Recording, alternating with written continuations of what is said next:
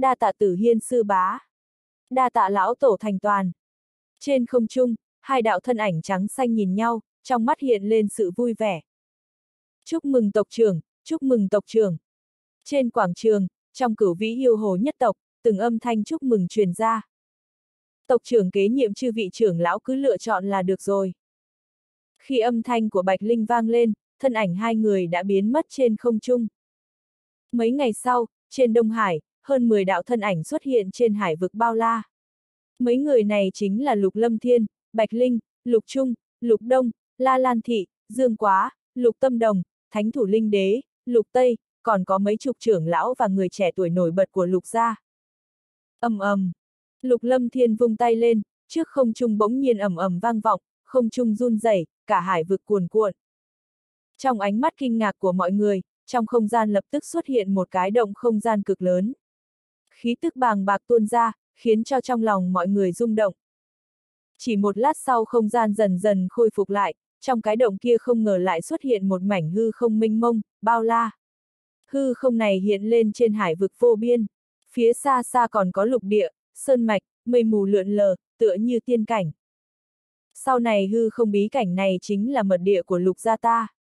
Trước tiên ta có thể sắp xếp một ít đệ tử lục gia tiến vào trong đó tu luyện. Lục lâm thiên lơ lửng trên không trung, tất cả các đại hoàng tộc đều bị lệnh cấm hạn chế. Nếu như có một ngày lục gia cũng bị lệnh cấm này thì cũng có thể tìm được lối ra.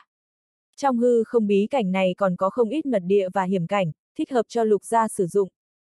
Nơi tốt a. À. Không ít người trong lục gia đã đi qua độc cô hoàng tộc và bắc cung hoàng tộc, lúc này tự nhiên cũng có thể nhìn ra hư không bí cảnh này so với mật địa của độc cô hoàng tộc và bắc cung hoàng tộc chỉ có mạnh hơn chứ không yếu. Thời gian từ từ trôi qua, trên đại lục, tin tức trưởng môn phi linh môn, tân chủ nhân hoàng tộc lục lâm thiên sắp cử hành đại hôn lần nữa tạo ra ảnh hưởng cực lớn. Một đám thế lực lớn nhỏ đã nhận được tin tức từ sớm, cả đám nhận cơ hội này chuẩn bị chu toàn rồi tiến về phi linh môn. Nếu như có thể gây dựng một ít quan hệ với phi linh môn, vậy thì sau này không cần phải nói. Trong phi linh môn vô cùng náo nhiệt, từ sáng đã có không khí vui mừng. Phụ thân, nhật sát các và tiêu giao bang đã tới phi linh môn. Trước mộ đông vô mệnh, Lục Lâm Thiên đang lau sạch bia mộ cho đông vô mệnh, thân ảnh Lục Kinh Vân lặng lẽ tiến tới. Khi mở miệng, đồng thời cũng vươn tay dùng ống tay áo lau bia mộ của đông vô mệnh. Dường như nhanh hơn nửa tháng A. Lục Lâm Thiên từ từ đứng dậy, nhìn Lục Kinh Vân, ánh mắt khẽ đổi nói. Kinh Vân, con muốn có mẫu thân không? Đương nhiên là có. Lục Kinh Vân ngẩng đầu, nói. Phụ thân, người quả thực không nghĩ ra mẫu thân của con là ai hay sao? Đây cũng là do ta hồ đồ cho nên mới làm chuyện hồ đồ. Lục Lâm Thiên vỗ bả vai Lục Kinh Vân rồi cười khổ, đây quả thực là chuyện mà hắn nghĩ mãi không ra. Chỉ có thể trách phụ thân quá phong lưu. Lục Kinh Vân mỉm cười, khóe miệng nhếch lên tạo thành đường cong tà dị. Tà khí kia dường như còn hơn Lục Lâm Thiên, hắn nói. Phụ thân, Du Thược phải làm sao bây giờ? Con thấy trong lòng muội ấy rất muốn có phụ thân, chỉ là trong lúc nhất thời không có cách nào tiếp nhận mà thôi. Có lẽ muội ấy trách cứ phụ thân đối đãi không tốt với mẫu thân của muội ấy. Con lớn rồi. Bàn tay Lục Lâm Thiên đặt vào bả vai Lục Kinh Vân, nói. Ta đang tìm kiếm tin tức của hai người, ta cũng đã nhờ tất cả các sơn môn trong đế đạo minh tìm kiếm. Một khi có tin tức ta sẽ nghĩ biện pháp đi xem. Trong thiên trụ giới, gợn sóng không ngừng quanh quẩn giống như thời gian loại y. Bên ngoài trôi qua 15 ngày thì bên trong đã được 5 tháng. Trong khoảng thời gian này, đặc biệt là hai tháng gần đây, thi thoảng có chấn động cực lớn xuất hiện. Không ít cường giả phi linh môn liên tiếp đột phá. Kim xà tôn giả tới thiên trụ giới, vẻ mặt vô cùng kinh hãi. Lập tức từ trong miệng đám người hỏa sĩ tôn giả biết được chỗ tốt của thiên trụ giới khiến cho hắn rung động không thôi. Trọng bảo như vậy khó trách tu vi của trưởng môn lại tiến bộ khủng bố như vậy. Thời gian không sai biệt lắm, kế tiếp có một ít chuyện phải bận rộn. Chư vị cũng có thể đi ra được rồi. Âm thanh của lục lâm thiên vang vọng trong thiên trụ giới, cơ hồ tất cả cường giả phi linh môn lập tức bị trục xuất khỏi thiên trụ giới. Siêu siêu. Từng đạo thân ảnh từ trong gợn sóng không gian bước ra, mang theo khí thức hùng hồn, sau đó lập tức xuất hiện trong đại điện phi linh môn. Trên mặt mỗi người đều xuất hiện sự vui vẻ. Chỗ tốt mà mọi người lần này nhận được to lớn ra sao, trong lòng tất cả mọi người đều hiểu rõ. Bái kiến trưởng môn, công tử, chủ nhân, sư phụ, mọi người hành lễ, thực lực của tất cả đều có tăng cường. Ánh mắt lục lâm thiên đảo qua mọi người, hỏa sĩ tôn giả, thiên thủ quỷ tôn, lộc sơn lão nhân, thanh hỏa lão quỷ, lưu kiếm đều có đột phá. Một khi dung hợp thần khí, đạt được truyền thừa, luyện hóa trọng bảo đều sẽ nhận được chỗ tốt cực lớn. Vũ tôn tam trọng, ánh mắt lục lâm thiên nhìn vào trên người lục tiểu bạch, không ngờ trong năm tháng đã tới tôn cấp tam trọng. Ban hủy, Long Linh và chúng cường giả đều có tiến bộ không ít, cơ hồ đều đạt tới bát giai hậu kỳ đỉnh phong. Cũng không tệ. Nhìn hai người đoan mộc hồng chí và niếp phong, khóe miệng lục lâm thiên nở nụ cười vui vẻ. Hai người đều nhận được truyền thừa của đế giả thượng cổ và thần khí thượng cổ. Thực lực của hai người lúc này đều là vũ vương cửu trọng, cách tôn cấp cũng chỉ một bước khôn xa. Đột phá tôn cấp không còn là vấn đề quá lớn. Mà khiến cho lục lâm thiên kinh hỉ chính là thiên sĩ tuyết sư và hắc vũ không ngờ khí tức trên người lại càng mạnh hơn nữa. Tuyệt đối đã đạt tới bát giai hậu kỳ đỉnh phong. Sợ rằng một khi có cơ hội, muốn đột phá cấp độ yêu đế sợ rằng cũng không phải không được. Mắt nhìn thực lực của phi linh môn hiện tại, trong lòng lục lâm thiên cực kỳ thỏa mãn, ba năm sau tất cả đế giả của phi linh môn sẽ đi tiến vào trong thiên trùng, đến lúc đó thực lực của phi linh môn cũng đủ ngạo nghễ toàn bộ đại lục. Cực lạc tam quỷ, thiên địa nhị lão, đám người lục kinh vân đến lúc đó đột phá đế giả, tuy rằng là khó, thế nhưng cũng không phải là không làm được. Đặc biệt là lục kinh vân, chẳng qua chỉ là vấn đề thời gian mà thôi. Lệ quỷ và thiên địa nhị lão là người có hy vọng nhất. Ồ, đến rồi sao? Trong đại điện, ánh mắt lục lâm thiên nhảy lên, trong tâm thần dò xét của hắn, ngoài phi linh môn đã có cường giả đến. Linh thiên môn tới bái phỏng phi linh môn. Vân Dương Tông tới bái phỏng phi linh môn. Từng đạo âm thanh vang lên, cường giả của Linh Thiên Môn và Vân Dương Tông đã tới nơi. Chúng ta đi nghênh đón cường giả Linh Thiên Môn và Vân Dương Tông thôi. Ánh mắt lục lâm thiên khẽ đổi, khóe miệng mỉm cười, trường bào màu xanh vung lên, thân ảnh lập tức rời khỏi đại điện. Thiên Vân Đảo tới bái phỏng phi linh môn. Nhật sát các tới bái phỏng phi linh môn. Trong phi linh môn, trong hai tòa đình viện nối tiếp nhau, bên trong có gần 20 cường giả thiên vân đảo. Trong tòa đình viện tinh xảo bên trái lúc này có mấy đạo thân ảnh xinh đẹp đang đứng. Trong phòng còn bố trí cấm chế của đế giả. Nhị nữ kính hoa, Thủy Nguyệt cũng ở bên trong. Kính hoa mặc cung trang màu trắng nhạt, mái tóc búi lên cao, khí chất bất phàm. Thủy Nguyệt mặc một thân sa y, mái tóc xóa tung xuống vai, nhìn qua có vẻ ôn nhu, yêu nhã.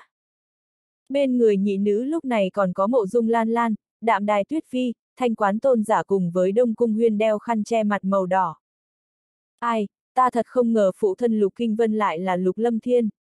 Khó trách ngươi lại nghĩ biện pháp đưa Lục Kinh Vân tới phi linh môn. Thanh quán tôn giả mặc một bộ váy dài màu trắng, mái tóc đen như mực, làn da trắng như tuyết. Ánh mắt nhìn vào trên người mộ dung lan lan, ánh mắt khẽ than. Hai mắt sáng như nước, nhìn qua có chút vũ nghị Công pháp chủ yếu của thiên vân đảo chỉ thích hợp cho nữ tử tu luyện. Cũng bởi vì nguyên nhân công pháp cho nên nữ tử thiên vân đảo nhìn qua đều vũ nghị hấp dẫn bất phàm, khiến cho tất cả nam tử trên đại lục theo đuổi không ít, đều cam nguyện quỷ gối dưới váy nữ đệ tử thiên vân đảo. Chỉ tiếc thiên vân đảo có đảo quy, người bên ngoài đừng mong có cơ hội yêu đương với đệ tử thiên vân đảo. Đặc biệt là đảo chủ thì càng không có bất kỳ cơ hội nào.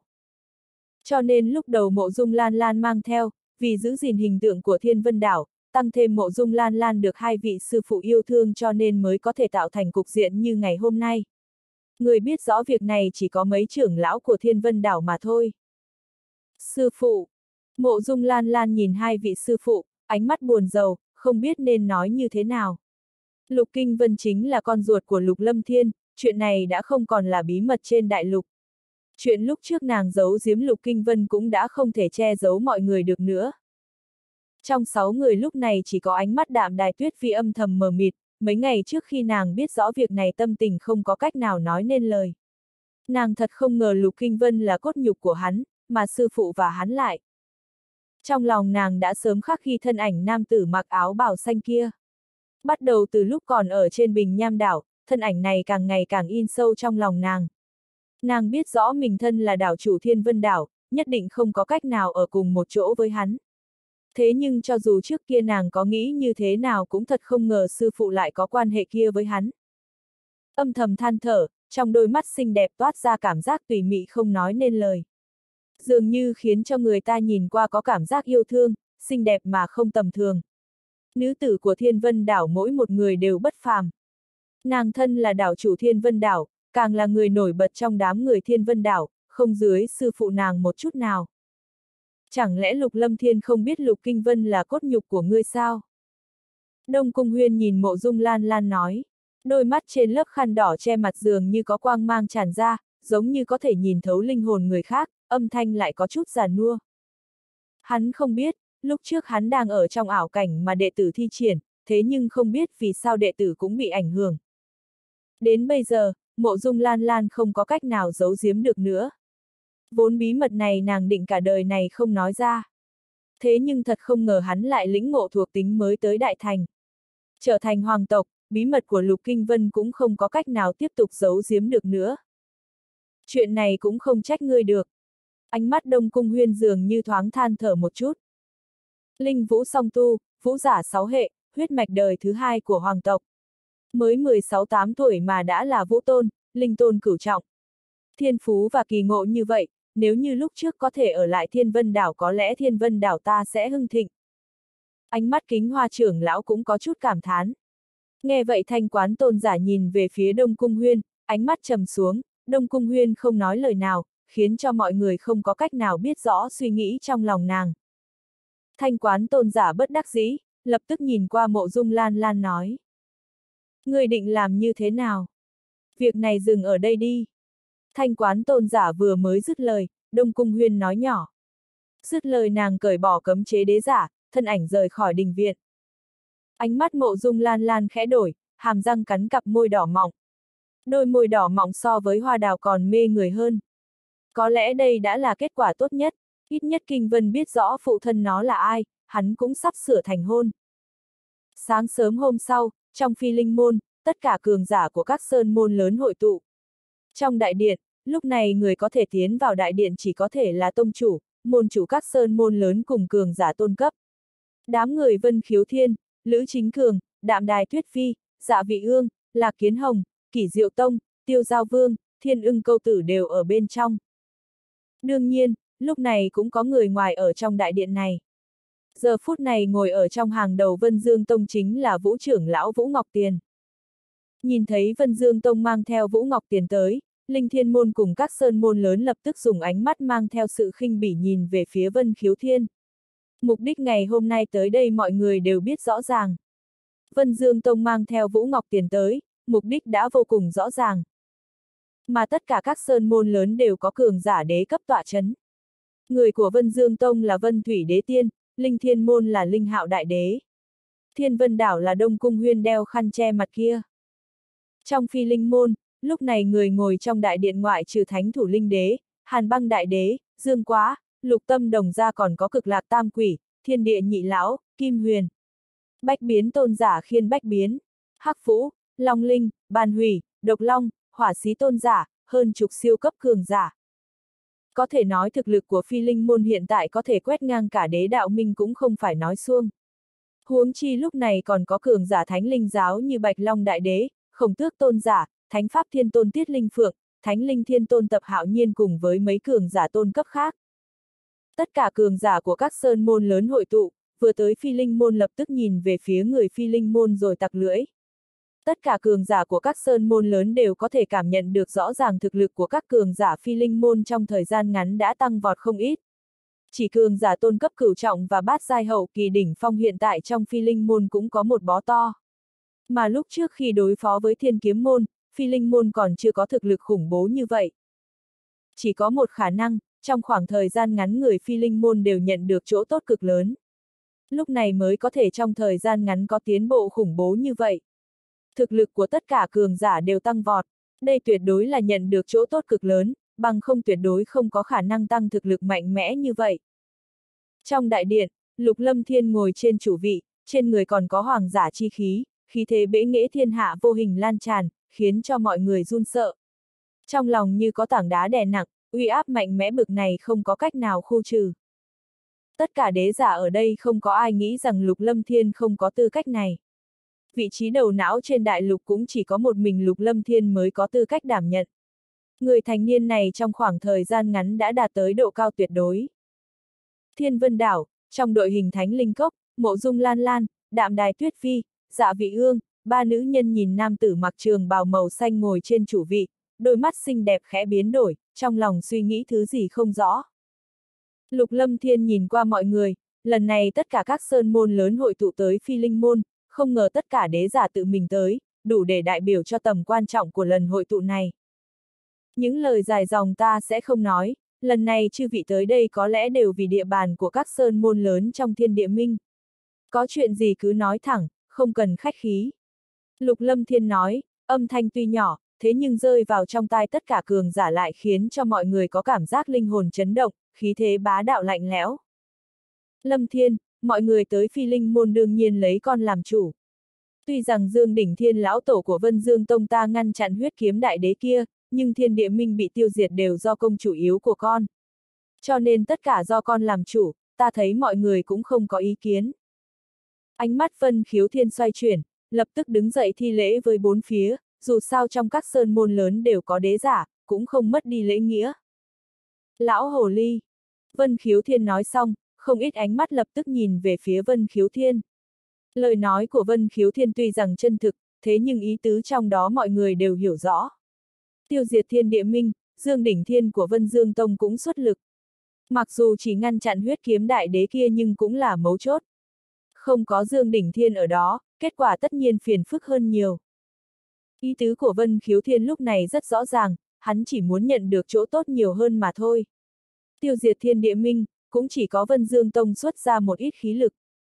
Bằng không tất cả mọi người nói qua một chút, một mình ta nói sợ rằng không tốt lắm. Ánh mắt lục lâm thiên chậm rãi đảo qua mọi người, nhìn phản ứng của mọi người. Đại ca, huynh dùng sức một mình tiêu diệt mấy ngàn cường giả Theen địa minh, mấy chục đế giả thiên địa minh cũng chết trong tay huynh. Muội thấy lúc này huynh lên tiếng không có gì là không đúng cả.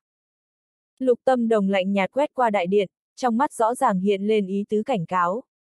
Nếu ai không phục thì có thể tiến lên.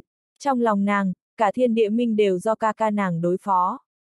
Lúc này ca ca phân chia đương nhiên đủ phục chúng. Mắt nhìn lục tâm đồng, ánh mắt mọi người khẽ đổi, giờ phút này không có bất kỳ ai dám xem thường đối với lục tâm đồng, độc linh ma nữ này cũng không phải dễ đối phó, tuy rằng chỉ có tu vi linh đế nhất trọng, thế nhưng một khi chân chính động thủ, mọi người đều biết đế giả nhị trọng bình thường cũng không có cách nào làm gì được nàng. Huống chi lúc trước cũng có không ít người tận mắt nhìn thấy lục tâm đồng và dương quá dựa vào một kiện thần khí hình khải giáp có thể chống lại đế giả tự bạo. Tuổi của lục tâm đồng không lớn lắm, thế nhưng tuyệt đối là người không dễ chọc. Tâm đồng cô nương nói đúng, việc này lấy lục minh chủ làm chủ, đương nhiên không thành vấn đề. Tiêu diệt thiên địa minh toàn bộ đều do công lao của lục minh chủ. Lục minh chủ gần đây vô cùng công bằng, ta nghĩ thiên vân đảo ta không có dị nghị gì. Tất cả đều nghe theo sự sắp xếp của lục minh chủ.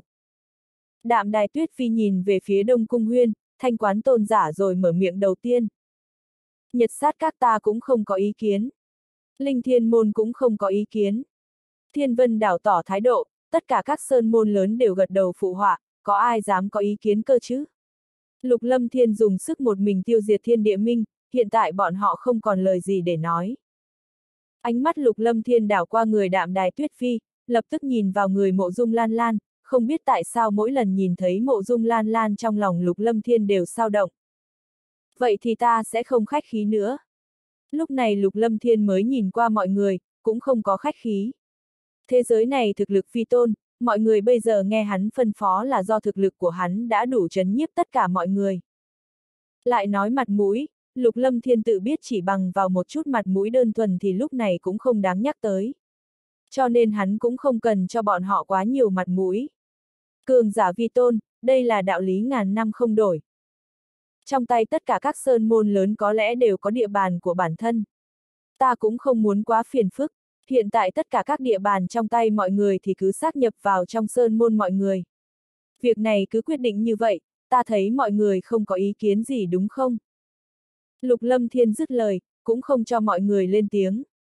Tất cả địa bàn mà các sơn môn lớn chiếm cứ Lục Lâm Thiên đã biết được. Sau khi thiên địa minh bị diệt, tất cả các sơn môn lớn đều nhanh chóng đi chiếm địa bàn. Mà ngay cả Thánh Linh Cốc, Tiêu Giao Bang và Thiên ưng Lâu cũng có thu hoạch. Đương nhiên so với sơn môn như Vân Dương Tông và Linh Thiên Môn thì kém hơn một chút. Đương nhiên, thu hoạch bên trong, trong lòng Lục Lâm Thiên hiểu rõ. Phi Linh Môn và Thánh Linh Giáo trong Đông Hải cũng kiếm được chén canh.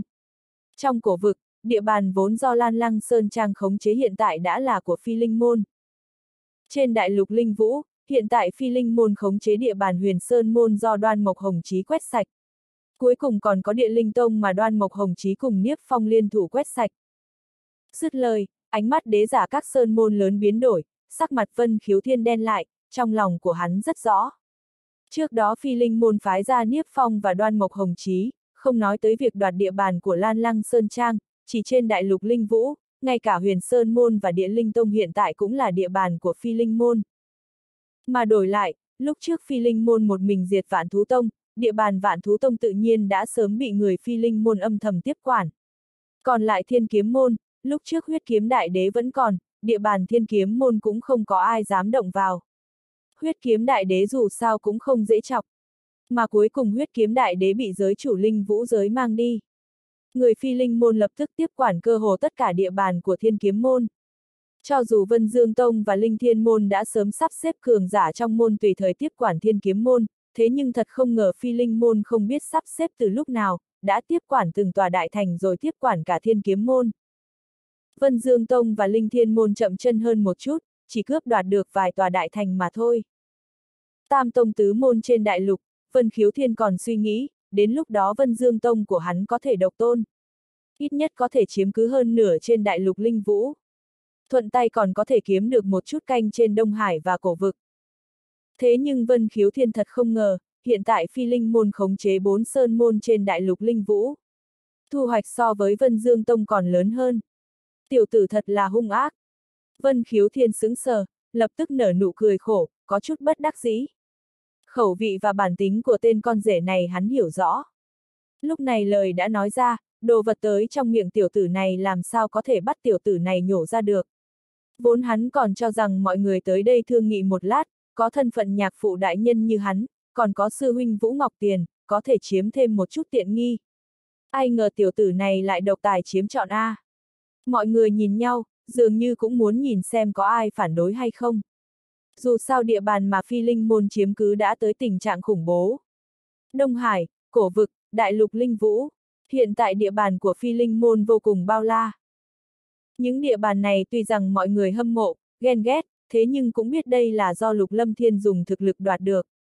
Bọn họ không góp một chút công sức nào. Thế nhưng trong lòng mọi người không khỏi lo lắng, sau này phi linh môn phát triển, tăng thêm lục gia chính là hoàng tộc, còn có thánh linh giáo, thánh linh cốc tương trợ, tuyệt đối khủng bố. Có lẽ sau đế giả triệu hoán, dùng thực lực của phi linh môn hiện tại, phi linh môn muốn xâm chiếm tất cả các sơn môn cũng không phải là không được. Vì sơn môn, cho nên tất cả mọi người không khỏi cân nhắc chuyện sau này. Thế nhưng lại không ai dám làm chim đầu đàn, tất cả đều muốn nhìn một chút, có người nào đứng ra hay không. Chư vị tiền bối, trưởng môn, mọi người có lẽ không có ý kiến gì chứ. Nếu như có thì có thể nói ra một chút. Lục tâm đồng nhìn sắc mặt mọi người, bàn tay nắm lấy góc áo, ánh mắt lạnh lùng quét qua mọi người. Rõ ràng có ý tứ cảnh cáo, chuyện này khiến cho mọi người đành chịu. Hai huynh muội này kẻ tung người hứng, căn bản không cho mọi người có cơ hội ý kiến, rõ ràng đã quyết định từ trước. Hắc sát giáo ta không có bất kỳ ý kiến gì. Người của hắc sát giáo tới đây chính là phong sát đại đế, Trước đó các sơn môn lớn cướp đoạt chỗ tốt hắc sát giáo dường như tự mình biết mình cho nên không có bất kỳ động tác nào. Chỉ trông coi địa bàn của mình mà thôi. Phong sát tiền bối đồng ý, chẳng lẽ mọi người lại có ý kiến hay sao? Lục lâm thiên mỉm cười, từ từ đứng dậy, chậm rãi đi xuống phía dưới. Trên người trong lúc vô hình có khí tức như ẩn như hiện lan tràn ra. Dường như vô tình, lại giống như cố ý khuếch tán. Lập tức mọi người trong đại điện đều cảm nhận được uy áp cực lớn. Ánh mắt biến hóa, có lẽ mọi người thật không ngờ lúc này Lục Lâm Thiên lại dùng thủ đoạn mạnh mẽ như vậy. Phong sát tiền bối, theo ta được biết lần này hắc sát giáo cũng không đạt được chỗ tốt gì. Bằng không phi linh môn ta sẽ cho hắc sát giáo mấy đại thành, được không? Lục Lâm Thiên không để ý tới ánh mắt của mọi người, đi qua mọi người rồi đi tới bên cạnh phong sát đại đế. Lục Minh chủ khách khí rồi, nếu không phải tiền bối của hắc sát giáo ta có quan hệ với sư môn của Lục Minh chủ. Hắc sát giáo ta sợ rằng lúc này đã không còn trên hậu thế. Lục Minh chủ lại cho chúng ta mấy đại thành, hắc sát giáo xấu hổ không dám nhận. Khuôn mặt phong sát đại đế hơi trắng, người mặc y phục màu trắng giống như bạch vô thường từ cửu u địa ngục. Toàn thân lan tràn ra sát khí nhàn nhạt, thế nhưng lúc này thấy lục lâm thiên tới trước mặt lại có cảm giác được sủng ái mà lo sợ, cho nên vội vàng đứng dậy, vẻ mặt cung kính. Phong sát đại đế không ngờ tới tiền bối của hắc sát giáo lại thật sự có quan hệ với lục lâm thiên cho nên mới giữ được cơ nghiệp ngàn năm của hắc sát giáo. Lúc trước hắn còn tưởng rằng muốn châm ngòi ly gián hắc sát giáo với thiên địa minh. Mà bây giờ hắn mới biết được lục lâm thiên không phải đang lừa gạt hắn, tiền bối trong giáo tích đức A. Thật sao, nếu xấu hổ không dám nhận thì đi chết đi. Trong sát na này, một âm thanh lạnh lẽo như băng đột nhiên vang lên. Dưới vô số ánh mắt, Lục Lâm Thiên phất tay một cái, trong tay có một đạo quang mang màu vàng hóa thành trường ấn, tràn ngập hoàng khí sắc bén, lạnh lẽo mà minh mông. Cùng một thời gian, trường ấn màu vàng trong tay Lục Lâm Thiên tựa như sấm sét mang theo khí thức sắc bén khiến cho người ta run rẩy. Tất cả đều cảm thấy trong lòng lạnh lẽo, linh hồn run run. Phanh phanh. Cùng một thời gian, phong sát đại đế còn chưa kịp có phản ứng, đạo trưởng ấn này đã đánh xuống, dưới trưởng ấn, không gian bị nghiền nát, lộ ra quang mang đen kịt khiến cho tim đập nhanh. Bằng mắt thường có thể thấy được thân thể phong sát đại đế hóa thành mảnh vỡ, linh hồn phân thân và hồn anh không có cơ hội chạy ra. Thậm chí còn chưa kịp có phản ứng đã tan thành mây khói. Dùng thực lực của lục lâm thiên hiện tại, dưới tình huống bất ngờ ra tay, lực lượng thời gian, không gian, giai vị, kim hoàng khí áp chế. Phong sát đại đế cho dù có sẵn sàng chuẩn bị thì cũng bị miểu sát, huống chi là dưới tình huống lục lâm thiên ra tay bất ngờ. Nhìn thấy cảnh này, ánh mắt của tất cả mọi người biến đổi, kinh ngạc không thôi. Nếu như hắc sát giáo ngươi thực sự có giao tình với trưởng bối sư môn ta thì tha cho ngươi một mạng cũng không thành vấn đề. Chỉ tiếc hắc sát giáo ngươi còn không có cái phúc phận kia. Trường bào màu xanh trên người lục lâm thiên run lên, chắp tay lại. Đánh chết phong sát đại đế xong bộ dáng vẫn vô cùng nhàn nhã, dường như không quá đặt vào trong mắt. Lão Tổ! Một ít người hắc sát giáo đi theo đến đây lúc này mới phục hồi tinh thần lại, vẻ mặt kinh hãi. Tất cả chết đi. Ánh mắt lục tâm đồng lạnh lẽo không thôi, trong tay có khói độc lan tràn ra. Từng đạo điện mang màu xanh giống như tia chớp xuyên thủng không gian xuyên qua mi tâm của đám người hắc sát giáo còn lại. Trong chốc lát, tất cả người của hắc sát giáo đều vẫn lạc. Cường giả phi linh môn thấy vậy lập tức phân phó đệ tử phi linh môn bên ngoài thu dọn thi thể, tất cả đều hoàn thành trong thời gian cực ngắn. Hít! Không ít cường giả ở đây đều hít sâu một hơi. Hai huynh muội lục gia này không phải là dễ nói chuyện. Giờ phút này mọi người mới biết được hắc sát giáo này không phải thực sự có quan hệ với lục lâm thiên. Xem ra hắc sát giáo nằm trong kế hoạch của lục lâm thiên, luôn bị lục lâm thiên dẫn mũi. Lục minh chủ, dùng sức một mình diệt thiên địa minh, mọi người chúng ta căn bản không xuất lực bao nhiêu, thế nhưng lại nhận được không ít chỗ tốt. Sau đế giả triệu hoán, vạn nhất như trước đây, ta muốn tất cả các sơn môn lớn đều có truyền thừa. Mục tiêu của mọi người lúc trước đều đã đạt tới. Nhật sát các ta không có bất kỳ ý kiến gì. Lạc Kiến Hồng mở miệng đầu tiên nói, thân phận lục lâm thiên ngày càng cao, xưng hô của hắn trong lúc vô hình đã biến hóa. Linh thiên môn cũng không có ý kiến. Tinh ngục các cũng không có ý kiến. Cả đám sơn môn lần nữa gật đầu, Lục Lâm Thiên đã quyết định không cho phép bọn họ phản đối. Vậy thì cứ quyết định như vậy đi. Nếu như chư vị có thời gian thì mời ở lại phi linh môn một đoạn thời gian. Coi như để ta tận tình địa chủ. Lục Lâm Thiên mỉm cười nói. Ta còn phải đi tới hắc sát giáo, chư vị có thể chờ một lát, một lát nữa ta sẽ trở lại. Lục Lâm Thiên dứt lời, thân ảnh đã lăng không biến mất trên đại điện, chỉ lưu lại một đạo âm thanh quanh quẩn trên đại điện. Hộ môn tôn sứ của yêu đường, vũ đường chuẩn bị tiếp thu tất cả địa bàn của hắc sát giáo. Người phản kháng giết không tha. Trong đại điện, chúng cường giả nhìn ra bên ngoài đại điện, Lục Lâm Thiên hiện tại sợ rằng muốn đi tới hắc sát giáo đối phó với cuồng sát đại đế kia. Tu vi của cuồng sát đại đế tuy rằng kém hơn huyết kiếm đại đế một chút, thế nhưng nhất định sẽ phải chết không hề nghi ngờ. Chúng cường giả các sơn môn cười khổ, tăng thêm địa bàn của hắc sát giáo, về sau phi linh môn ở trong cổ vực và đại lục linh vũ đều có địa vị bá chủ. Có thể nói cả đại lục đều rơi vào trong tay phi linh môn. Từ cổ chí kim tới nay còn chưa có bất kỳ sơn môn nào có thể làm được như vậy. Một lát sau, trong sơn mạch liên miên có hai đạo thân ảnh phá không bay đi. Một nam một nữ, nam mặc y phục màu xanh, khóe miệng lúc nào cũng treo nụ cười tà dị. Nữ tử mặc y phục trắng như tuyết, thân thể mềm mại vô song, hai người này chính là Lục Lâm Thiên và Bạch Linh. Lục Lâm Thiên nhìn sơn mạch phía trước, mỉm cười quay đầu nói với Bạch Linh. Một mình ta tới đây là được rồi. Thiếp chỉ tới xem, không làm ảnh hưởng tới chàng đâu. Bạch Linh nhìn Lục Lâm Thiên, khẽ mỉm cười nói. Vậy nàng chờ ta một lát. Lục Lâm Thiên dứt lời, thân thể dưới ánh mắt kinh ngạc của Bạch Linh không ngờ lại biến thành bộ dáng của phong sát đại đế, độc nhất vô nhị, mà ngay cả khí tức linh hồn cũng không khác biệt. Đây là tam thần quyết mà chàng nói sao? Thật sự là kỳ lạ. Bạch Linh biến sắc, trong lòng có chút khiếp sợ. Tam thần quyết vô cùng diệu dụng. Lục Lâm Thiên cười cười, thân ảnh hóa thành một đạo lưu quang lập tức lướt về phía trước. Bạch Linh nhìn phía trước, khẽ nở nụ cười yếu ớt, lúc trước ở trong mật địa của Vân Dương Tông nàng chưa từng nghĩ tới mình và Lục Lâm Thiên lại đi tới bước ngày hôm nay. Phanh! Không bao lâu, trong sơn mạch phía trước vang lên âm thanh trầm đỡ upsilon, C. Bạch Linh do dự một lát, thân ảnh xinh đẹp bắn về phía trước. Trong một kiến trúc to lớn trên sơn mạch, thân ảnh xinh đẹp của Bạch Linh lần nữa xuất hiện trong một thạch động ở trong một ngọn núi khổng lồ. Trong thạch động, Lục Lâm Thiên đang dùng chảo ấn đặt lê y để y hát đầu một lão giả, người này chính là cuồng sát lão tổ của hắc sát giáo. Tiếng kêu thảm thiết của cuồng sát đại đế ngừng lại, toàn thân run rẩy, chân khí mênh mông trên người liên tục tràn vào trong cơ thể Lục Lâm Thiên. Hồn anh và linh hồn phân thân cũng bị Lục Lâm Thiên thúc giục âm dương linh vũ quyết thôn phệ. Bạch Linh cũng không cảm thấy kỳ quái cho nên tiện tay bố trí một đạo cấm chế. Sau đó lẳng lặng đứng trong thạch động. Hơn 10 thời thần sau, trong thạch động, cuồng sát đại đế kia đã hóa thành thây khô. Lục Lâm Thiên thu thủ ấn lại, thôn phệ chân khí của một vũ đế nhị trọng cũng không ít. Hít, hít sâu một một hơi, Lục Lâm Thiên thì thảo nói. Chỉ còn linh vũ giới. Linh vũ giới che giấu vô cùng sâu. Lăng Thanh Tuyền lại là mẫu thân của Du Thược, tính ra quan hệ của Linh vũ giới và chàng đủ sâu.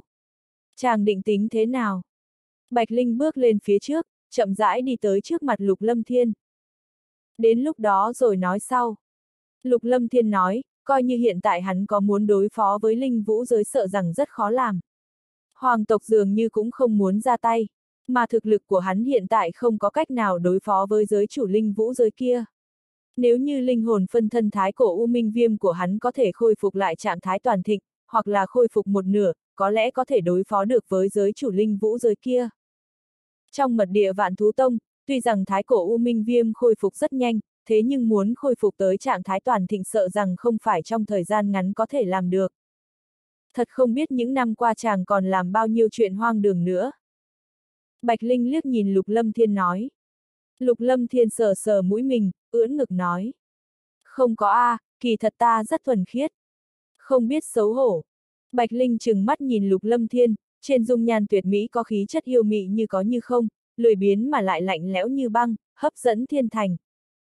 Lục Lâm Thiên nhìn khuôn mặt tuyệt mỹ của Bạch Linh, y phục trắng như tuyệt, tư thái xinh đẹp, đường cong linh lung khiến cho tim người ta đập thình thịch.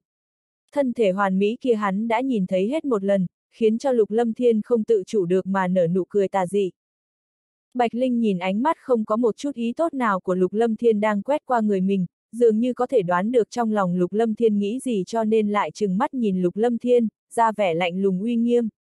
Thế nhưng cặp môi đỏ mọng lại mím lại tạo thành đường vòng cung mê người. Ba năm sau chúng ta đều phải đi vào thiên trùng, tới lúc đó không biết còn sống hay không. Ta thật không hy vọng nàng và đám người vô song, cảnh văn đều đi vào trong đó. Lục Lâm Thiên khẽ than, đế gải triệu hoán, giữ nhiều lành ít, sinh tử khó dò, trong lòng Lục Lâm Thiên lúc này không có một chút nắm chắc nào. Trung Quy vẫn phải đối mặt. Hai hàng lông mi như lá liễu của Bạch Linh nhíu lại, trong mắt có chút lạnh lùng, uy nghiêm, nàng cười nhạt một tiếng rồi nói. Còn ba năm A, huống chi cũng không phải hoàn toàn không có cơ hội. Không phải chàng nói sư phụ chàng cùng với bất bại kiếm đế cũng có thể thoát thân ra hay sao? Có lẽ chúng ta còn có cơ hội cũng không biết chừng. Chỉ mong là như vậy. Lục Lâm Thiên nói. Thiếp tin chàng nhất định có thể làm được. Đôi mắt xinh đẹp của Bạch Linh nhếch lên, đẹp tới mức khiến cho người ta khó thở. Thân ảnh mềm mại, uyển chuyển giống như một đóa hoa tuyết liên màu trắng, nở rộ ở trong thiên địa này khiến cho thạch động này như sáng hẳn lên. Nhìn thân ảnh tuyệt mỹ này, Lục Lâm Thiên nhìn tới thần thần, khóe miệng nhếch lên nở nụ cười tà dị, sau đó lập tức ôm nữ tử trước mặt vào trong ngực. Chàng nghĩ kỹ chưa? Bạch Linh lên tiếng, nhìn Lục Lâm Thiên, trên khuôn mặt tuyệt mỹ kia không tự chủ được mà đỏ ửng. Hai người đứng ôm nhau, nàng có thể cảm giác được giờ phút này giữa hai chân Lục Lâm Thiên có một vật cưng cứng đang bắt đầu quấy rối nàng. Lục Lâm Thiên cười hắc hắc, da mặt hắn đã sớm dày như tường thành, cho nên không để ý mà nói. Làm nữ nhân của ta đi. Sắc đảm của chàng càng lúc càng lớn, đừng nghĩ thiếp không biết. Năm đó đối với thiếp chàng cũng từng có ý xấu, bất quá năm đó chàng trung thực hơn nhiều. Gò má bạch linh ửng đỏ, càng kiều diễm động lòng người. Nhìn lục lâm thiên, gần trong gang tấc, ánh mắt nàng không tự chủ được mà mê ly. Ha ha, thật không, vậy thì hiện tại lá gan của ta còn lớn hơn. Lục lâm thiên cười ha hả, nhìn nữ tử tuyệt mỹ trước mặt, gò má đỏ bừng, làn da trắng như tuyết, vũ mị hấp dẫn, lại cao quý xuất trần, giống như tiên tử hạ phàm nhân gian. Giống như thần nữ cao ngạo đứng trong thiên địa, không có một nữ nhân nào có thể so sánh được với nàng. Ánh mắt lục lâm thiên ngây ngốc, tim đập nhanh hơn. Giờ phút này hắn đã cảm giác được thân thể mềm mại trong lòng mình đã bắt đầu run rẩy nhẹ nhẹ, khuôn mặt đỏ bừng. Ánh mắt mê ly, đối với lục lâm thiên mà nói, đây là sự mê hoặc khó có thể ngăn cản. Bàn tay lập tức siết chặt thân thể mềm mại này vào trong lòng, cái đầu cúi xuống. Bạch Linh hơi giấy ruộng, thế nhưng không trốn thoát được khỏi hai tay của Lục Lâm Thiên rồi lập tức đáp lại. Bốn môi hòa quyện, đáp lại bản năng của mình. Lục Lâm Thiên ôm chặt thân thể mềm mại như bông này, cái lưỡi thơm tho cùng với mùi hương nhàn nhạt kia như thấm đậm nhân tâm khiến cho người ta say mê. Nữ tử như vậy khiến cho Lục Lâm Thiên không khỏi nhớ tới thời điểm mà hai người mới gặp gỡ trong mật địa của Vân Dương Tông. Dung nhan tuyệt mỹ khiến cho Lục Lâm Thiên giật nảy mình, mà cuối cùng lại biến thành hiện tại, hấp dẫn, yêu mị chúng sinh. Giờ khắc này sâu trong lòng Lục Lâm Thiên đã có thân thể xinh đẹp này. Lúc này hai tay đang ôm nữ tử xinh đẹp, mê người giống như tiên tử này lại khiến cho Lục Lâm Thiên có cảm giác giống như đang nằm mơ.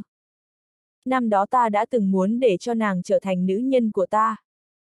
Bốn bờ môi rời nhau, hai mắt Lục Lâm Thiên như phún lửa, khẽ nói nhỏ bên cái tai xinh xắn thiếp biết ngay sắc đảm của chàng không nhỏ mà. Sớm biết như vậy năm đó thiếp nên thu thập chàng sớm.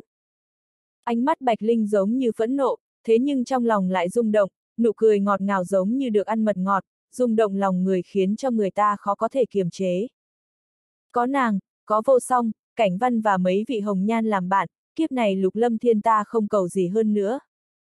Nhìn qua nữ tử rung động lòng người này, lục lâm thiên lập tức có cảm giác máu tươi sôi trào.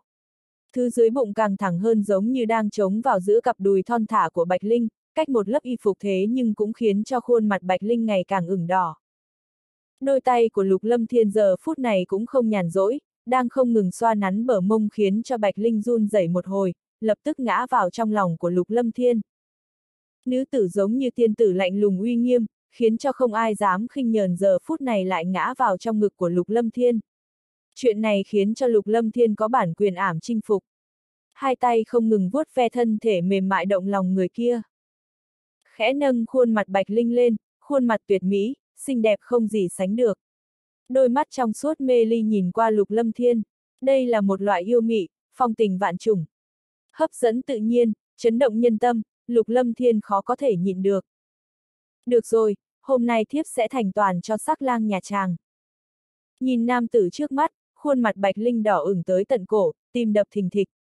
Lập tức vung tay lên, trong tay có một đạo quang mang màu trắng bắn ra chung quanh. Một giây sau, trong thạch động, hai người được quang mang màu trắng bao phủ, tựa như một cái kén nhộng, chỉ có thể nhìn thấy hai đạo thân ảnh như ẩn như hiện. Trong quang mang màu trắng chỉ thấy cảnh tay ngọc mềm mại kia khẽ dương lên, mái tóc xõa xuống, mang theo đường vòng cung động lòng người. Y phục trắng như tuyết trên người như lá rụng trong gió rơi sống mỗi một cái giơ tay nhấc chân đều vô cùng động lòng người. Tràn ngập vũ mị, đường cong lung linh, hấp dẫn vô cùng. Đường vòng cung động lòng người này đủ để khiến cho chúng sinh điên cuồng. Giờ phút này không có một người nào có thể nhìn thấy, chỉ cho một mình Lục Lâm Thiên ở trong quang mang màu trắng xem. Khiến cho Lục Lâm Thiên có cảm giác miệng lưỡi khô khốc, máu tươi sôi trào. Một lát sau, trong quang mang màu trắng giống như kén nhộng, hai đạo thân ảnh dây dưa, như ẩn như hiện, vô cùng hấp dẫn. Nữ tử tuyệt mị, giống như tiên tử kia lúc này nằm dưới người nam tử, tiếng thở dốc vang lên không ngừng bên tai, xuân sắc khôn cùng. Trong phi linh môn, ở hậu sơn, trên một ngọn núi khổng lồ có một thiếu niên 17-18 tuổi đang ngồi trên một tảng đá, hai tay đang chống cằm. Khuôn mặt như điêu khắc, mái tóc đen nhánh, mày kiếm, nhìn qua phóng đáng không chút câu nệ. Giờ phút này trong mắt lại có chút trầm tư. Là ai vậy? Thiếu niên này dường như cảm nhận được cái gì đó, bỗng nhiên quay người, trong mắt hiện lên vẻ vui mừng, nói. La Lan à A Di, sao người biết con ở đây? Ta hỏi đệ tử phi linh môn, đương nhiên biết rõ con ở ngươi này. Tại sao con lại ở nơi này? Dứt lời, thân ảnh mộ dung Lan Lan xuất hiện trên ngọn núi. La Lan à A Di, Kính Hoa, Thủy Nguyệt à A Di đâu rồi? Lục Kinh Vân lập tức đứng dậy, khóe miệng mỉm cười, đôi mắt đen nhánh đa tình lại mang theo vẻ cuồng ngạo không có cách nào che giấu. Mỗi một lần nhìn thấy vị La Lan A Di trước mắt thì trong lúc vô hình hắn lại cảm nhận được một loại cảm giác quen thuộc khó hiểu. Hai vị A Di đang định trở về, ta bớt chút thời gian tới thăm con một chút, dường như con đang không vui đúng không? Mộ dung Lan Lan nhìn thiếu niên trước mắt, nhiều năm như vậy, nàng có thể nhìn thấy cốt nhục của mình đã là kết quả tốt nhất rồi. Con nghĩ tới mẫu thân. Lục Kinh Vân nói. Thật sao, mẫu thân con lúc này nhất định cũng nghĩ tới con. Mộ dung lan lan thở dài, trong đôi mắt xinh đẹp hiện lên sự bất đắc dĩ. Cố gắng nhịn xuống sự chua xót trong lòng. Thế nhưng ngay cả phụ thân cũng không biết mẫu thân của con là ai. Có lẽ cả đời này con cũng không có cơ hội nhìn thấy mẫu thân. Lục Kinh Vân nói, lại lập tức ngẩng đầu nhìn mộ dung lan lan nói. La Lan A Di, không phải người chính là mẫu thân của con đó chứ? Toàn thân mộ dung lan lan run lên, ánh mắt dưng dưng nhìn về phía Lục Kinh Vân. Thế nhưng điều đó không có khả năng, sao người lại là mẫu thân của con được? Hy vọng mẫu thân của con sống tốt, chỉ cần mẫu thân còn sống tốt là con không lo lắng. Lục Kinh Vân lập tức thở dài. Ta nghĩ nếu như mẫu thân của con biết được điều này sẽ vô cùng cao hứng. Mộ Dung Lan Lan nhìn Lục Kinh Vân, nói. Kinh Vân ta phải đi về rồi. Con nên tu luyện cho tốt, có phụ thân con, có huyết mạch kim hoàng, ngày sau con nhất định sẽ trở thành một cường giả ngạo nghễ đại lục giống như phụ thân con. Mẫu thân cũng tự hào vì con. Vâng, con sẽ cố gắng, sẽ không để cho phụ thân mất mặt. Lục Kinh Vân gật đầu nói. Mộ Dung Lan Lan lập tức quay đầu rời đi, trong khóe mắt không tự chủ được mà có nước mắt chảy xuống. Trong không gian bí ẩn, Du Thực nhìn phía trước, thì thào nói. Không biết thương thế trên người phụ thân đã tốt hay chưa? Thời gian từ từ trôi qua, trên đại lục dần dần trở nên yên tĩnh. Cả đại lục, hơn phân nửa cổ vực, đại lục linh vũ đều nằm trong sự khống chế của phi linh môn, trở thành địa bàn của phi linh môn. Phi linh môn bành trướng, cơ hồ tất cả người của sáu đường trong phi linh môn vô cùng bận rộn. Thế nhưng trong lòng tất cả mọi người đều cao hứng không thôi. Thời kỳ phi linh môn toàn thịnh bọn họ có thể góp một chút sức là việc trọng đại cỡ nào. Trong không gian tràn ngập linh khí, linh hồn phân thân thái cổ U Minh Viêm của Lục Lâm Thiên khoanh chân ngồi đó, quanh thân có hỏa diễm nóng bỏng màu lam nhàn nhạt, khiến cho cả không gian nóng bỏng khủng bố, lại mang theo khí thức khiến cho linh hồn người ta lạnh lẽo. Siêu siêu. Năng lượng thiên địa nồng đậm giống như sợi tóc chui vào trong thân thể linh hồn phân thân thái cổ U Minh Viêm, khiến cho khí tức trên linh hồn phân thân của Lục Lâm Thiên từ từ tăng cường. Cách đó không xa, thân ảnh xinh đẹp mà yêu mị của mẫu đơn ngồi đó, toàn thân được khí tức huyết sát bao phủ, cũng đang đắm chìm trong tu luyện. Trong đại điện phi linh môn, đường chủ sáu đường đều có mặt. Lục Lâm Thiên ngồi trên chủ vị nghe mọi người báo cáo. Cả đại lục hiện tại đều nằm trong sự khống chế của phi linh môn, chuyện này khiến cho Lục Lâm Thiên vô cùng thỏa mãn. Mà đại hôn mấy tháng sau trong phi linh môn đã chuẩn bị vô cùng tốt, Hoa Mãn Ngọc đã xử lý thỏa đáng.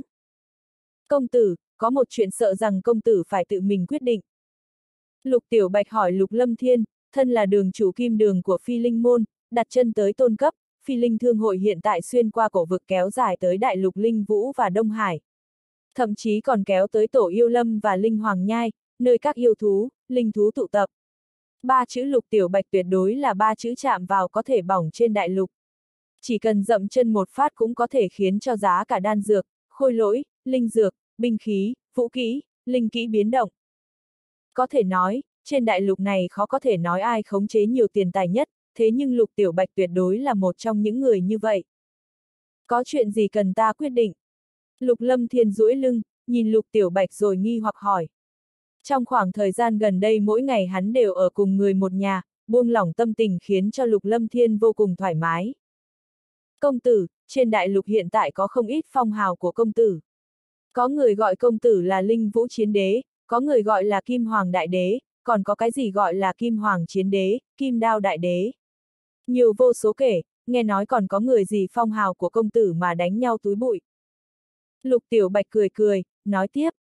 Tiểu nhân thấy công tử nên tự mình quyết định, chúng ta cũng tiện chiếu cáo thiên hạ. Phong hào của trưởng môn nhất định phải vang dội mới được. Trưởng môn thuộc tính đại thành, khống chế thuộc tính kim, kim hoàng chủ, vô cùng thích hợp. Trong đại điện, mọi người lập tức nghị luận. Phong hào sao? Lục Lâm Thiên cười nhạt một tiếng, chuyện phong hào này Lục Lâm Thiên cũng không có quá mức đặt ở trong lòng. Hắn nhìn mọi người trong đại điện rồi nói. Nếu như cần thì gọi là ngũ hành đại đế đi. Ngũ hành đại đế là có ý gì? Chúng cường giả phi linh môn nghi hoặc không thôi, không ai biết ý nghĩa của nó. Sau này có thời gian ta sẽ nói tỉ mỉ cho các người biết.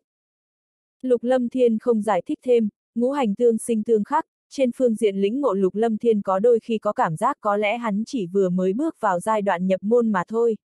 Mỗi một loại thuộc tính đều bao la vô cùng, thứ mà hắn chạm vào đều mới chỉ là lớp bên ngoài. Đồng thời cũng có thể nói rõ, cấp độ đế giả tuyệt đối không phải là tận cùng của vũ đạo, linh đạo. Sư phụ, con đến rồi. Trong đình viện gần thác nước ở Hậu Sơn, Niếp Phong cung kính hành lễ, thân thể cao ngất, hai con mắt như sao. Trong mắt hiện lên tinh quang, lúc này hắn đã không còn giống như khi trước. Những năm này ở trong phi linh môn đã hoàn toàn lột xác. Đến bây giờ đã trở thành một trong những người trẻ tuổi nổi bật trên đại lục. Ta muốn để cho con và Hồng Chí tiếp nhận chức vị trưởng môn phi linh môn, con thấy sao? Lục Lâm Thiên nhìn đại đệ tử của mình, Niếp Phong quả nhiên đã không để cho hắn thất vọng. Phi linh môn còn không thể thiếu được sư phụ, nếu như bắt buộc phải truyền ngôi mà nói, đại sư huynh thân là người đứng đầu 10 đại đệ tử, so với con còn danh chính ngôn thuận hơn. Luận thực lực không kém, luận mưu trí đủ để đảm đương chức vị trưởng môn phi linh môn. Còn đệ tử chỉ mong có thể đi theo bên người sư phụ là được rồi, đối với chức vị trưởng môn phi linh môn đệ tử cảm thấy mình không thích hợp. Niếp Phong nói, ta đã nói con phù hợp thì nhất định sẽ phù hợp. Lục Lâm Thiên nói, nếu như sư phụ quả thực muốn truyền vị, cũng chỉ có đại sư huynh là thích hợp nhất. Niếp Phong do dự một chút rồi mới ngẩng đầu nói với Lục Lâm Thiên. Con nghe nói có lẽ Thánh Linh Giáo sẽ xác nhập vào Phi Linh Môn.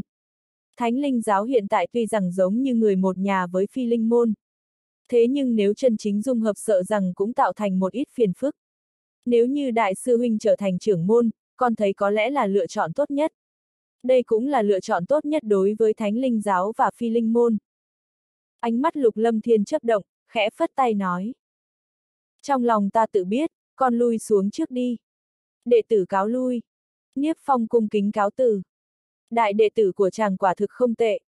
Thân ảnh Lam Linh nhẹ nhàng bước tới bên người Lục Lâm Thiên, nhìn bóng lưng Niếp Phong rồi nói. Ai, tìm người nối nghiệp quả thực có chút khó khăn. Lục Lâm Thiên mỉm cười nói. Là chàng không biết chọn ai tốt hơn. Hồng Chí và Niếp Phong đều là người nổi bật trong đám người trẻ tuổi, đều có sở trường riêng. Có bọn họ, coi như chàng đi vào thiên chủng ít nhất cũng có thể bảo vệ phi linh môn, chỉ là các chàng, lại. Lam Linh nói xong, ánh mắt lo lắng, đế giả triệu hoán, cửu tử nhất sinh, nàng vô cùng lo lắng. Đừng quá lo lắng, cũng không phải hoàn toàn không có đường sống. Lục Lâm Thiên nhẹ nhàng ôm Lam Linh nói. Từ giờ cho tới lúc đại hôn còn một thời gian nữa, ta định bế quan một đoạn thời gian ngắn, cũng nên chuẩn bị một chút. Được, chàng đã ở cùng chúng ta lâu rồi, cũng nên đi chuẩn bị cho lần tiến vào thiên chủng này đi. Lam Linh nói. Sáng sớm hôm sau, trong mật thất ở hậu sơn phi linh môn, Lục Lâm Thiên mở ra thiên trụ giới, Dương Quá, Thánh Thủ Linh Đế, Lục Tâm Đồng, Bạch Linh, Hàn Băng Đại Đế, Bạch Long Đại Đế, Kim Lang Đại Đế cùng với Thánh Linh Lão Tổ của Thánh Linh Cốc đều tiến vào trong thiên trụ giới. Trừ Dương Quá và Lục Tâm Đồng, Bạch Linh ra, những người khác đều ở trong tầng thứ nhất thiên trụ giới. Dương Quá và Lục Tâm Đồng, Bạch Linh ở tầng thứ hai thiên trụ giới. Chỉ có một mình Lục Lâm Thiên ở trong tầng thứ tư thiên trụ giới. Thời gian chênh lệch gấp 40 lần, coi như hai người Lục Tâm Đồng và Dương Quá lĩnh ngộ thời gian không tệ thế nhưng cũng khó có thể ở trên nơi này quá dài. Lúc trước hắn thôn phệ chân khí của cuồng sát đại đế, Lục Lâm Thiên đã sớm luyện hóa cho nên lúc này tiến vào trong thiên trụ giới bế quan Lục Lâm Thiên muốn lĩnh ngộ trên vô tự thiên thư tiếp. Trong thiên chủng nghe nói có liên quan tới vô tự thiên thư, chuyện này khiến cho Lục Lâm Thiên nghĩ tới, vô tự thiên thư có khả năng dẫn hắn vào trong không gian của nó. Nếu như lĩnh ngộ của hắn tiến bộ thêm lần nữa, có lẽ sẽ có nhiều thêm một phần cơ hội trong thiên trùng. Trong tầng thứ tư thiên trụ giới, Lục Lâm Thiên khoanh chân ngồi xuống, trong tay xuất hiện ba bản vô tự thiên thư, bản vô tự thiên thư chữ linh mà Lục Lâm Thiên có đã rơi vào trong tay của huyết kiếm đại đế. Ánh mắt Lục Lâm Thiên trầm xuống, huyết kiếm đại đế rơi vào trong tay giới chủ linh vũ giới. Nếu như không có bất ngờ gì xảy ra, sợ rằng vô tự thiên thư đã ở trên người giới chủ linh vũ giới kia. Theo lời nghĩa phụ Nam Thúc nói, trong tay giới chủ linh vũ giới kia ít nhất có hai bản vô tự thiên thư. Chín bản vô tự thiên thư hiện tại đã có 5 bản xuất hiện. Bốn bản còn lại hiện tại còn chưa rõ nơi hạ lạc, Lục Lâm Thiên cũng không biết nó rơi vào trong tay ai. Dù sao ai có được vô tự thiên thư tuyệt đối sẽ không tiết lộ ra bên ngoài. Cầm ba bản vô tự thiên thư, Lục Lâm Thiên cân nhắc một lát, chân khí rót vào trong một bản vô tự thiên thư. Phía trên mặt vô tự thiên thư lập tức vặn vẹo, xuất hiện vô số bí văn, sau đó có một chữ liệt xuất hiện. Khí tức minh mông từ bên trên nhanh chóng lan tràn ra.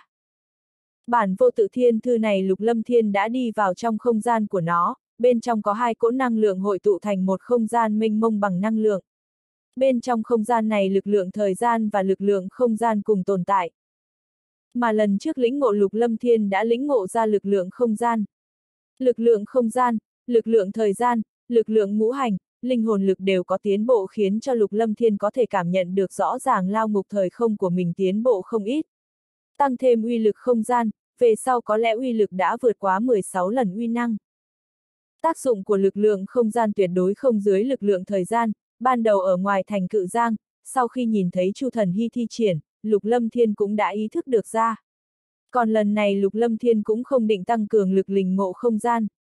Chủ yếu là hắn muốn lĩnh ngộ thấu triệt vô tự thiên thư một chút. Nhìn bí văn trên vô tự thiên thư, khi khí tức minh mông trên đó lóe lên rồi biến mất. Chữ liệt trên vô tự thiên thư lóe lên, hai mắt lục lâm thiên nhíu lại, trong lúc bất chi bất giác tiến vào trong một loại trạng thái khó hiểu. Khí tức trên người lục lâm thiên cũng bình tĩnh trở lại, khí tức quanh thân đều không có. Ngay cả một tia chấn động cũng không, lập tức tiến vào trong một loại trạng thái kỳ diệu. Trong thiên trụ giới, lục lâm thiên cũng không lo lắng mình sẽ bị ảnh hưởng. Trong trạng thái này lục lâm thiên giống như trẻ con vừa mới sinh ra, giống như là thiên địa sơ khai, trong này không có bất kỳ sinh khí nào, không có vạn vật. Chỉ có không gian giống như thời không loại y. Lục lâm thiên tiến vào trong thiên trụ giới bế quan, bên ngoài vô cùng yên tĩnh. Danh hào ngũ hành đại đế cũng vang vọng trên đại lục. Về phần ngũ hành là vật gì lại không có mấy người biết rõ. Cả đại lục đã trở nên yên tĩnh, không có bất kỳ thế lực nào còn dám gây sóng gió. Cả đại lục hơn phân nửa đều nằm trong sự khống chế của phi linh môn. Nhất thời phi linh môn phong quang vô hạn, người muốn gia nhập phi linh môn cuồn cuộn không dứt. Đặc biệt là một ít tiểu gia tộc, thế lực nhỏ mà nói, một khi có đệ tử thích hợp thì lập tức gửi tới phi linh môn. Chỉ cần được phi linh môn thu làm môn hạ quả thực đã được dựa vào ngọn núi lớn. Còn một khi được thu làm đệ tử thân truyền, đó là chuyện mà bọn họ nằm mơ cũng không dám nghĩ tới.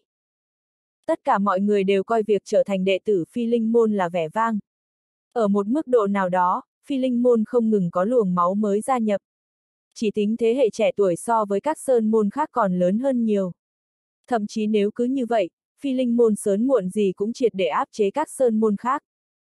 Điều này cũng khiến cho tất cả các sơn môn khác bất đắc dĩ.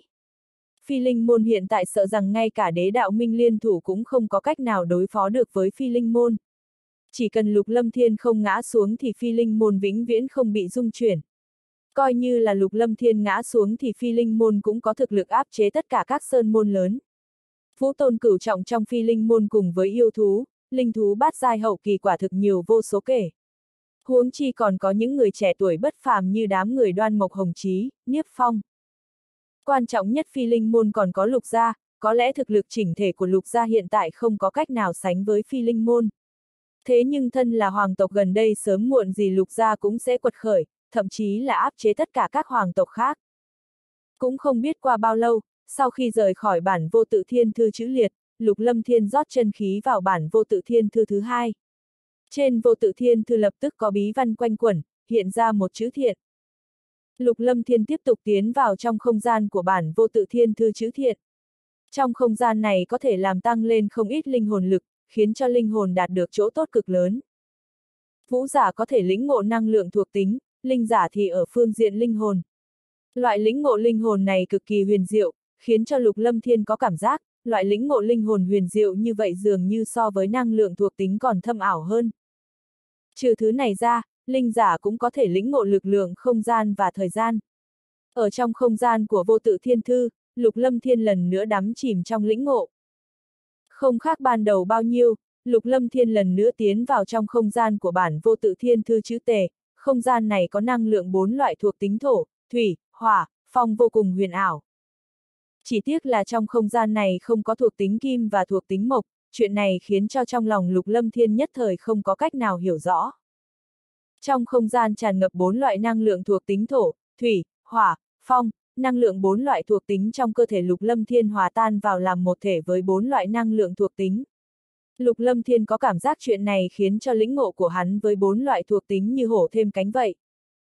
Trong thiên địa các, trong một đình viện tinh xảo, Lam Thập Tam nâng một ly trà lên miệng khẽ nhấp một ngụm trà, nhìn một khuôn mặt tuyệt mỹ trước mặt rồi khẽ nói. Lục Lâm Thiên sắp đại hôn, ngươi có đi hay không? Việc quan trọng như vậy chẳng lẽ ngươi không định đi xem náo nhiệt sao? Tử Yên dịu dàng cười nói. Không đi, thời gian không nhiều, ta cũng phải chuẩn bị một chút, nhìn xem có thể đột phá hay không. Lam Thập Tam nói. Nhìn vẻ mặt Lam Thập Tam, Tử Yên khẽ cười cười nói. Không ngờ nhi nữ của hắn và Lăng Thanh Tuyền lại lớn như vậy. Những nữ tử xuất sắc trong thiên địa này, trừ ngươi ra đều có quan hệ với hắn. Quả thực khiến cho ta vô cùng hâm mộ a. À. Trên khuôn mặt tuấn lãng đủ để khiến cho bất kỳ nữ tử nào trong thiên hạ động dung của Lam Thập Tam hiện lên nụ cười khổ. Đôi mắt như ngọc thạch trên khuôn mặt tuyệt mỹ của Tử Yên biến ảo, khí chất thánh khiếu khiến cho người ta trầm luân. Một lát sau, ánh mắt chuyển thành phức tạp. Trong thiên vân đảo lúc này đã là đầu hạ, khắp nơi sinh cơ bừng bừng, xanh biếc không thôi. Đạm đài tuyết phi nhìn hải vực bao la, đôi mắt xinh đẹp biến ảo, vẻ mặt lại có chút ảm đạm. Khoảnh cách giữa chúng ta đã càng ngày càng dài, vĩnh viễn khó có thể ở cùng nhau. Có lẽ thứ ta có thể làm vì ngươi chỉ có như vậy. Đạm đài tuyết phi nói. Thời gian càng tới gần, cả thành hoa môn cực kỳ náo nhiệt. Trưởng môn phi linh môn, ngũ hành đại đế, chủ nhân hoàng tộc mới đại hôn. Đây là chuyện náo nhiệt nhất trên đại lục hiện tại. Trong Bắc cung gia tộc lúc này một mảnh yên lặng, từng tòa kiến trúc cổ xưa giống như trường tồn từ cổ chí kim, sừng sững đứng trong không gian này, mặc kệ có bao nhiêu sóng gió xảy ra. Văn Hinh, vô song sắp thành hôn, chỉ một cái chớp mắt mà đã trôi qua nhiều năm như vậy rồi. Trong một đình viện màu trắng, Bắc Cung Kình Thương lẳng lặng đứng trước một bức tranh rất sống động. Trong bức tranh là một nữ tử áo tím, mái tóc đen như mực xõa xuống. Ngũ quan tuyệt mỹ, dáng người mỹ lệ. Bức tranh này miêu tả vô cùng sinh động như người thực. Mà nữ tử bên trong bức tranh này không ngờ lại có 9 phần tương tự với Bắc Cung vô song. Đều tuyệt mỹ và cao quý như vậy. Phụ thân, người ở đây nói chuyện với mẫu thân sao? Một đạo thân ảnh đột nhiên không có một chút dấu hiệu nào xuất hiện bên người Bắc Cung kình thương, thanh nhã, cao quý, tuyệt mỹ vô song, người này chính là Bắc Cung vô song. Lúc này Bắc Cung kình thương mới nhìn qua Bắc Cung vô song, trong mắt hiện lên sự hiền từ, yêu thương, nói.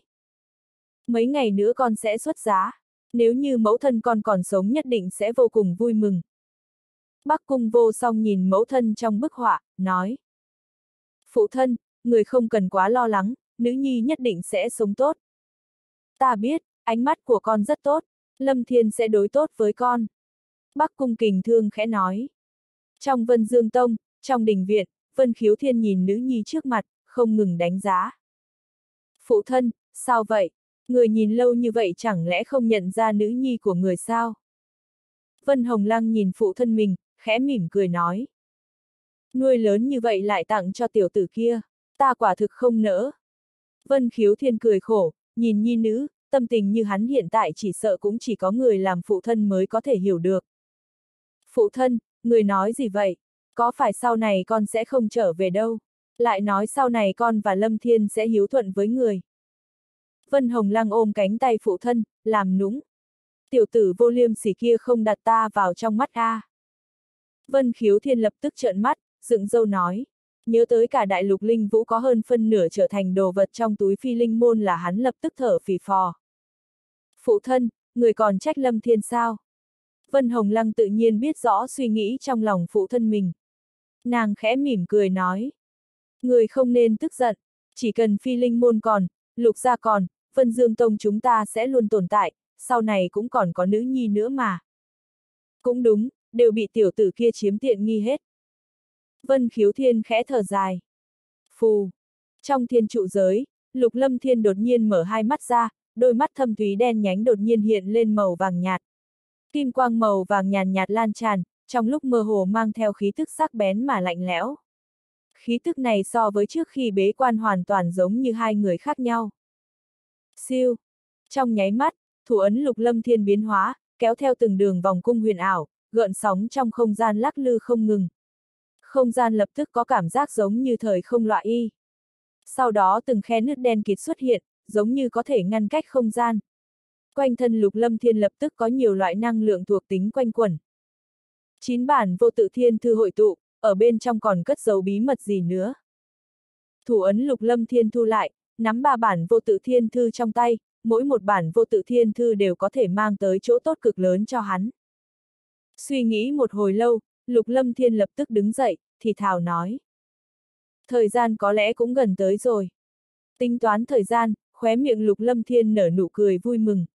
Ngày đại hôn cũng đã sắp tới, bên ngoài đã trôi qua gần một tháng, hắn ở trong thiên trụ giới cũng đã 16-17 năm. Đại ca Dương Quá và Lục Tâm Đồng ở trong thiên trụ giới tầng thứ hai cũng đã có 8-9 năm. Trong tâm thần dò xét, Lục Lâm Thiên có thể cảm nhận được rõ ràng khí tức trên người Dương Quá và Lục Tâm Đồng cường hãn hơn không ít. Trong tầng thứ nhất sư phụ Thánh Thủ Linh Đế, Thánh Linh Lão Tổ và mọi người cũng đã ở trong này mấy năm. Mọi người đều có chút tiến bộ, muốn tiến bộ rõ ràng quả thực không phải chuyện dễ dàng. Đối với kết quả của việc bế quan lần này, trong lòng Lục Lâm Thiên cực kỳ thỏa mãn.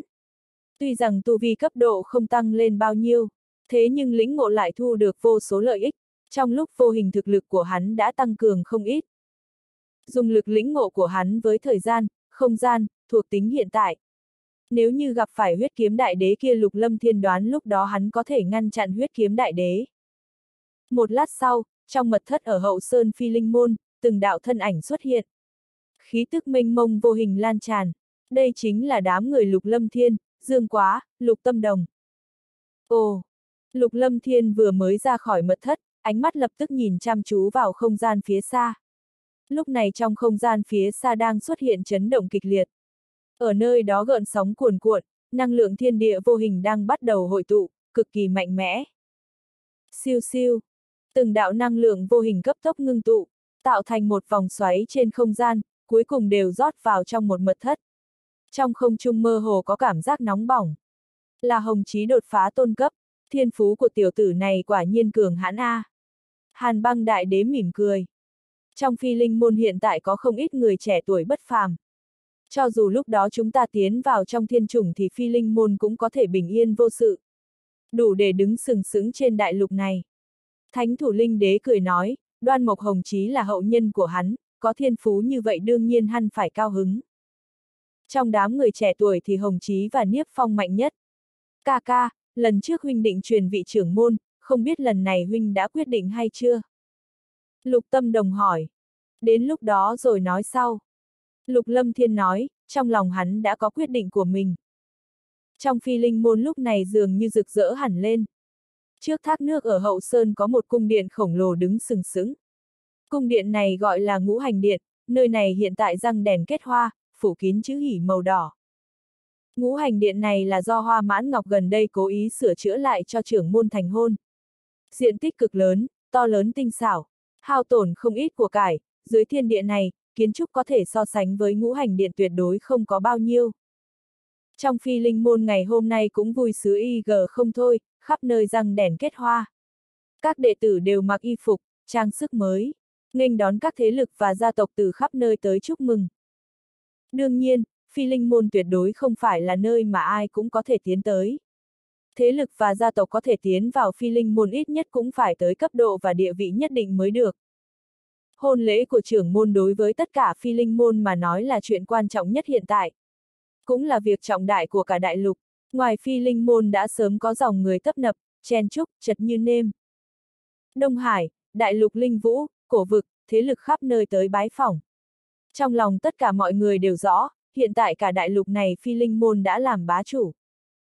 Hải Thiên Bang tới chúc mừng đại hôn của lục trưởng môn. Trấn Vân Tông chúc mừng đại hôn của lục trưởng môn. Từng âm thanh chúc mừng quanh quẩn trong phi linh môn khiến cho bầu không khí vui mừng càng thêm náo nhiệt. Trong ngũ hành điện vừa mới được sửa chữa lại, trong đình viện tinh xảo. Lục Lâm Thiên mặc một bộ trường bào đỏ thấm, trong mắt hiện lên sự vui vẻ, toàn thân còn có chút khẩn trương. Trưởng môn, không ngờ người lại khẩn trương như vậy. Nhị nữ Diệp Mỹ Hoa Mãn Ngọc giúp Lục Lâm Thiên chỉnh đốn đai lưng, dịu dàng cười một tiếng. Ngày hôm nay nhị nữ cũng vô cùng vui mừng, thân thể mềm mại uyển chuyển cũng vô cùng hấp dẫn ánh mắt người khác. Trên đại lục này không biết có bao nhiêu thanh niên tài tuấn theo đuổi nhị nữ. Ta cũng giống như đại cô nương lên kiệu hoa lần đầu A. Lục Lâm Thiên cười hắc hắc, nhìn bản thân mình trong gương đồng, có chút tự kỷ nói. Hóa ra ta cũng không tệ nha. So với hai gia hỏa lam thập tam, lăng phong kia có lẽ không kém là bao. Phụt! Nhị nữ hoa mãn ngọc và Diệp Mỹ lập tức bật cười. Được rồi, ta chỉ tùy tiện nói vậy thôi. Các ngươi đừng coi là thật, trưởng môn các ngươi luôn dựa vào vẻ đẹp bên trong A. Lục Lâm Thiên nhìn nhị nữ bất đắc dĩ nói, xem quan điểm của hắn cũng không nhận được sự tán đồng của nhị nữ. Trưởng môn, vậy vẻ đẹp bên trong của người lâu như vậy tại sao chúng ta không nhìn thấy a? Hoa mãn ngọc mỉm cười, thân thể tràn ngập giã tính khiến cho người ta có cảm giác khó có thể chinh phục. Ý ngươi là ngươi không cảm nhận được vẻ đẹp con người bên trong ta. Lục lâm thiên bất đắc dĩ nhìn hoa mãn ngọc. Ta cũng không có ý như vậy. Hoa mãn ngọc cười nhạo nói. Đôi mắt Diệp Mỹ sáng lên, nói. Trưởng môn, chỉ cần đám người phu nhân cảm nhận được vẻ đẹp bên trong của người là được rồi, người thấy có đúng không? Đương nhiên. Ánh mắt lục lâm thiên nhảy lên, nói. Ta nói không biết là tục lệ ở đâu, tới giờ đại hôn rồi ta còn chưa nhìn thấy thê tử của mình a. À. Lục lâm thiên bất đắc dĩ nói, lúc từ trong thiên trụ giới đi ra lục lâm thiên đã định đi gặp Lam Linh, bởi vì cũng chỉ có bản thân Lam Linh là ở ngay trong phi linh môn. Thế nhưng không ngờ hắn vừa đi ra đã bị mẫu thân La Lan Thị nhốt vào trong đại điện này. Nói là đại hôn sắp tới, dựa theo tập tục, trước đại hôn ba ngày tân lang và tân nương không thể gặp mặt. Mà ngay cả Bạch Linh cũng bị lôi đi. Trưởng môn, người vội gì chứ? Tục lệ vốn là như vậy mà. Diệp Mỹ cười nói. Trưởng môn có thể cưới nhiều thê tử khuynh quốc khuynh thành như vậy không biết có bao nhiêu nam tử trong thiên địa này đang ghen tị với trưởng môn đó. Tỉnh nắm quyền thiên hạ, say gối đầu mỹ nhân. Lục lâm thiên mỉm cười, lúc trước hắn từ thế giới khác xuyên Việt tới đây không phải không có nghĩ tới câu nói này. Quả thực hiện tại không uổng công hắn xuyên Việt tới đây một lần. Trưởng môn, tất cả các sơn môn lớn có lẽ đều tới. Trưởng môn thân là chủ nhà cũng nên đi chào hỏi. Giờ lành tới là trưởng môn có thể nhìn thấy mấy vị phu nhân. Diệp Mỹ nói. Được rồi. Lục Lâm Thiên mỉm cười, hôm nay tâm tình của hắn vô cùng tốt. Trưởng môn, có một ít chuyện ta không biết nên sắp xếp thế nào. Hoa mãn ngọc dường như nhớ tới cái gì đó cho nên lập tức nói với Lục Lâm Thiên. Tất cả đều do ngươi phụ trách, ngươi cứ sắp xếp là được. Lục Lâm Thiên dứt lời, thân ảnh đã biến mất trong phòng. Trưởng môn, ta không có cách nào sắp xếp a. À. Hoa mãn ngọc có chút khó xử nói. Sao vậy, có chuyện gì mà ngươi cũng không sắp xếp được? Diệp Mỹ nghi hoặc hỏi. Ngươi nói xem ngày hôm nay trưởng môn và mấy vị phu nhân đại hôn. Lúc động phòng trưởng môn sẽ tới phòng ai trước vậy? Hoa mãn ngọc nhún vai nói với Diệp Mỹ, nàng thật sự không biết sắp xếp chuyện này như thế nào. Chuyện này, Diệp Mỹ cũng có chút khó xử, nhiều phu nhân như vậy quả thực không biết sắp xếp thế nào. Thời gian chậm rãi trôi qua, trong phi linh môn ngày càng náo nhiệt. Vô số tiếng hô vui mừng hội tụ, âm thanh vui mừng vang vọng trên không trung. Đệ tử lục gia, đệ tử thánh linh giáo đều dùng thân phận chủ nhân tới thẳng phi linh môn. Trên quảng trường cực lớn của phi linh môn đã sớm có một hỉ đài cực lớn được dựng lên. Bên trên có không ít hoa tươi. Nhật sát các chúc mừng đại hôn của lục trưởng môn. Tinh ngục các chúc mừng đại hôn của lục trưởng môn. Kiền hiên đảo chúc mừng đại hôn của lục trưởng môn. Thiên vân đảo chúc mừng đại hôn của lục trưởng môn. Tiêu giao bang chúc mừng lục trưởng môn. Ngoài phi linh môn gió nổi mây phun, khí tức hùng hồn kéo tới. Cả đám cường giả của các sơn môn lớn đáp xuống. Tất cả các sơn môn lớn đều tới chúc mừng. Trong đó còn có đế giả đích thân tới. Trưởng môn phi linh môn, ngũ hành đại đế lục lâm thiên thành hôn, đế giả không tới thì có vẻ không có lễ nghi. Từng đạo thân ảnh đáp xuống, trong nhật sát các có một đạo thân ảnh xinh đẹp đứng đó. Trên người mặc bộ váy dài màu xanh, lộ ra đường cong động lòng người. Làn da trắng nõn, sáng loáng như ngọc, cũng được coi là nữ tử tuyệt mỹ, người này chính là ái nữ lạc dĩnh của Lạc Kiến Hồng. Trong thiên vân đảo lúc này không có thân ảnh của mộ dung lan lan, chỉ có đạm đài tuyết phi, kính hoa, thủy nguyệt cùng với thanh quán tôn giả, đông cung huyên mà thôi. Lục mỗ đa tạ chư vị, lát nữa mong chư vị uống thật nhiệt tình a. À. Âm thanh lục lâm thiên quanh quẩn trên không trung, đủ truyền vào tai của tất cả mọi người. Thân ảnh hắn lóe lên, lập tức đi tới trước mặt người các sơn môn lớn. Kia là ngũ hành đại đế lục lâm thiên sao? Hóa ra là hắn, cả đại lục hiện tại đều nằm trong sự khống chế của hắn. Thật sự là nhân vật khủng bố, nghe nói hắn mới tu luyện vài chục năm a. Không ít tiếng nghị luận vang lên, từng đạo ánh mắt tập trung vào người lục lâm thiên đang mặc áo đỏ. Thiên địa các chúc mừng đại hôn của lục trưởng môn. Trên không trung lần nữa có âm thanh chúc mừng vang lên. Không ít yêu thú khổng lồ lăng không bay tới. Dẫn đầu là một đầu đại điêu màu bạc cực lớn, hai mắt như đèn lồng bắn ra quang mang sắc bén. Trên hai cánh, lông vũ tựa như đao mang. Đây chính là tòa kỵ phong vũ ngân điêu của thánh nữ thiên địa các tử yên. Trên phong vũ ngân điêu, thân ảnh mềm mại của tử yên đứng đó, thân ảnh xinh đẹp lóe lên, bước chân liên tục di chuyển. Thân ảnh lăng không xẹt qua không trung đi tới bên người lục lâm thiên. Chúc mừng trưởng môn. Tử yên lên tiếng chúc mừng, đồng thời lúc này còn có cường giả thiên địa các đem lẽ lên, được đệ tử phi linh môn tiếp nhận. Đa tạ tử yên cô nương. Lục lâm thiên gật đầu, đối với thiên địa các, trong lòng lục lâm thiên cho tới hiện tại vẫn không hiểu nhiều lắm. Từ tình huống bên Vân Dương Tông và Linh Thiên Môn xem ra, bọn họ cũng không quá hiểu thiên địa các. Chỉ biết rõ thiên địa các tuyệt đối không dễ trêu vào. So với tất cả các sơn môn lớn trên đại lục này còn có truyền thừa lâu hơn. Nghe nói chỉ sau hoàng tộc một chút. Thời gian dần dần trôi qua, bầu không khí vui mừng trong phi linh môn tới đỉnh diểm. Lâm Thiên, giờ lành sắp tới. Vân Dương Tông, Linh Thiên Môn, Độc Cô gia tộc, Bắc Cung gia tộc có lẽ đều sắp tới rồi. Trong đám người, Lục Đông đi tới bên người Lục Lâm Thiên rồi nói. Có lẽ sắp tới rồi, chúng ta nhanh đi nghênh đón. Lục Tâm Đồng mỉm cười, ngày hôm nay nàng cũng mặc y phục mới. Đại hôn của ca ca nàng cũng cao hứng thay cho ca ca. Dứt lời, thân ảnh mềm mại của Lục Tâm Đồng đã nhảy lên trên không trung. Lâm Thiên, con đừng đi, con thành thật đứng ở đây là được. Lục Trung mỉm cười, thân tê hơ nhảy lên, cùng với Lục Đông và cường giả phi linh môn tiến lên nghênh đón. Linh Thiên môn tới Tống Thân. Vân Dương Tông tới Tống Thân. Trong sơn mạch phi linh, từng dãy núi liên miên không ngớt, dưới ánh mặt trời phản xạ lại quang mang. Đột nhiên từ phương hướng Vân Dương Tông và Linh Thiên Môn xuất hiện khí tức hùng hồn, chân trời chấn động mạnh mẽ. Lập tức có một mảng lớn yêu thú kéo tới. Chúng cường giả Vân Dương Tông, TLM kéo tới. Đội ngũ mỗi bên ước chừng có mấy trăm người tới tống thân. Trong Vân Dương Tông có Vũ Ngọc Tiền, Tạ trưởng lão, Chiến đao khuất đao tuyệt, Phi ưng lăng phong, Bá đao, Dương diệu. Tất cả đều có mặt. Dẫu đầu là khí tức đế giả. Khí tức khiến cho không trung chấn động liên tục, khiến cho lòng người rung động. Bắc cung gia tộc tới tống thân. Độc cô gia tộc tới tống thân. Cùng một lúc, không gian chấn động, ngoài phi linh môn có không ít tiếng xé gió từ phía chân trời vang lên. Từng đạo lưu quang xuất hiện trên phía chân trời Khí thế kinh người nhanh chóng lan tràn.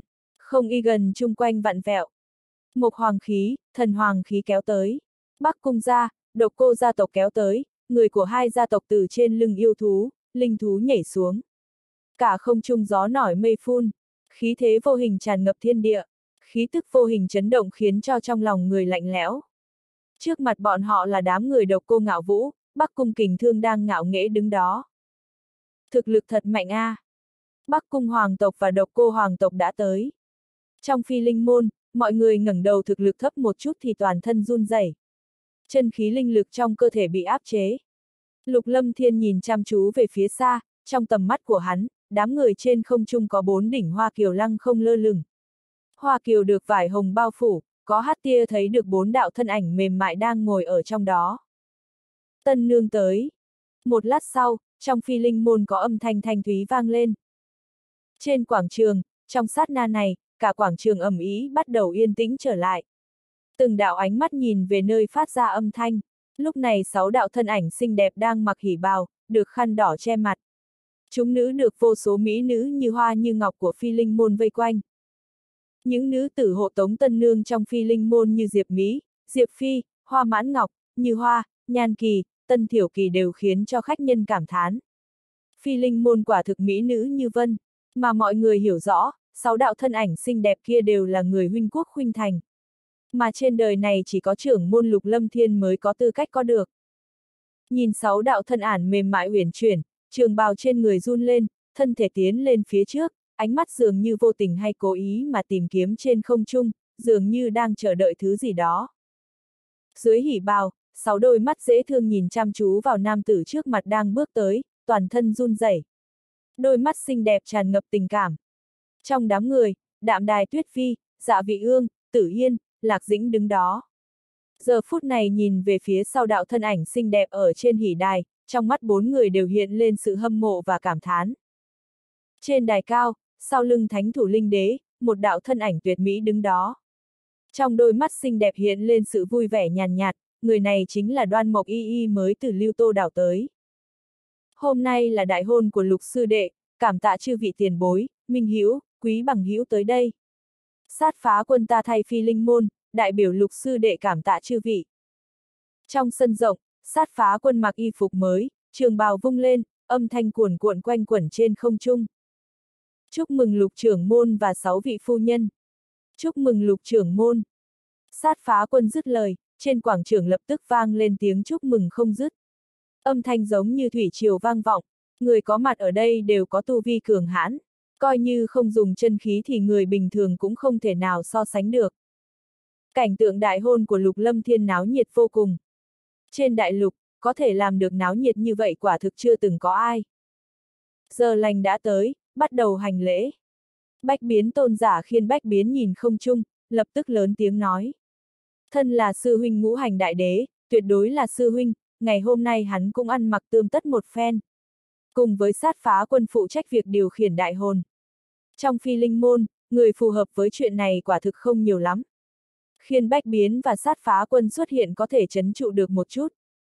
Mọi người nghe vậy, âm thanh chúc mừng giống như thủy triều lần nữa vang vọng lên trên không trung. Lão đại, Bạch Linh tỷ, Vô Song tỷ, Cảnh Văn tỷ, Hồng Lăng tỷ, Tiểu Linh tỷ, Lam Linh tỷ. Các người định không nể mặt đệ sao? Đệ còn chưa tới mà mọi người đã định hành lễ rồi. Mà lúc này trên không trung có một đạo lưu quang màu vàng xẹt qua không trung, lập tức hóa thành một đạo thân ảnh màu vàng trên không trung phi linh môn.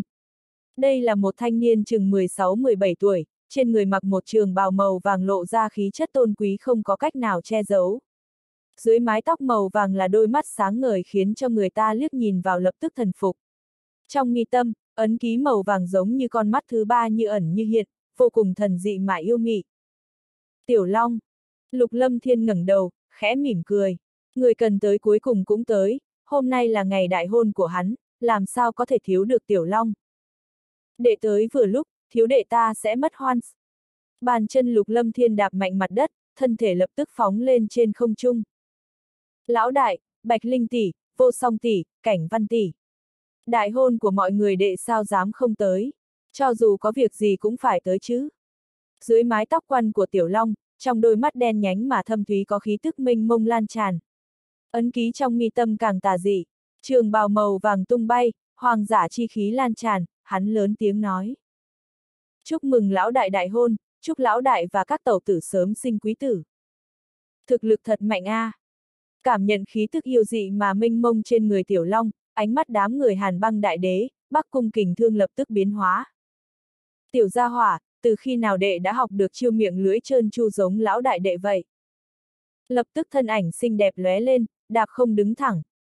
Thân ảnh đứng bên người lục lâm thiên, mấy đạo thân ảnh xinh đẹp còn lại thấy thế, lập tức phân biệt rơi vào bên cạnh lục lâm thiên trên không trung, kình phong vô hình chấn động khiến cho y phục tung bay.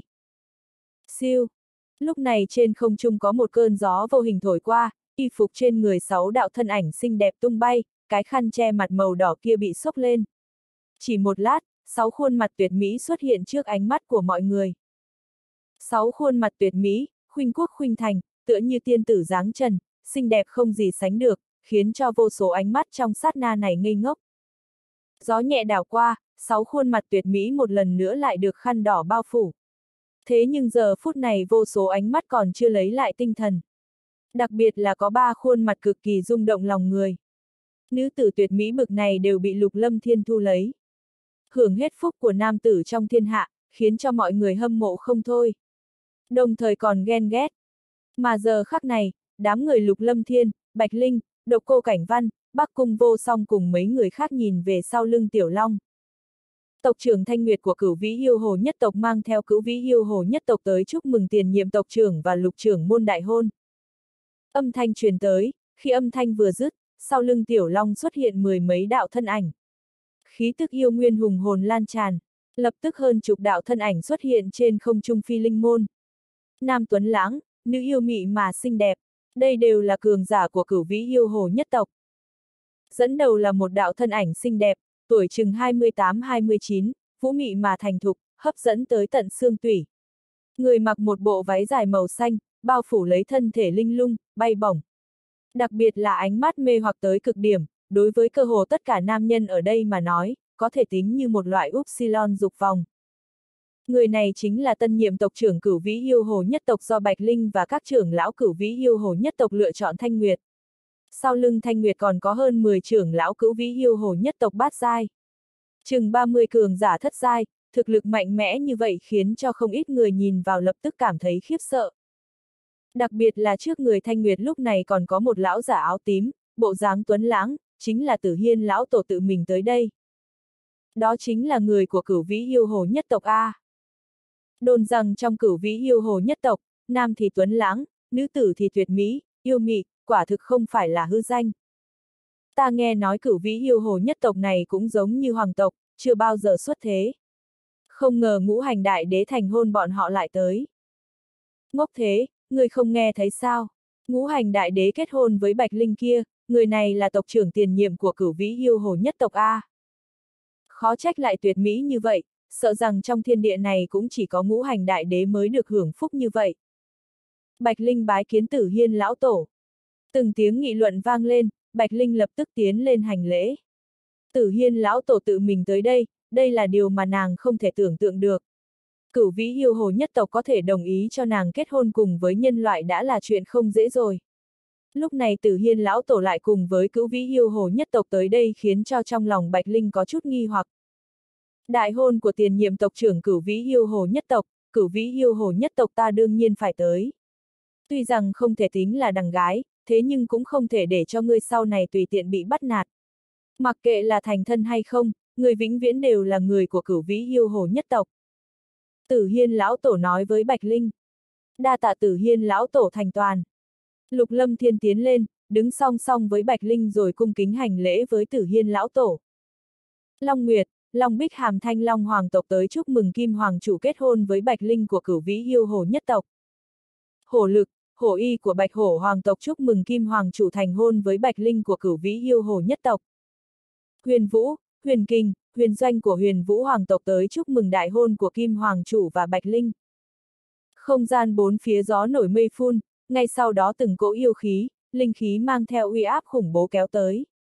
Lập tức đám người Long Bích Hàm, Hổ Y, Chu Thần Nhu, Chu Thần Hy, Huyền Doanh, những nữ tử tuyệt mỹ của tứ đại thú hoàng tộc cùng đám người huyền hạo, Long Nguyệt cùng các cường giả tứ đại hoàng tộc xuất hiện trên không trung phi linh môn. Hiên viên triệt của hiên viên hoàng tộc đến đây chúc mừng Kim Hoàng chủ thành hôn với thần nữ Bắc Cung hoàng tộc và thần nữ Độc Cô hoàng tộc.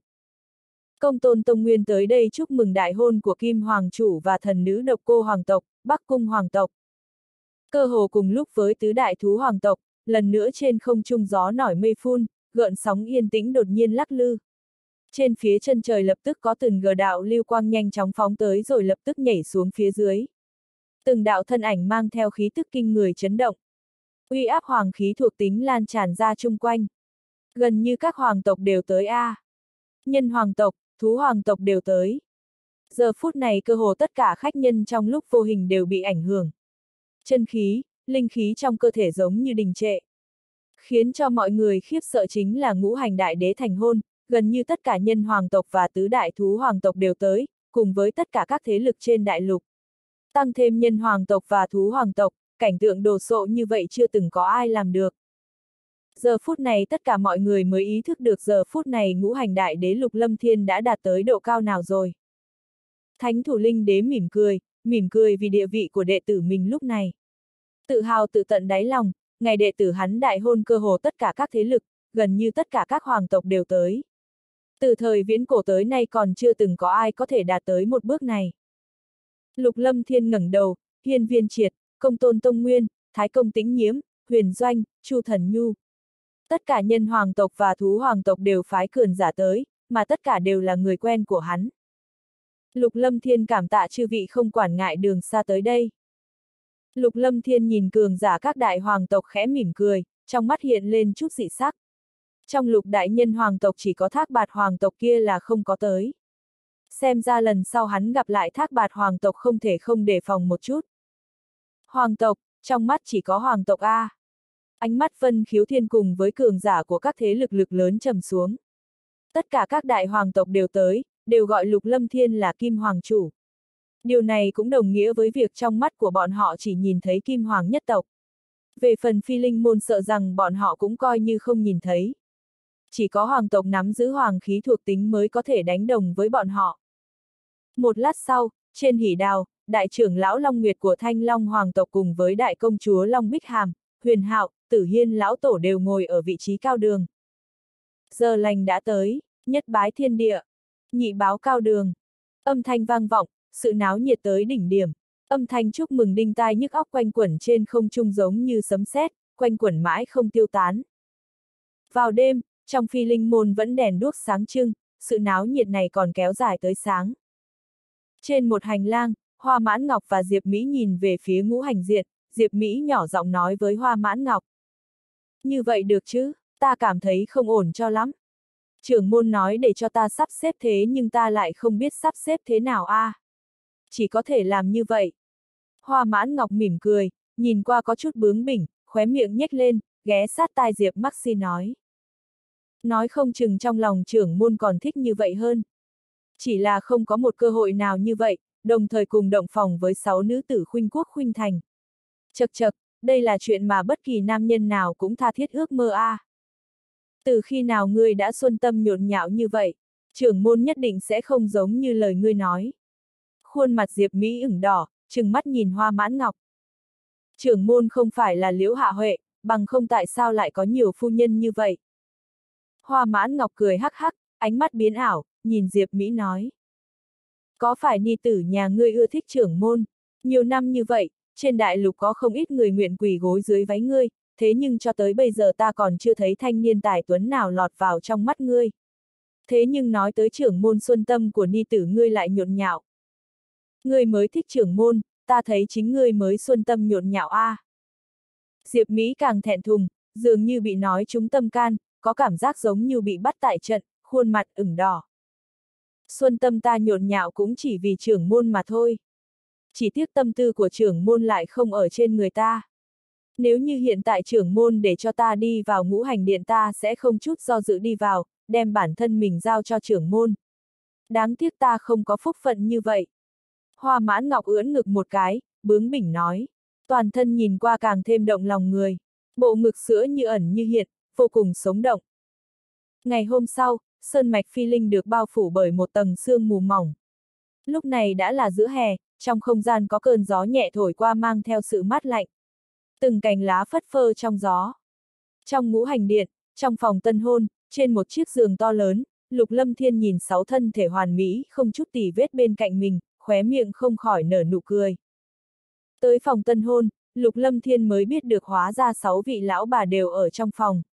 Lúc động phòng, trong lòng Lục Lâm Thiên thầm nghĩ tuyệt đối không thể đối xử người này tốt hơn người kia.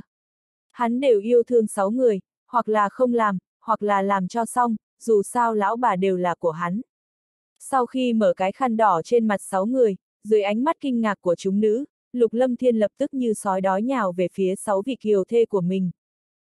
Sáu người thẹn thùng vô hạn, cuối cùng dưới sự công kích mãnh liệt của Lục Lâm Thiên cùng với sự trêu đùa, cảm giác thẹn thùng này với dần dần biết mất. Cuối cùng trong phòng xuân sắc khôn cùng, từng đạo thân thể hoàn mỹ, động lòng người, đều nằm dưới người Lục Lâm Thiên. Sáu nữ tử tuyệt mỹ đều là vưu vật trong nhân gian. Nhớ tới đêm hôm qua thỏa thích, ánh mắt Lục Lâm Thiên lần nữa có chút nóng bỏng. Lúc này mới chính thức là tỉnh nắm quyền thiên hạ, say gối đầu mỹ nhân A. Lục Lâm Thiên nhìn sáu thân thể mê người của lão bà, đường cong lung linh mê người khiến cho Lục Lâm Thiên không nhịn được mà nở nụ cười tà dị. Hắn khẽ vươn tay ra vuốt ve thân thể của Vân Hồng Lăng, thân thể mềm mại mang theo hương thơm nhàn nhạt, thấm đẫm ruột gan.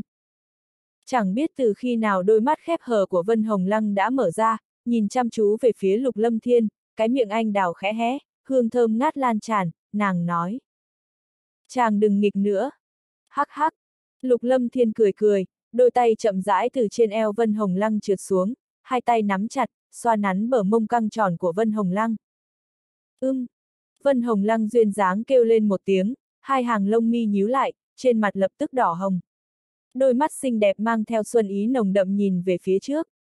Cảm nhận đôi tay của Lục Lâm Thiên đang không ngừng vuốt ve trên bờ mông của mình, cảm giác nóng bỏng xuyên thấu ra thịt truyền vào trong cơ thể nàng. Âm thanh của Vân Hồng Lăng cũng làm kinh động tới đám người Bạch Linh, Bắc Cung vô song, độc cô cảnh văn. Đang mệt mỏi một đêm, từng đạo ánh mắt xinh đẹp nhìn về phía Lục Lâm Thiên. Lục Lâm Thiên không để ý tới chúng nữ mà tiếp tục xoa nắn đôi ngọc thỏ của Vân Hồng Lăng. Chỉ là lần này lại phân ra một tay quay về phía Lữ Tiểu Linh. Trải qua một đêm, tuy rằng lúc này còn mệt mỏi, thế nhưng toàn thân Lữ Tiểu Linh lại có cảm giác giống như bị thiêu đốt. Theo bàn tay Lục Lâm Thiên di chuyển, cái eo thon vặn vẹo, miệng phát ra âm thanh trong lúc vô thức, càng dẫy dụa càng úp silon Lục Lâm Thiên hơn. Lục Lâm Thiên không có chút cố kỵ nào, tất cả đều lão bà mà hắn bái thiên địa A. Hắn cúi đầu, hô lên cặp môi đỏ mỏng của Bắc Cung vô song. Hương thơm nhàn nhạt trong miệng nàng khiến cho Lục Lâm Thiên tham lam hôn đôi môi giống như cánh hoa kia. Tất cả mọi thứ đều khiến cho Lục Lâm Thiên động tâm, đầu lưỡi, vài tia thanh đạm ngọt ngào nước miếng ngọt ngào, từng ly từng tí, thấm vào tim gan. Một lát sau, Bạch Linh, Độc Cô Cảnh Văn, Lam Linh cũng bị Lục Lâm Thiên kéo vào tổng vòng chiến. Chúng nữ tề tụ, mọi người đều sống hòa thuận với nhau cho nên cũng không có kiêng kỵ gì. Từng đạo thân ảnh hiện tỏa ra xuân quang, giống như bạch ngọc vô cùng động lòng người. Thư thái thướt tha, lồi lõm, nóng bỏng. Sáu nữ nằm ngang dọc, thân thể trắng nõn, ngọc thỏ ngạo nghễ đứng thẳng, trên đỉnh có hạt bồ đào vô cùng kiều diễm, tỏa ra sự mê hoặc tới tận tâm can. Sáu thân thể mềm mại, da thị trắng nõn đều tỏa ra mùi thơm ngát bất đồng. Cực kỳ vũ mị mê người, một lát sau, Lục Lâm Thiên lần nữa sách thương ra trận, miệng nở nụ cười gian nói. Sáu vị lão bà, ta tới đây. Ưm. Thoáng chốc, trong phòng tân hôn, sáu nữ tử tuyệt mỹ cao mày, không nhịn được kêu lên. Thân thể mềm mại hấp dẫn tuyệt luân vặn vẹo, phát ra âm thanh rung động tâm can. Sự ôn nhu kiều diễm này tuyệt đối không có người nào nhìn thấy. Toàn thân sáu nữ nóng bỏng như lửa, thân thể mềm mại không ngừng run rẩy, hấp dẫn vô hạn. Đôi chân thon dài kẹp chặt lấy lục lâm thiên, xuân quang như ẩn như hiện. Giữa hai chân có nước chảy ra, bờ mông tròn lẳn, trắng như tuyết khiến cho lục lâm thiên điên cuồng. Buổi sáng, dưới sự thúc giục của Hoa Mãn Ngọc và Diệp Mỹ, khi người của các thế lực lớn đang định rời đi thì Lục Lâm Thiên mới từ trong phòng tân hôn đi ra. Sáu nữ tử tuyệt mỹ sau lưng lúc này khuôn mặt đỏ ửng càng thêm động lòng người. Bên trong lại có mấy phần thành thục và vũ mị, lộ ra xuân ý nồng đậm, hết sức mê người. Chuyện này khiến cho Hoa Mãn Ngọc và Diệp Mỹ không khỏi kỳ quái. Sợ rằng đêm hôm qua trưởng môn của bọn họ tiêu hao không ít. Trong đại điện, người của các sơn môn và các hoàng tộc đang định cáo từ rời đi. Thái công tĩnh nhiễm, công tôn tôn nguyên cùng với những người khác cáo biệt lục lâm thiên, mang theo cường giả trong tộc rời đi. Tâm đồng cô nương, hy vọng có cơ hội gặp lại. Hiên viên triệt của hiên viên hoàng tộc sau khi cáo từ lục lâm thiên không ngờ lại cố ý cáo từ với lục tâm đồng rồi mới rời đi. Cường giả của các sơn môn lớn như Nhật Sát Các, Tinh Ngục Các, Kiền Hiên đảo lập tức cáo từ rời đi, lục lâm thiên đưa tiễn từng người. Cường giả bạch hổ hoàng tộc và chu tước hoàng tộc cũng không ở lại. Thế nhưng nhị nữ hổ y và chu thần hy thì lại ở lại phi linh môn cùng với tiểu long. Huyền vũ của huyền vũ hoàng tộc rời đi, huyền doanh cũng ở lại trong phi linh môn. Từ trong vẻ mặt của đám người huyền vũ hoàng tộc, dường như huyền doanh lưu lại đây là có mục đích khác. Lục trưởng môn, chúng ta có thể nói chuyện một chút được không? Thánh nữ tử yên bước tới trước mặt lục lâm thiên rồi nói, ánh mắt dịu dàng ôn nhu, thanh thịnh như nước. Lúc này tu vi của nàng đã là linh đế nhất trọng, khiến cho nàng càng thêm thánh khiết. Lục lâm thiên nhìn tử yên, lúc này khí chất của tử yên và bạch linh hoàn toàn là hai thái cực khác nhau. Bạch linh yêu mị tới tận xương, hấp dẫn thiên thành. Tử yên thì thánh khiết không dành thế sự, thần thánh không thể xâm phạm. Thế nhưng cả hai người đều là vưu vật vô cùng hấp dẫn, nam nhân không có cách nào chống cự. Trong hậu sơn, hai đạo thân ảnh đáp xuống, hai người này chính là Tử Yên và Lục Lâm Thiên. Tử Yên cô nương, sao đột nhiên cô nương lại có chuyện tìm ta? Lục Lâm Thiên hỏi Tử Yên, ánh mắt dường như vô tình hay là cố ý nhìn xuống bộ váy dài kia. Thân thể dưới bộ váy dài này chỉ sợ tuyệt đối không kém chúng nữ Bạch Linh. Nhớ tới đêm hôm qua mây mưa với sáu vị kiều thê, cảm giác mềm mại, thoải mái, ngọc thỏ cao vê upsilon t của càng nàng khiến cho lục lâm thiên nhìn không được mà nở nụ cười tà. Thành quả một đêm của hắn cũng không tệ, không biết nếu như ở cùng thánh nữ tử yên này sẽ có cảm giác mỹ diệu ra sao. Lục trưởng môn, lần này ta tới đây ngoại trừ chúc mừng lục trưởng môn thành hôn ra còn có một việc khác nữa. Có người ủy thác thiên địa các chúng ta tặng quà cho ngươi. Chỉ đích danh ta giao tản tay lục trưởng môn, chúc mừng lục trưởng môn thành hôn. Ngay trong lúc Lục Lâm Thiên suy nghĩ miên man, Tử Yên đánh gãy dòng suy nghĩ của Lục Lâm Thiên, khiến cho Lục Lâm Thiên phục hồi tinh thần lại. Có người nhờ thiên địa các tặng lễ cho ta, không biết là người phương nào. Lục Lâm Thiên lập tức hỏi. Ta cũng không biết, trong này có sáu hộp gấm, nghe nói là đưa cho sáu vị phu nhân, thế nhưng trong đó có một hộp gấm màu trắng chỉ đích danh là của Bạch Linh. Cũng cần sáu vị phu nhân tự mình mở ra. Tử Yên nói xong, trong bàn tay xuất hiện sáu hộp gấm lớn nhỏ, lập tức giao cho Lục Lâm Thiên. Lục Lâm Thiên do dự một lát rồi tiếp nhận hộp gấm. Chỉ là trong lòng hắn cực kỳ nghi hoặc, không biết là người phương nào đưa tới. Tâm thần lan tràn, dò xét trong hộp gấm thì lại phát hiện ra, những chiếc hộp gấm này không biết dùng loại tài liệu nào, không ngờ dùng tâm thần của hắn cũng không có cách nào tiến vào. Ánh mắt Lục Lâm Thiên lập tức trầm xuống. Nhìn qua ánh mắt Lục Lâm Thiên, đôi mắt xinh đẹp của Tử Yên khẽ đổi, nói. Hộp gấm này chính là do phó các chủ tự mình giao cho ta. Ta có thể lấy thiên địa các cam đoan trong sáu cái hộp gấm này không có nguy hiểm. Mong lục trưởng môn tự mình giao cho sáu vị phu nhân A.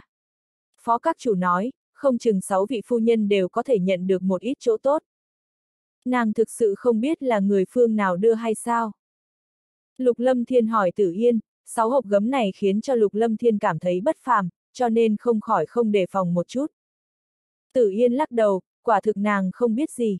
Hộp gấm là do phó các chủ tự mình giao cho nàng, bảo nàng nhất định phải giao tận tay Lục Lâm Thiên. Đúng rồi, ta muốn ủy thác thiên địa các một chuyện.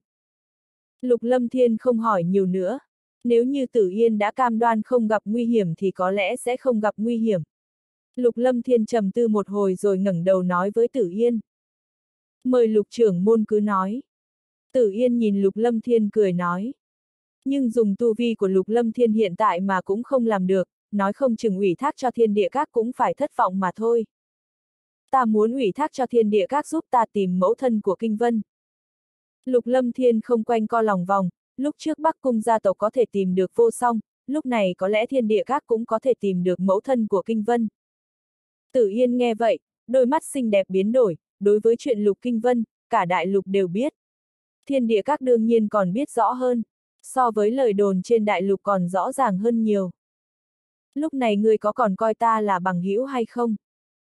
Tử Yên không có trả lời Lục Lâm Thiên, đôi mắt như bảo thạc nhìn chăm chú vào người Lục Lâm Thiên.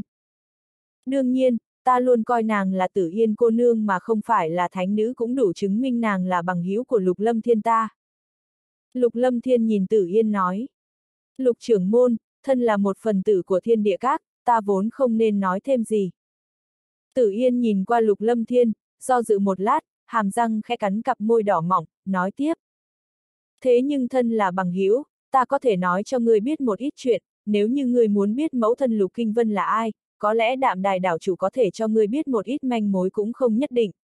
Thứ ta có thể cho ngươi biết cũng chỉ như vậy mà thôi. Đa tạ tử yên cô nương. Lục Lâm Thiên gật đầu. Hơn hai năm nữa chúng ta đều đi vào trong thiên trùng. Người trong hoàng tộc đều tưởng rằng là đại họa, người bên ngoài đều tưởng rằng là cơ duyên lớn lao. Kỳ thật đây vừa là đại họa vừa là cơ duyên. Nếu như có người có thể đạt được cơ duyên cuối cùng này thì có thể chính thức ngao du thiên địa. Sự tồn tại của thánh nữ, thánh tử thiên địa các cũng là vì tiến vào trong thiên trung. Chỉ là người khác thì không muốn đi vào, còn thiên địa các chúng ta lại ngóng trông nó từng ngày. Tử Yên chăm chú nhìn Lục Lâm Thiên nói. Hy vọng sau hành trình thiên trùng, chúng ta còn cơ hội đi ra. Ánh mắt Lục Lâm Thiên biến ảo, dường như thiên địa các biết rõ không ít chuyện về thiên trùng. Trong lúc mơ hồ Lục Lâm Thiên còn có cảm giác, có lẽ thiên địa các còn biết rõ về thiên trùng hơn các đại hoàng tộc. Tử Yên cô nương. Lục Lâm Thiên ngẩng đầu, ánh mắt lóe lên, lúc này thân ảnh của Tử Yên đã biến mất, chỉ để lại một âm thanh vang vọng trên ngọn núi. Lục trưởng môn, hẹn gặp lại trước thiên trùng, hy vọng tới lúc đó thực lực của lục trưởng môn đã có đột phá cực lớn. Đạm đài tuyết vì biết mẫu thân của kinh vân sao. Lục lâm thiên nhìn bóng lưng tử yên, mãi một lúc lâu sau mới mở miệng thì thào nói, thân ảnh lập tức biến mất tại chỗ. Hoa đường chủ, người thiên vân đảo đâu? Lục lâm thiên trở lại phi linh môn, trong tâm thần dò xét của hắn mới phát hiện ra lúc này người thiên vân đảo đã không còn ở trong phi linh môn. Vừa rồi hắn cũng không quá chú ý, có lẽ người thiên vân đảo đã rời đi. Trưởng môn, người của thiên vân đảo đã cáo từ rời đi rồi. Hoa mãn ngọc trả lời, lập tức trong tay nàng xuất hiện một khối ngọc giản tin tức, nàng nói.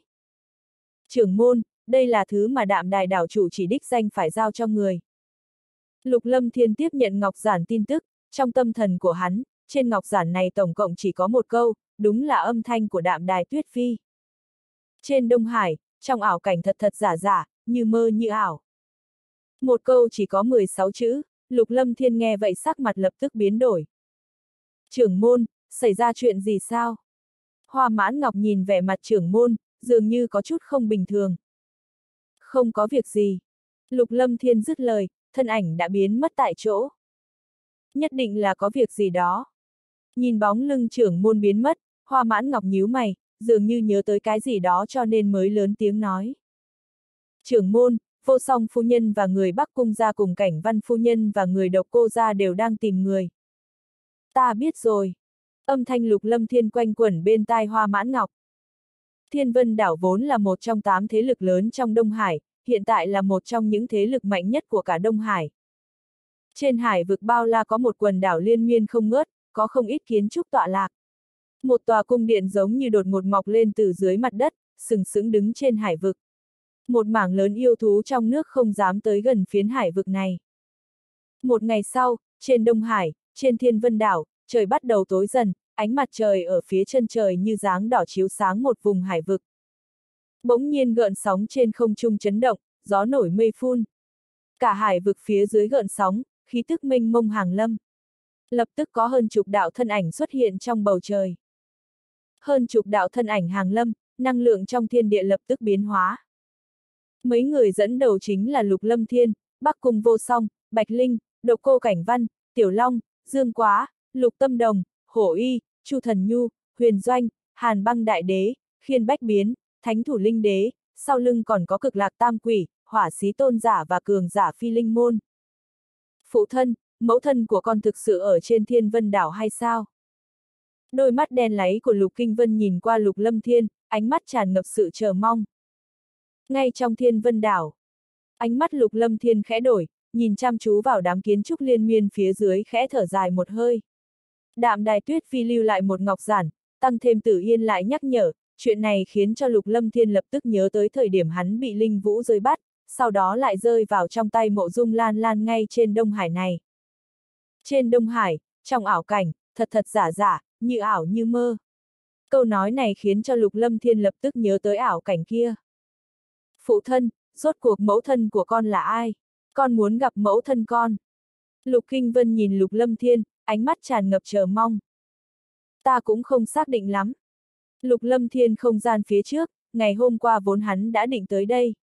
Thế nhưng cuối cùng lại trao đổi một ít chuyện thiên trùng và linh vũ giới cùng với Bắc Cung Kình Thương và độc cô ngạo vũ, cuối cùng lại nói ra nghi vấn của mình với chúng nữa Bắc Cung vô song, độc cô cảnh văn, Bạch Linh, cho nên hiện tại mới thiên vân đảo. Lúc này hắn muốn biết rõ ràng mọi chuyện. Ánh mắt trầm xuống, trường bào màu xanh trên người lục lâm thiên tung bay, quanh thân lập tức có khí tức chấn động, tiếng gầm vang vọng. Lục lâm thiên của phi linh môn tới bái phỏng thiên vân đảo. Âm thanh không quá lớn, thế nhưng lại giống như gợn sóng liên miên, tiếp tục quanh quẩn trên không trung hải vực. Lục minh chủ mới thành hôn xong, không biết tại sao lại tới tệ xá. Cũng không bao lâu sau, trên không trung có một âm thanh dịu dàng vang lên. Lập tức có từng đạo thân ảnh lăng không phóng tới, mang theo khí tức không kém. Mấy người dẫn đầu là đạm đài tuyết phi, kính hoa, thủy nguyệt, còn có thiên huyễn tôn giả cùng với các cường giả của thiên vân đảo. Mà người dẫn đầu là một vị phụ nhân chừng 40 tuổi, mái tóc đen như mực, làn da trắng như tuyết, ngũ quan tinh xảo, không có chút già nua nào. Ngược lại nhìn qua còn có chút vũ mị, người này chính là thanh quán tôn giả. Người của Thiên Vân Đảo nhìn Lục Lâm Thiên cùng với các cường giả hàng Lâm Thiên Vân Đảo, sắc mặt cả đám biến hóa không ngừng. Đồng thời còn vô cùng cảnh giác, tưởng phi linh môn muốn ra tay vói Thiên Vân Đảo. Chỉ có đạm đài tuyết phi trong đám người là ánh mắt biến hóa, nhị nữ kính hoa, Thủy Nguyệt nhìn nhau, ánh mắt có chút phức tạp. Thanh quán tiền bối, ta tới đây là muốn tìm mộ dung lan lan của quý đảo có một chút việc. Mong thanh quán tiền bối thành toàn. Lục lâm thiên ôm quyền thi lễ, nể mặt mũi đông cung huyên và nam thúc, cộng với quan hệ của thiên vân đảo, giờ phút này lục lâm thiên mới cung kính như vậy. Lục minh chủ đến không đúng lúc rồi. Tiểu đồ lan lan đã bế quan nhiều ngày. Lục minh chủ lần khác tới đây có được không? Thanh quán tôn giả dịu dàng nói, thế nhưng vẻ mặt lại âm thầm biến hóa. Nếu như vãn bối nhất định phải gặp thì sao? Ánh mắt lục lâm thiên biến hóa. Chẳng lẽ lục minh chủ không giảng đạo lý, nhất định muốn xông vào thiên vân đảo ta hay sao? Ánh mắt thanh quán tôn giả biến hóa, dường như cũng có chút kiêng kỵ. Hừ, hay cho thiên vân đảo, không để cho chúng ta gặp thì chúng ta sẽ mạnh mẽ xông vào. Trong cực lạc tam quỷ, lệ quỷ âm trầm quát, hắn hận không thể tính toán một ít sổ sách với thiên vân đảo. Lệ quỷ, người còn chưa đủ tư cách. Thanh quán tôn giả nhìn lệ quỷ, ánh mắt bắt đầu âm trầm. Cái gì mà thiên vân đảo, coi mình là cái gì chứ? Có tin ngay bây giờ ta sẽ san bằng thiên vân đảo chó má này hay không? Một đạo quang mang léo lên, trường bào màu vàng trên người tiểu long tung bay, chân đạp mạnh hư không, lập tức đi lên phía trước. Yêu hoàng khí, linh hoàng khí nhàn nhạt lan tràn. Dưới cỗ khí thức này, tất cả cường giả thiên vân đảo run rẩy, từ sâu trong linh hồn cảm thấy bất an. Tiểu Long âm trầm nhìn về phía thanh quán tôn giả, trong mắt hiện lên sự khinh thường. Hắn không đặt thiên vân đảo vào trong mắt. Nghe vậy thanh quán tôn giả không dám nói nhiều, thân phận của Tiểu Long nàng rất rõ ràng. Nếu như Tiểu Long muốn san bằng thiên vân đảo thành bình địa tuyệt đối không phải khoác lác. Hay cho một thanh long hoàng tộc, thanh long hoàng tộc đã bị lệnh cấm, người thanh long hoàng tộc không thể nhúng tay vào chuyện bên ngoài. Ta không tin thanh long hoàng tộc các người dám động vào thiên vân đảo. Lúc này, trên không trung có một âm thanh giả nua vang lên. Đồng thời có hai đạo thân ảnh xuất hiện trước mặt đám người thiên vân đảo. Trong hai người tới có một người thân thể mềm ại, uyển chuyển, người này chính là Đông Cung Huyên. Mà một người khác dường như là người vừa mới nói chuyện. Đây cũng là lão phụ nhân xuất hiện lần trước định đối phó với huyết kiếm đại đế. Bộ dáng tuổi già sức yếu, tóc trắng xóa, khuôn mặt lại cực kỳ bóng loáng, mượt mà, ánh mắt thâm thúy như sao. Lão phụ nhân này xuất hiện, ánh mắt đảo qua mọi người, lập tức nhìn về phía Lục Lâm Thiên, Lục Kinh Vân, còn có Tiểu Long. Ánh mắt Lục Lâm Thiên hơi trầm xuống, lão phụ nhân này tuy rằng ẩn nấp khí tức, lần trước hắn không có cách nào dò xét ra thực lực rõ ràng. Thế nhưng hắn biết người này mạnh hơn Đông Cung Huyên kia một ít. Lúc này dò xét lục lâm thiên nhanh chóng nhận ra tu vi của lão phụ nhân này không ngờ đã đạt tới linh đế tam tọng. Xem ra trong đế đạo minh thì thực lực của thiên vân đảo tuyệt đối nằm trong top đầu. Chỉ là linh đế tam trọng mà thôi, ta muốn nhìn xem ta diệt thiên vân đảo các ngươi thì các ngươi làm khó dễ gì được ta. Để xem cái lệnh cấm kia có quản được ta hay không. Ánh mắt tiểu long giờ phút này tràn ngập hàn ý nhìn về phía lão phụ nhân kia, linh nguyên minh mông bắt đầu khởi động khiến cho không trung phía sau lưng tiểu long gió nổi mây phun. Tiểu long sắp ra tay. Chư vị bằng hữu thiên vân đảo, ta chỉ muốn gặp mộ dung lan lan mà thôi. Nếu như chư vị không đồng ý, vậy thì đừng trách ta không khách khí. Trường bào màu xanh trên người lục lâm thiên tung bay, cũng không có ngăn cản tiểu long, mà quanh thân cũng có khí thức minh mông lan tràn. Kim hoàng khí phô thiên cái địa tuôn ra, cả hải vực run rẩy rồi lập tức cuồn cuộn. A hát! Dưới kim hoàng khí, người thiên vân đảo lập tức bị áp chế kêu thảm thiết, sắc mặt trắng bệch. Thiên vân đảo đã không thức thời thì đừng trách chúng ta không khách khí. Cực lạc tam quỷ lạnh lùng quát một tiếng, chân khí phô thiên cái địa lan tràn ra. Tất cả cường giả phi linh môn đều nhảy về phía trước. Không gian du dày, phong vân biến sắc, trong mắt cường giả phi linh môn tràn ngập hàn ý. Chỉ đợi lục lâm thiên ra lệnh một tiếng, chỉ sợ cả đám sẽ không chút do dự ra tay với người thiên vân đảo. Tất cả người của thiên vân đảo có mặt lúc này vô cùng kinh hãi.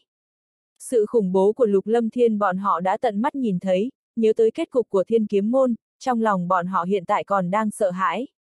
Bọn họ cũng không biết tại sao lục lâm thiên lại đột nhiên ra tay với thiên vân đảo. Lục trưởng môn, mong trưởng môn nể tình bằng hữu giữa chúng ta.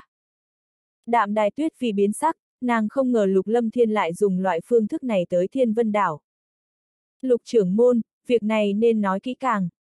Dưới lớp khăn che mặt màu hồng, Đông Cung Huyên ngẩng đầu nhìn qua lục lâm thiên, âm thanh giả nua vang lên.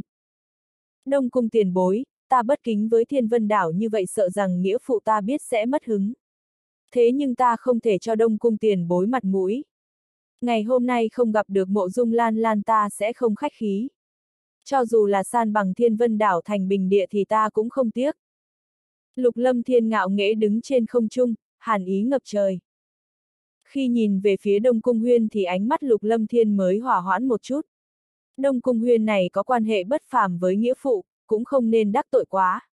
Ánh mắt hắn đảo qua đạm đài tuyết phi nói. Chỉ là coi như san bằng thiên vân đảo, ta cũng không dám đắc tội đông cung tiền bối, cũng không động thủ với tuyết phi cô nương. Về phần những người khác thì đừng trách ta ra tay độc ác. Lục lâm thiên, đế đạo minh còn chưa giải tán. Chẳng lẽ ngươi đã muốn ra tay với thiên vân đảo? Ngươi trở mặt cũng quá nhanh a. À. Lão phụ nhân linh đế tam trọng kia lên tiếng, ánh mắt không ngừng biến ảo. Giờ phút này ngay cả hàn băng đại đế, thánh thủ linh đế, dương quá, lục tâm đồng và những người khác đều có chút kỳ quái. Không biết tại sao lục lâm thiên lại đột nhiên động thủ với thiên vân đảo. Thế nhưng lúc này mọi người tự nhiên sẽ không hỏi nhiều. Khí tức trong lúc mơ hồ phóng ra, dẫn động năng lượng gờ thiên địa biến hóa. Chỉ cần lục lâm thiên nói động thủ, sợ rằng trong nháy mắt bọn họ sẽ tiêu diệt, san bằng thiên vân đảo để cho ta gặp mộ dung lan lan thì tất cả sẽ dễ nói chuyện. Ta dùng lễ làm đầu, nếu như cố tình làm khó ta, cho dù là thiên vương lão tử ta cũng sẽ không khách khí. Chuyện này không liên quan tới việc của bổn minh, hôm nay chỉ là việc tư của lục lâm thiên ta, nếu thiên vân đảo không đồng ý thì có thể rời khỏi đế đạo minh. Lục lâm thiên nói từng chữ một, ánh mắt nhìn về phía lão phụ nhân kia. Kim hoàng khí lan tràn, sắc bén mà lạnh lẽo, khí thức mênh mông không biết vô tình hay cố ý mà mơ hồ áp chế lão phụ nhân này. Mấy thân, có phải người ở trên thiên vân đảo hay không? Con đang tìm người đây. Lục kinh vân nhảy ra, quanh thân được kim quang màu vê àng bao phủ, uy áp kim hoàng khí kinh người phô thiên cái địa lan tràn ra. Âm thanh cuồn cuộn quanh quẩn trên hải vực. Đám người thánh thủ linh đế, dương quá, lục tâm đồng, hàn băng đại đế lúc này mới biết được, hóa ra chuyện này có liên quan tới mẫu thân lục kinh vân, có liên quan tới thiên vân đảo. Giờ phút này ánh mắt xinh đẹp của đám người Bắc Cung vô song, độc cô cảnh văn, Bạch Linh cùng chúng nữ biến đổi, thế nhưng cũng không nói lời nào. Kính Hoa, Thủy Nguyệt A Di, phụ thân của con nói mẫu thân con ở Thiên Vân Đảo. Hai người có biết mẫu thân con là ai không? Lục Kinh Vân tiến lên, dùng ánh mắt chờ mong nhìn Kính Hoa, Thủy Nguyệt. Hắn chỉ quen thuộc với Kính Hoa, Thủy Nguyệt mà thôi. Lúc này trong lòng hắn vô cùng chờ mong. Sau khi biết được tung tích của mẫu thân, sự chờ mong trong lòng hắn so với bất luận kẻ nào còn lớn hơn. Tâm thần lúc nào cũng không yên. Kinh Vân. Dưới uy áp, sắc mặt hai người kính hoa, Thủy Nguyệt vô cùng khó coi. Giờ phút này ánh mắt nhị nữ nhìn về phía Lục Kinh Vân vô cùng bất đắc dĩ, sư phụ không nói, hai nàng làm sao có thể mở miệng. Có phải hai người biết rõ tung tích của mẫu thân con không? Nhìn ánh mắt của kính hoa, Thủy Nguyệt, Lục Kinh Vân nhìn về phía thanh quán tôn giả, Đông Cung Huyên, còn có lão phụ nhân kia lớn tiếng hỏi. Chư vị tiền bối, mong chư vị để cho ta gặp mộ dung lan lan, nếu không mong chư vị thứ cho ta vô lễ. Ánh mắt lục lâm thiên âm trầm, nhìn phản ứng của người thiên vân đảo hắn càng khẳng định phán đoán trong lòng mình. Khó trách hắn không nghĩ ra được mẫu thân kinh vân rốt cuộc là ai. Lục lâm thiên thậm chí còn hòa nghi liệu có phải thiên địa chiếu cố sai người rồi hay không. Nói không chừng lục kinh vân không có quan hệ với hắn. Ai, cũng đành vậy, đành vậy. Nhìn lục lâm thiên, cùng với đội hình kinh khủng sau lưng lục lâm thiên. Lão phụ nhân kia thở dài, ánh mắt bất đắc dĩ, thân ảnh lập tức biến mất tại chỗ. Để cho Lan Lan tự mình giải quyết đi. Đông Cung Huyên dứt lời, cũng biến mất trên không trung. Tuyết Phi, mang bọn họ đi đi. Thanh quán tôn giả nhìn hai người Lục Lâm Thiên và Lục Kinh Vân, ánh mắt như nước tràn ngập sự bất đắc dĩ. Thân ảnh lập tức rời đi theo Đông Cung Huyên. Một lát sau, trên một ngọn núi khổng lồ không ngớt có từng đạo thân ảnh xuất hiện. Lục trưởng môn, sư phụ bế quan ở nơi này. Đạm đài tuyết phi nhìn ngọn núi trước mắt, bàn tay ngọc chỉ về phía xa rồi quay đầu nhìn lục lâm thiên. Lúc này nàng mới phát hiện ra thân ảnh lục lâm thiên không biết từ khi nào đã biến mất. Mà một đạo âm thanh đã vang lên trong tai nàng. Đa tạ tuyết phi cô nương, lục lâm thiên ta thiếu nợ cô nương một nhân tình. Ánh mắt đạm đài tuyết phi khẽ đổi, nhìn về phương xa. Trong một sơn động, trên bệ đá lúc này có một nữ tử mặc cung trang màu hồng đang ngồi. Da thịt trắng như tuyết, mái tóc đen nhánh búi cao, khí thức toàn thân chấn động, quanh thân được một vòng quang mang vô hình bao phủ. Thân ảnh lục lâm thiên lặng lẽ không một tiếng động xuất hiện trong sơn động, nhìn nữ tử đang ngồi trên bệ đá, ánh mắt rung động. Giấc mộng lúc trước nửa thật nửa giả, trong ảo cảnh, độc cô cảnh văn, bắc cung vô song, bạch linh đều xuất hiện. Thế nhưng không ngờ bên ngoài ảo cảnh lại xảy ra chuyện thật. Nếu không phải có đạm đài tuyết phi nhắc nhở, Lục Lâm Thiên không có cách nào nghĩ tới mộ dung lan lan. Khó trách sau khi hắn tỉnh dậy đã không thấy mộ dung lan lan đâu. Nhìn nữ tử đang khoanh chân ngồi, thân thể mềm mại, mê người này, ánh mắt Lục Lâm Thiên khẽ đổi. Bộ ngực cao ngất, da thịt trắng như tuyết, dung nhan không kém bất luận nữ tử nào. Mà khí tức thành thục vũ mị trên người nàng hiện tại chúng nữ Lữ Tiểu Linh, Vân Hồng Lăng không thể so sánh được. Ai? Mộ dung lan lan đang tu luyện dường như cảm nhận được thứ gì đó, hai mắt đột nhiên mở ra. Lập tức nhìn vào người lục lâm thiên. Khi nhìn thấy rõ thân ảnh màu xanh này, thân thể mềm mại của nàng khẽ run lên, lập tức đứng dậy. Tại sao ngươi lại phá cấm chế vào đây? Mộ dung lan lan kinh ngạc, ánh mắt vô cùng mê người. Hàm răng khẽ bắn bờ môi đỏ mọng, trong lòng âm thầm cười khổ. Dùng tu vi của hắn bây giờ, muốn vô thanh vô tức phá vỡ cấm chế của nàng không phải là việc gì khó. Khó trách những năm này nàng thường xuyên đi tới phi linh môn gặp kinh vân. Lục lâm thiên nhìn mộ dung lan lan, những năm gần đây nữ tử trước mặt hắn ngày càng vũ mị, quyến rũ. Khí tức trên người khiến cho người ta có cảm giác thời gian, giống như rượu ngon, càng để lâu càng thơm ngon. Người có ý gì? Thân thể mềm mại của mộ dung lan lan giống như bị điện giật, ngơ ngác nhìn qua lục lâm thiên, thầm nghĩ lẽ nào hắn đã biết sự thật. Nhìn phản ứng của mộ dung lơ lan, lục lâm thiên càng khẳng định phán đoán trong lòng. Thân ảnh khẽ động, nắm lấy tay mộ dung lan lan. Ngay khi mộ dung lan lan còn chưa kịp có phản ứng, một giọt máu trên tay nàng đã rơi vào trong lòng bàn tay lục lâm thiên. Người muốn làm gì? Mộ dung lan lan dẫy khỏi tay lục lâm thiên, thân thể mềm mại lùi về phía sau mấy bước, có chút kinh hoàng và bất đắc dĩ. Lục Lâm Thiên không để ý tới mộ dung lan lan, trong tay hắn lập tức xuất hiện một giọt máu trên người Lục Kinh Vân. Thủ ấn biến hóa, xung quanh tay hắn xuất hiện chấn động kỳ dị, lập tức hai giọt máu tươi dung hợp với nhau, quang mang trói mắt lan tràn. Nhỏ máu nhận thân là một loại phương thức xác nhận huyết mạch không khó nhìn thấy trên đại lục này. Hai giọt máu tươi dung hợp, ánh mắt Lục Lâm Thiên run lên, nhìn mộ dung lan lan nói. Nàng thực sự là mẫu thân của Kinh Vân. Đúng vậy, ta là mẫu thân của Kinh Vân. Rốt cuộc người cũng biết rõ được chuyện này. Mộ dung lan lan nhìn lục lâm thiên, trong đôi mắt xinh đẹp có chút buồn bã, điều che giấu trong lòng nàng đã lâu lúc này lục lâm thiên rốt cuộc cũng đã biết được. Siêu! Ngoài cửa sơn động có mấy đạo thân ảnh đáp xuống, chính là đám người đạm đài tuyết phi, lục tâm đồng, dương quá, hàn băng đại đế. Dẫn đầu là một đạo thân ảnh khuôn mặt như điêu khắc, ngũ quan góc cạnh, phóng đáng không câu nệ. Mái tóc đen nhánh rậm rạp, mày kiếm, đôi mắt đen nhánh, chỉ là giờ phút này người này lại đang run rẩy. Kinh Vân. Nhìn thấy đạo thân ảnh này, mộ dung lan lan bỗng nhiên run lên. Lan lan a di, hóa a người là mẫu thân của con. Lục Kinh Vân nhìn mộ dung lơ lan, chậm rãi tiến lên, đứng ở trước mặt mộ dung lan lan, hai mắt nhòe đi. Kinh Vân, ta. Thân thể mềm mại của mộ dung lan lan bắt đầu run rẩy, vươn tay vuốt ve khuôn mặt trước mắt, yết hầu nghẹn ngào không nói nên lời, trong mắt đã sớm rung động. Mẫu thân, tại sao? Tạo sao người không nói sớm cho con biết? Ánh mắt Lục Kinh Vân vẫn nhìn chăm chú vào thân ảnh quen thuộc này, đây là người mẫu thân mà hắn ngày nhớ đêm mong. Hắn thật không ngờ, Lan Lan A Di này chính là mẫu thân của hắn. Khó trách mỗi một lần ở trước mặt nàng hắn đều có cảm giác thân cận như vậy. Trong chốc lát, nước mắt không nhịn được chảy xuống. Kinh Vân, mẫu thân có nỗi khổ tâm, mẫu thân thực sự phải xin lỗi con. Thân thể mềm mại của mộ dung lan lan run rẩy, nàng đâu có muốn như vậy chứ. Giờ phút này trong lòng nàng ngổn ngang cảm xúc. Mẫu thân. Nước mắt từ trong mắt lục kinh vân trào ra, hai đầu gối quỳ xuống trước mặt mộ dung lan lan. Hắn biết rõ, nếu như mẫu thân không quan tâm hắn thì tại sao lại thường xuyên tới gặp hắn. Đối với nỗi khổ tâm của mẫu thân hiện tại hắn đã không còn là tiểu hài tử, tự nhiên cũng hiểu rõ được một chút. Kinh Vân, con của ta, mẫu thân thực sự xin lỗi con, mẫu thân cũng chỉ muốn tốt cho con mà thôi, cho nên mẫu thân mới rời khỏi con.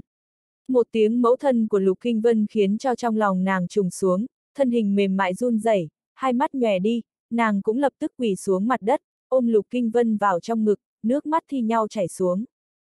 Con biết, con chỉ muốn mẫu thân mà thôi.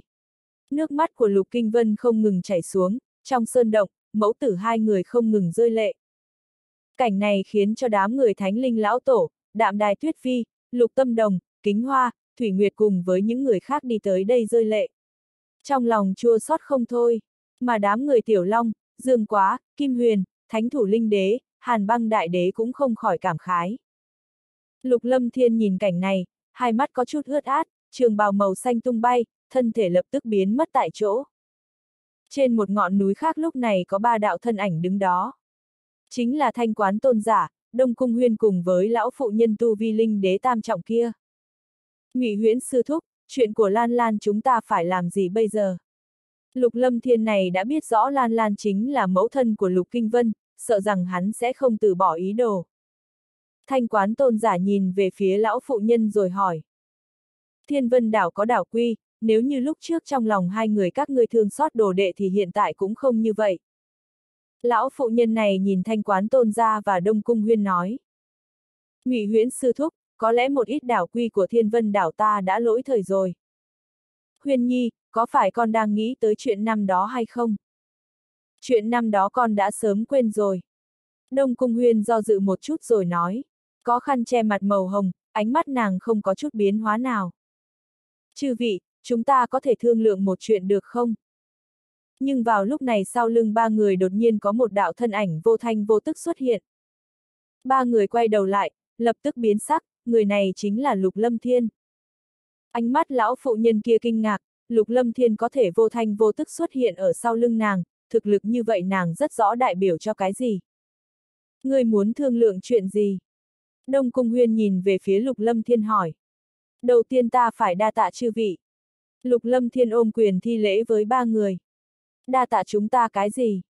Thanh quán tôn giả nghi hoặc hỏi, vừa rồi nàng còn có chút cảnh giác, nàng thật không ngờ lúc này Lục Lâm Thiên lại khách khí với mình như vậy.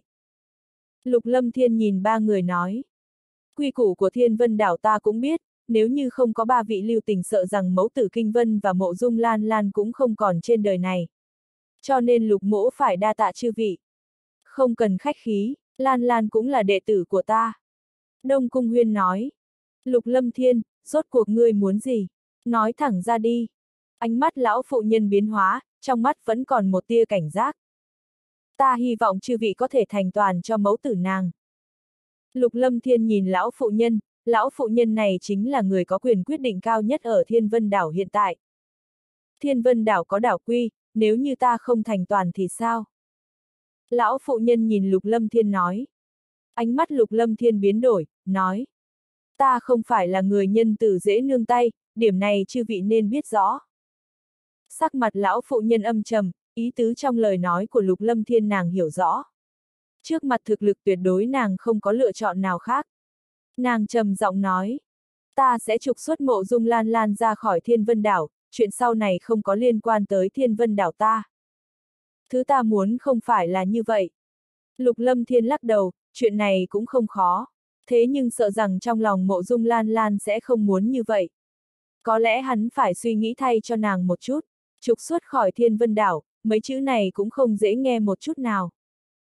Lục lâm thiên, rốt cuộc ngươi muốn làm thế nào? Lão phụ nhân hỏi Lục lâm thiên. Một ít đảo quy của thiên vân đảo có lẽ phải sửa đổi. Lục lâm thiên nhìn ba người nói. Lục lâm thiên, người đừng ỉ vào thực lực mạnh mẽ mà khinh người quá đáng. Lão phụ nhân âm trầm nói, thiên vân đảo của nàng tuyệt đối không phải quả hồng mềm mà ai muốn bóp cũng được. Nếu như ta nhìn không sai thì người này hẳn là tiền bối của thiên vân đảo các ngươi, tu vi khi còn sống ít nhất cũng là linh đế ngũ trọng.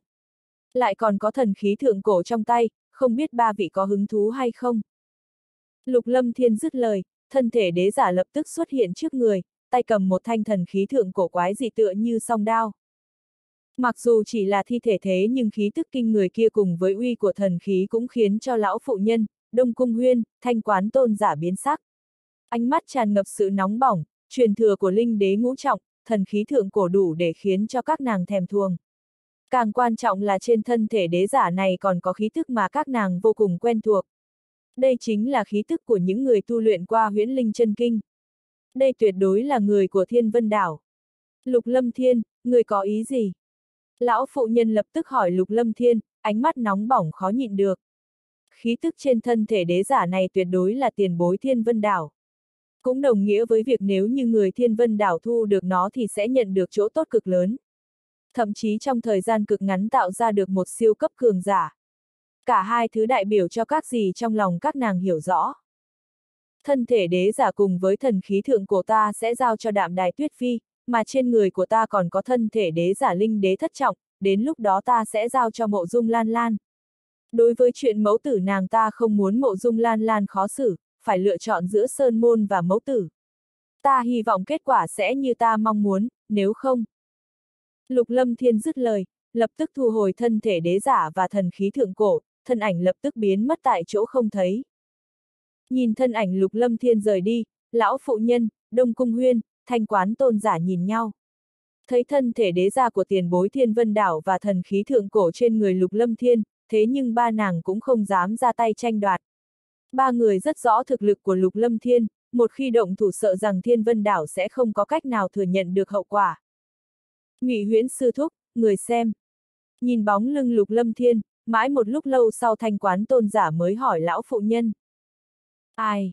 Lão phụ nhân thở dài, sắc mặt khẽ biến, nói. Trung quy ta cũng chỉ lo cho tiền đồ của thiên vân đảo.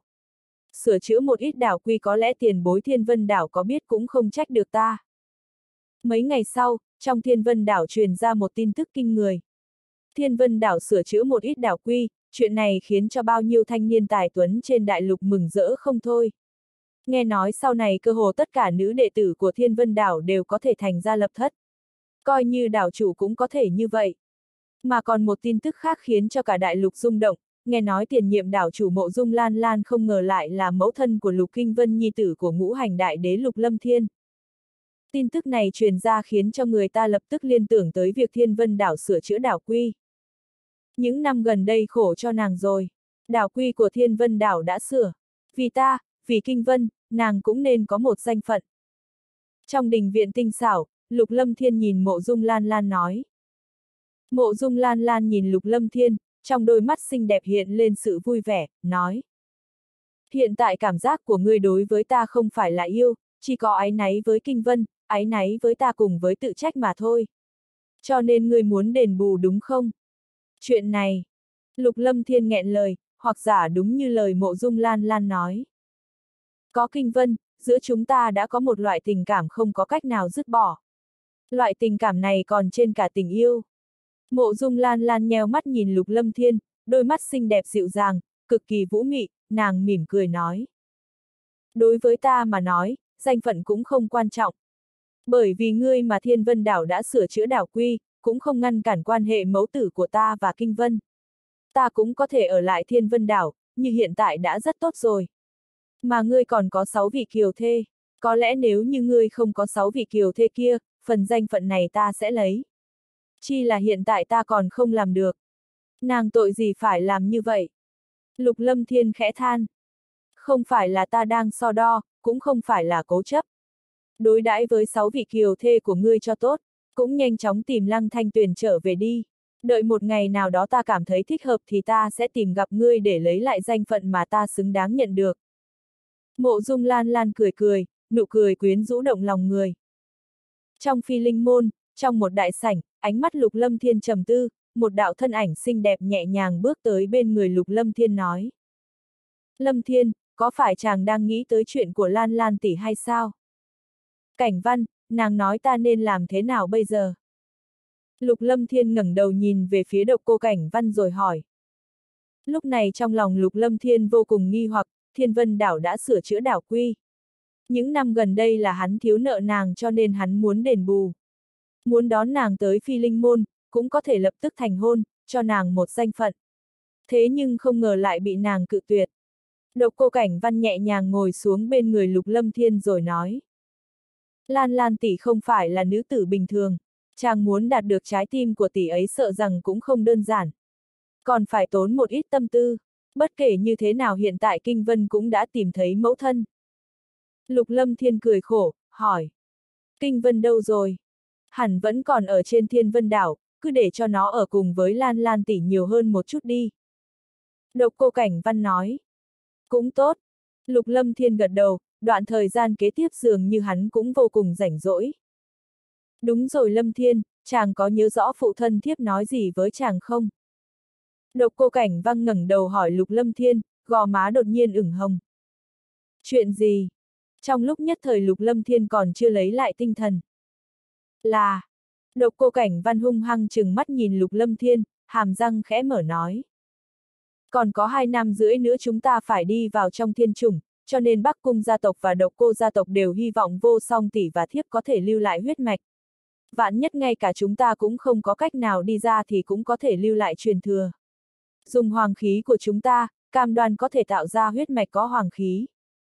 Đương nhiên, lúc này Lục Lâm Thiên mới nhớ tới, cùng ngày hai vị nhạc phụ Bắc Cung Kình Thương và Độc Cô Ngạo Vũ đều tới tìm hắn nói về việc này. Sau khi tiến vào thiên trùng, để phòng ngừa vạn nhất phải lưu lại huyết mạch. Mà Bắc Cung Vô Song và Độc Cô Cảnh Văn đều có một hoàng khí, thần hoàng khí cực cao. Có thể đảm bảo huyết mạch đời sau có hoàng khí không thấp.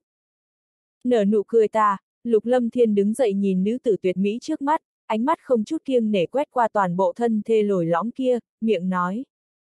Vậy thì chúng ta đi thôi. Đi đâu? Độc cô cảnh văn bắt đầu có chút nghi hoặc. Muốn lưu lại huyết mạch thì cũng phải cố gắng làm việc mới được, nếu không cũng không có thu hoạch. Lục lâm thiên dứt lời, lập tức ôm nữ tử tuyệt mỹ trước mặt vào trong ngực. Sắc lang. Độc cô cảnh văn khẽ mắng một tiếng, gò má ửng đỏ, ánh mắt phú mị, thẹn thùng tựa vào ngực lục lâm thiên. Một lát sau, trong phòng, lục lâm thiên nhẹ nhàng kéo bộ váy dài trên người độc cô cảnh văn xuống. Thân thể mê người, da thịt trắng như tuyết, đôi chân thon dài, cùng với đôi ngọc thỏ cao ngất, bờ mông tròn lẳn hiện lên trước mặt lục lâm thiên. Lập tức âm thanh nguyên thủy vang vọng, trong phòng xuân sắc khôn cùng. Trên đại lục, tất cả bắt đầu yên tĩnh trở lại. Tất cả các sơn môn lớn cũng không có động tác gì. Chúng cường giả dường như đột nhiên biến mất, không có xuất hiện trên đại lục. Trong phi linh môn, trong khoảng thời gian này Lục Lâm Thiên đều ở cùng người nhà, cùng sáu vị kiều thê, hắn tạm thời gác việc tu luyện qua một bên. Tất cả những danh lam thắng cảnh, di tích trên đại lục đều lưu lại dấu chân của hắn. Mà có một chuyện khiến cho Lục Lâm Thiên cực kỳ nghi hoặc, sáu hộp gấm mà thánh nữ thiên địa các tử yên đưa tới ngày đó, sau khi đám người Bạch Linh, độc cô cảnh văn, Bắc Cung vô song mở ra, trong sáu hộp gấm đều có một đạo quang mang bắn ra bao phủ sáu nữ nhân. Trong quang mang có khí thức kỳ lạ, cổ xưa, ngay trong ánh mắt rung động của Lục Lâm Thiên, quang mang lập tức co rút lại rồi chui vào trong mi tâm của sáu người. Cũng không tạo thành bất kỳ phản ứng nào, đồng thời cũng không tra xét ra sự tồn tại của nó. Lục Lâm Thiên suy nghĩ một hồi lâu cũng không ra cho nên cuối cùng chỉ có nghi hoặc không thôi. Những ngày này Tiểu Long, Chu Thần Hy, Hổ Y, Huyền Doanh đều ở trong phi linh môn. Dưới sự hỗ trợ của Lục Lâm Thiên, hận ý của Tiểu Long đối với huyền vũ hoàng tộc cũng tiêu tan không ít. Tiểu Long đồng ý qua một đoạn thời gian nữa sẽ đi tới huyền vũ hoàng tộc. Mà dưới sự cố gắng tới tiêu của Lục Lâm Thiên, sáu vị kiều thê của hắn trước sau truyền ra tin vui. Chuyện này khiến cho đám người La Lan Thị, Lục Trung cao hứng không thôi. Lục gia rốt cuộc cũng khai chi tán diệp, mỗi ngày La Lan Thị tự mình kéo tay Lục Lâm Thiên đi tản bộ vói chúng nữ. Tiểu Long cũng cao hứng thay cho lão đại, nhưng Tiểu Long cũng chỉ ở lại trong phi linh môn mấy ngày rồi lập tức cùng với đám người hổ y, Chu Thần Nhu đi tới huyền vũ hoàng tộc. Dựa theo lời Tiểu Long nói, sau khi tới huyền vũ hoàng tộc nó sẽ trở về thanh long hoàng tộc chuẩn bị cho hành trình thiên trùng lần này. Bắc cung hoàng tộc, độc cô hoàng tộc biết được Bắc cung vô song và độc cô cảnh văn có tin vui cho nên đưa tới không ít bảo vật, để cho các nàng ăn vào. Những thứ này đều có chỗ tốt cực lớn với thai nhi. Vân Dương Tông và Linh Thiên Môn, Lam Gia, cửu vĩ thiên hồ nhất tộc cũng đưa tới rất nhiều bảo vật an thai. Đương nhiên so với độc cô hoàng tộc và bắc cung hoàng tộc mà nói, đương nhiên còn kém hơn một chút. Thế nhưng lục lâm thiên lại đối xử chúng nữ như nhau. Tự mình luyện chế một đống đan dược đế phẩm cho chúng nữ. Việc này thậm chí còn khiến cho tạo nghệ trên phương diện đan dược của lục lâm thiên tăng lên. Đan dược đế phẩm xuất thế khiến cho thiên địa dị tượng liên tục xuất hiện trong phi linh môn, làm cho mọi người sợ hãi không thôi. Tất cả đế giả như Dương Quá, Lục Tâm Đồng, Thánh Thủ Linh Đế, Hàn Băng Đại Đế, Bạch Long Đại Đế đều được Lục Lâm Thiên sắp xếp tiến vào trong thiên trụ giới bế quan tu luyện. Hy vọng trong hành trình thiên trùng có thể làm tăng cơ hội sống sót của mọi người lên một chút. Dương nhiên lúc ở cùng sáu vị kiều thê lục lâm thiên thi thoảng cũng phân ra một chút thời gian tiến vào trong thiên trụ giới lĩnh ngộ vô tự thiên thư. Mỗi một lần lĩnh ngộ đều có tiến bộ không kém khiến cho lục lâm thiên ngày càng lý giải sâu sắc về lực lượng thuộc tính, không gian, thời gian, linh hồn. Trên phương diện tu vi cấp độ tuy rằng lục lâm thiên không có tiến bộ rõ ràng. Thế nhưng phương diện lĩnh ngộ lại tăng lên cực lớn. Chuyện này trong lúc vô hình khiến cho thực lực của lục lâm thiên tiến bộ không ít. 10 tháng ao, trong phi linh môn xuân về hoa nở. Ngũ hành điện, ngoài một căn phòng, lục lâm thiên đi qua đi lại, ánh mắt không ngừng nhìn chăm chú vào trong phòng, vẻ mặt khẩn trương không thôi. Sau lưng lục lâm thiên là chúng cường giả phi linh môn như Hoàng Đan, lục tiểu bạch, thanh hỏa lão quỷ, lộc sơn lão nhân, cực lạc tam quỷ, cả đám cũng vô cùng khẩn trương. Phụ thân, người không cần khẩn trương, không có việc gì đâu. Lục Kinh Vân nói với phụ thân, một năm nay phần lớn thời gian hắn đều ở trong thiên vân đảo cùng với mẫu thân. Gần đây mẫu thân bị Mỹ huyễn đại đế kia ép đi bế quan tu luyện cho nên hắn mới trở lại phi linh môn. Chỉ mong là như vậy a. À. Lục lâm thiên sao có thể không khẩn trương cơ chứ? Lúc này Bắc Cung vô song đang ơ trong phòng sinh nở, tuy rằng đã có một trai một gái thế nhưng đó đều là dưới tình huống không biết rõ. Đây là lần đầu tiên hắn tận mắt chứng kiến cho nên Lục Lâm Thiên vô cùng khẩn trương. Que! Một tiếng trẻ con khóc to vô cùng rõ ràng dưới sự khẩn trương của mọi người từ trong phòng vang lên. Phu nhân sinh rồi, sinh ra một vị tiểu thư. Cửa phòng được mở ra, hoa mãn ngọc cao hứng nói với chúng nhân. Chúc mừng trưởng môn. Cường giả phi linh môn lập tức hành lễ chúc mừng. Giờ phút này tâm tư khẩn trương của Lục Lâm Thiên mới bình phục lại, ánh mắt có chút vui vẻ. Hôm sau, trong Bắc Cung gia tộc, Bắc Cung kình thương tự mình tới phi linh môn. Bắc Cung gia tộc có huyết mạch mới, lại là huyết mạch của thần nữ, chuyện này đối với Bắc Cung gia tộc mà nói chính là đại sự. Mà vẫn chưa hết, trong phi linh môn, ngay khi Bắc Cung vô song sinh hạ thiên kim, lục gia còn có Bắc Cung gia tộc đang vô cùng cao hứng thì Vân Hồng Lăng lại có động tính. Trong sự khẩn trương của lục lâm thiên, Vân Hồng Lăng sinh hạ một bé trai trắng trẻo mập mạp. Vân Khiếu Thiên biết được chuyện này cũng cao hứng không thôi, tự mình tới phi linh môn nhìn ngoại tôn của mình. Ngay sau đó độc cô cảnh văn cũng không cam lòng yếu thế, ba ngày sau lại sinh ra một bé trai cho Lục gia. Lữ Tiểu Linh tăng thêm náo nhiệt, ba thời thần sau sinh hạ một nam đinh cho Lục gia. Trong vòng một ngày Lục gia có thêm hai nam đinh, mỗi tay Lục Lâm Thiên ôm một đứa, trong lòng hắn hiện tại vô cùng thỏa mãn. Đồng thời còn thương xót kiều thê. Trong phi linh môn tràn ngập tiếng trẻ con khóc khiến cho mấy ngày nay La Lan thì cười không khép miệng lại được. Hôm sau, dường như Bạch Linh đã bị đám người Bắc Cung vô song, độc cô cảnh văn làm ảnh hưởng cho nên trong bụng cũng có động tĩnh. Ngoài căn phòng, ánh mắt Lục Lâm Thiên khẩn trương, cũng có chút ngưng trọng. Trong 10 tháng này Lục Lâm Thiên vẫn luôn lo lắng một chuyện, dù sao Bạch Linh cũng là cửu vĩ thiên hồ, nếu như sinh con cho hắn không biết có di truyền gì hay không. Chuyện này Lục Lâm Thiên cũng không có cách nào đoán được. Nếu như lúc đó sinh ra, Lục Lâm Thiên không có cách nào tưởng tượng, trong lòng vô cùng lo lắng. Trước đó Lục Lâm Thiên còn cố ý hỏi hai vị nhạc phụ Bắc Cung Kình Thương và Độc Cô Ngạo Vũ, còn có Tử Hiên Lão Tổ, thế nhưng mọi người cũng không có cách nào biết rõ kết quả. Trên đại lục này có một bí mật mà tất cả cường giả công nhận. Bắt đầu từ thời viễn cổ đã có cường giả nhân tộc ưa thích tìm kiếm nữ tử yêu thú, linh thú thất giai rồi cấm chế, sau đó làm một chút chuyện cầu thả. Không ít yêu thú linh thú thất giai hóa thành hình người đều xinh đẹp động lòng người, đồng thời còn có giã tính 10 phần. Chuyện này khiến cho cường giả nhân tộc khó trách khỏi sắc tâm, không có cách nào kiềm chế được. Tại thời điểm viễn cổ và thượng cổ cũng nghe nói từng có huyết mạch do nhân yêu kết hợp vừa mới sinh ra đã là nửa người nửa thú. Đại bộ phận vừa mới ra đời chính là tử thai, không có cách nào tồn tại trên đời này. Bất kể là nhân tộc hay thú tộc đều không nhận quái vật như vậy. Đồng thời còn phải chịu sự xa lánh rẻ biểu của nhân tộc và thú tộc. Cho nên cũng chưa từng có ai lưu lại kết tinh giữa người và thú này. Tuy nói rằng thú tộc tới cửu giai thành đế sẽ không khác nhân loại, thú hồn cũng xảy ra biến hóa vi diệu, trên lý luận không có một chút bất đồng nào với nhân tộc. Thế nhưng hiện tại Lục Lâm Thiên vẫn có chút bận tâm. Bạch Linh đã là cửu giai, không khác nhân tộc, còn không cần quá lo lắng.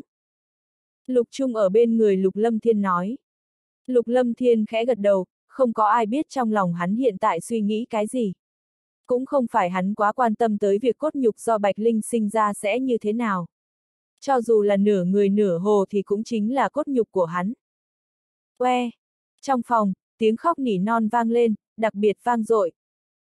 Chúc mừng trưởng môn, Bạch Linh phu nhân sinh hạ thiên kim. Cửa phòng còn chưa được mở ra, âm thanh cao hứng của hoa mãn ngọc đã truyền tới. Một lát sau, Lục Lâm Thiên ôm một bé gái trong ngực, ánh mắt thanh tịnh như biết nói chuyện. Vừa mới ra đời đã dò xét khắp nơi, bàn tay bé nhỏ quơ quơ trên không trung. Miệng mấp máy, hưng phấn nhìn thế giới chung quanh. Lâm Thiên, sao rồi? Trên giường, Bạch Linh khẽ dựa vào vách tường, tóc mai dính mặt, khí tức có chút suy yếu. Không giống với nhân tộc lắm, nhưng rất khỏe mạnh, so với ba ca ca và một tỷ tỷ của nó đều giống nhau. Đều là linh vũ song tu và vũ giả sáu hệ. Lục Lâm Thiên nhẹ nhàng ôm bé gái trong ngực tới trước mặt Bạch Linh. Hắn đã kiểm tra qua, nhi tử nhi nữ của hắn đều là linh vũ song tu và vũ giả sáu hệ, thể chất đều là tuyệt đỉnh. Hai đứa bé do độc cô cảnh văn và bắc cung vô song sinh ra thậm chí khi kiểm tra thì trên người còn mang hai loại hoàng khí, chỉ là kim hoàng khí là chủ hoàng khí, còn thần hoàng khí và mộc hoàng khí là phụ hoàng khí. Chuyện này khiến cho Bắc Cung gia tộc và độc cô gia tộc hưng phấn không thôi. Mà hai đứa bé do Vân Hồng Lăng và Lữ Tiểu Linh sinh ra trên người đều mang kim hoàng khí, khi sinh ra đã có kim hoàng khí hộ thân. Vậy là tốt rồi. Bạch Linh nhìn bé gái trước mắt, khẽ cười cười, nụ cười khuynh thành. Phi Linh môn liên tiếp đắm chìm trong tin vui khiến cho Lam gia trong thành hoa môn lại có chút sốt ruột. Người Lam gia hiểu rõ trong sáu nữ nhân của Lục Lâm Thiên thì bối cảnh của Lam gia thấp nhất. Đừng nói tới so sánh với hoàng tộc mà ngay cả Vân Dương Tông cùng với Linh Thiên Môn cũng kém cực lớn.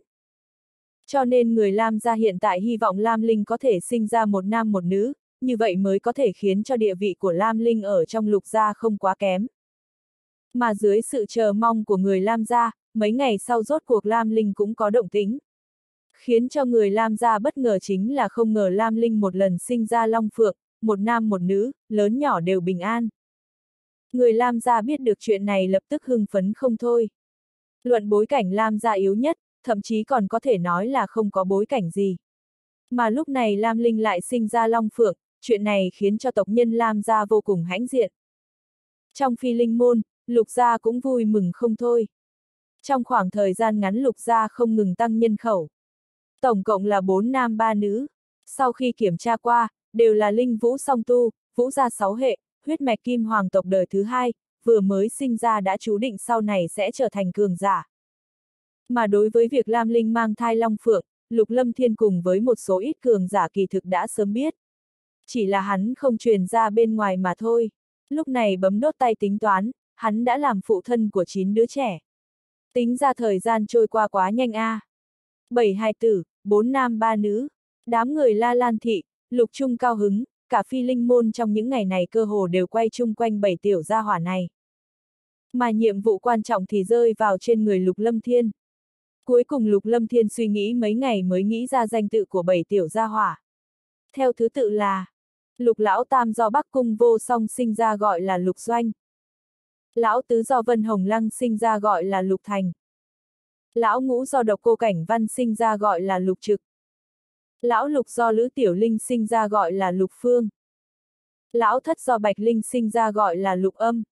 Mà một đôi long phượng do Lam Linh sinh ra là lão bát và lão cửu, nam lớn nữ nhỏ, phân biệt gọi là lục tượng và lục xảo.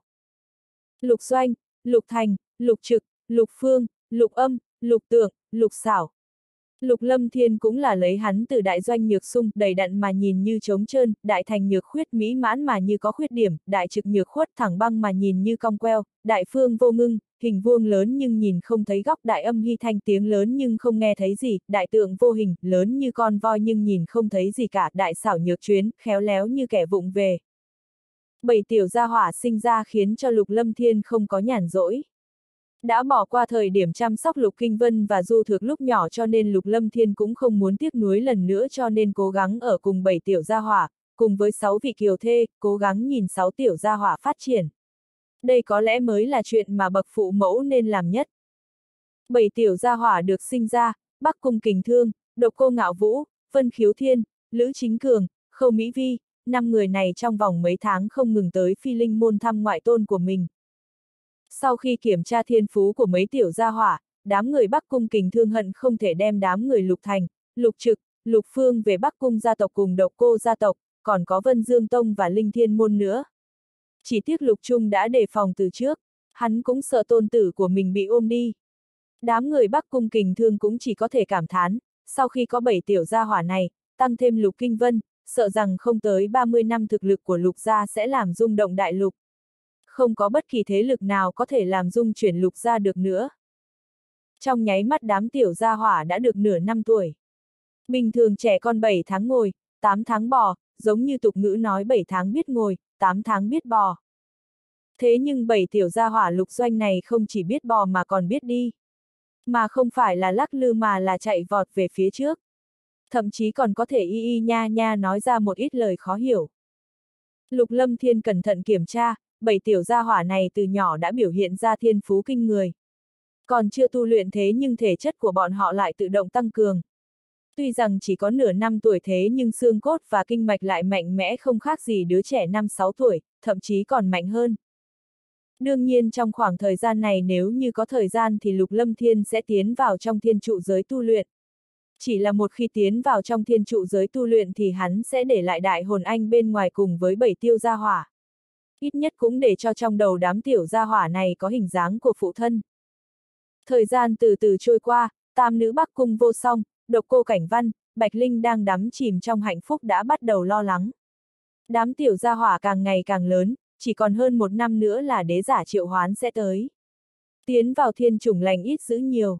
Chuyện này khiến cho trong lòng tam nữ càng lúc càng lo lắng thêm, không có cách nào buông xuống được.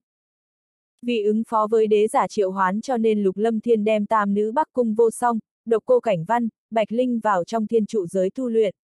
Bên người đám tiểu gia hỏa phần lớn thời gian chỉ là linh hồn phân thân mà thôi. Siêu. Trong thiên trụ giới yên tĩnh đột nhiên xuất hiện động tĩnh cực lớn. Khí thức quỷ dị dùng tốc độ cực nhanh lan tràn, năng lượng thiên địa minh mông ngưng tụ tạo thành một vòng xoáy bằng năng lượng trên không trung.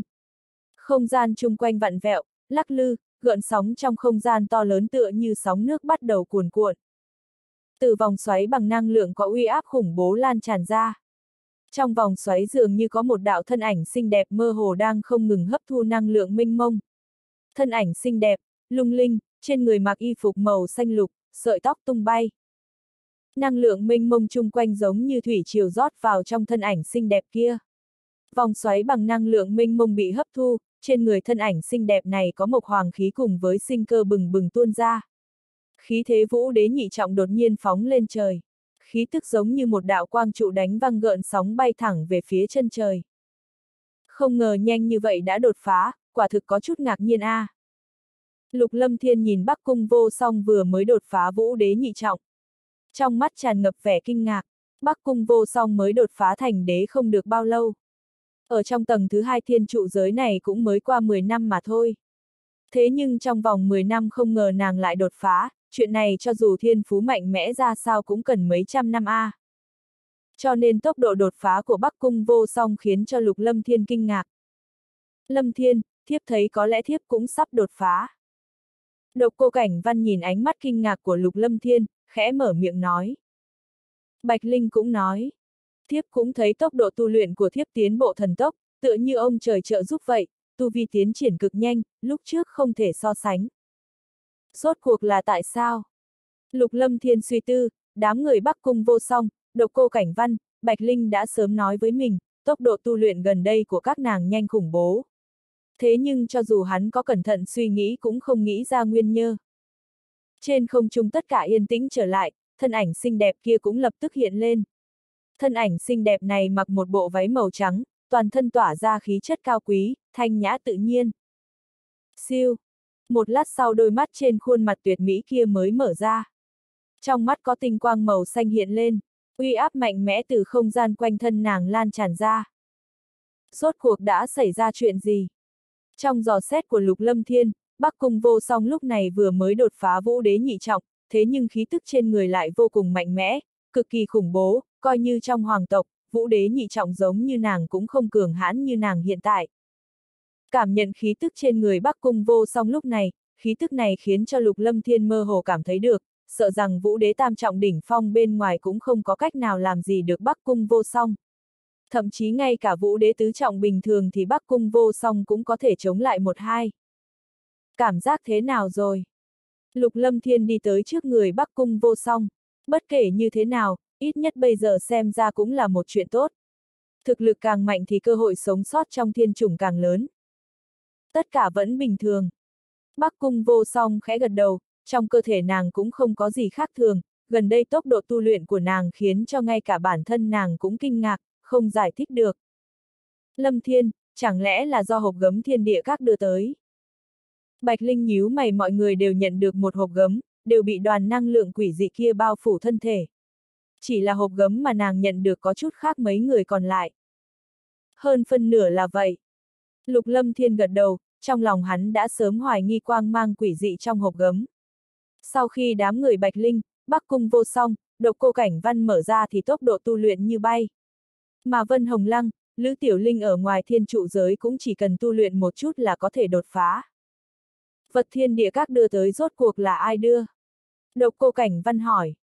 Ta cũng không biết, thế nhưng cũng không phải là thiên địa các được ủy thác. Mà là có người nhắc nhở thiên địa các đưa vật này. Suy nghĩ không ra, Lục Lâm Thiên cũng không tiếp tục suy nghĩ mà mỉm cười nói. Tiếp tục tu luyện đi, tăng thêm thực lực thì trong thiên chủng có thể có thêm một chút hy vọng. Dứt lời thân ảnh Lục Lâm Thiên biến mất trong tầng thứ hai. Khi thân ảnh Lục Lâm Thiên lần nữa xuất hiện đã ở trong tầng thứ ba. Lúc này trong tầng thứ ba có Lục Tâm Đồng và Dương Quá. Hai người Lục Tâm Đồng và Dương Quá đều ở trong tầng thứ hai thiên trụ giới không ngắn, hai người cũng lĩnh ngộ ra lực lượng thời gian. Lĩnh ngộ thời gian tăng lên, hai người rốt cuộc cũng đặt chân tới tầng thứ ba.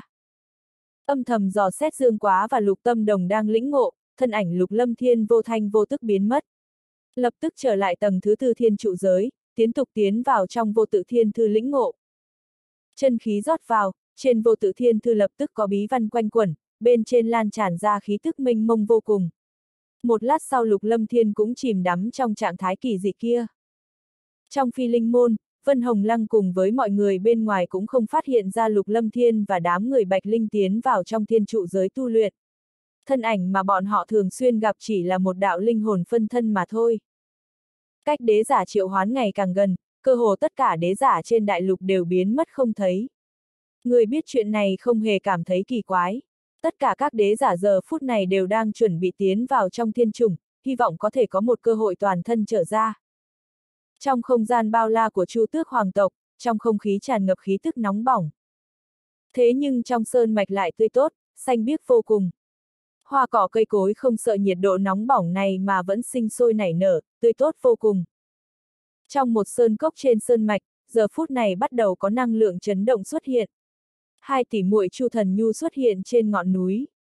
Chưa được nửa năm, dựa vào trong tộc toàn lực bồi dưỡng cùng với truyền thừa từ Chu Tước Điện, thần hy rốt cuộc cũng đạt được cơ duyên lớn nhất của bổn tộc, có lẽ đang đột phá. Không biết muội ấy có thể đột phá thành công hay không? Thế nhưng thất bại, sợ rằng kế hoạch của tất cả các hoàng tộc khác sẽ bị ảnh hưởng cực lớn. Da thịt Chu Thần Hy trắng như tuyết, vô cùng mịn màn, ngũ quan tinh xảo, người mặc một bộ váy dài giống như một con hồ điệp xinh đẹp. Thế nhưng ánh mắt nàng lúc này lại cực kỳ ngưng trọng. Thần Hy đạt được chỗ tốt lớn nhất từ Chu Tước Điện, nếu như muốn đột phá có lẽ không thành vấn đề. Chỉ là muội tới hiện tại còn chưa đột phá. Cũng tốt a, à, vạn nhất chúng ta không về được bổn tộc còn có muội tọa chấn. Chu Loan mặc một bộ cẩm bào bao phủ thân thể mềm mại, đường cong mê người. Trong tầng thứ tư thiên trụ giới, tay lục lâm thiên kéo theo từng đường vòng cung huyền ảo, trước người có quang mang trói mắt lóe lên. Bên trong quang mang có thể nhìn thấy thân thể một đầu thanh long khổng lồ bằng năng lượng. Thân thể thanh long giống như vua của vạn thú, bên trên tràn ngập ra khí tức cường hãn khiến cho linh hồn người ta run rẩy. Ngao! Khi lục lâm thiên đánh ra một đạo thủ ấn cuối cùng, hư ảnh thanh long lập tức mở miệng rít lên một tiếng, âm thanh xuyên thấu hư không. So với bản thể của thanh long hoàng tộc giống như đúc, đồng thời còn mang theo uy áp linh hoàng.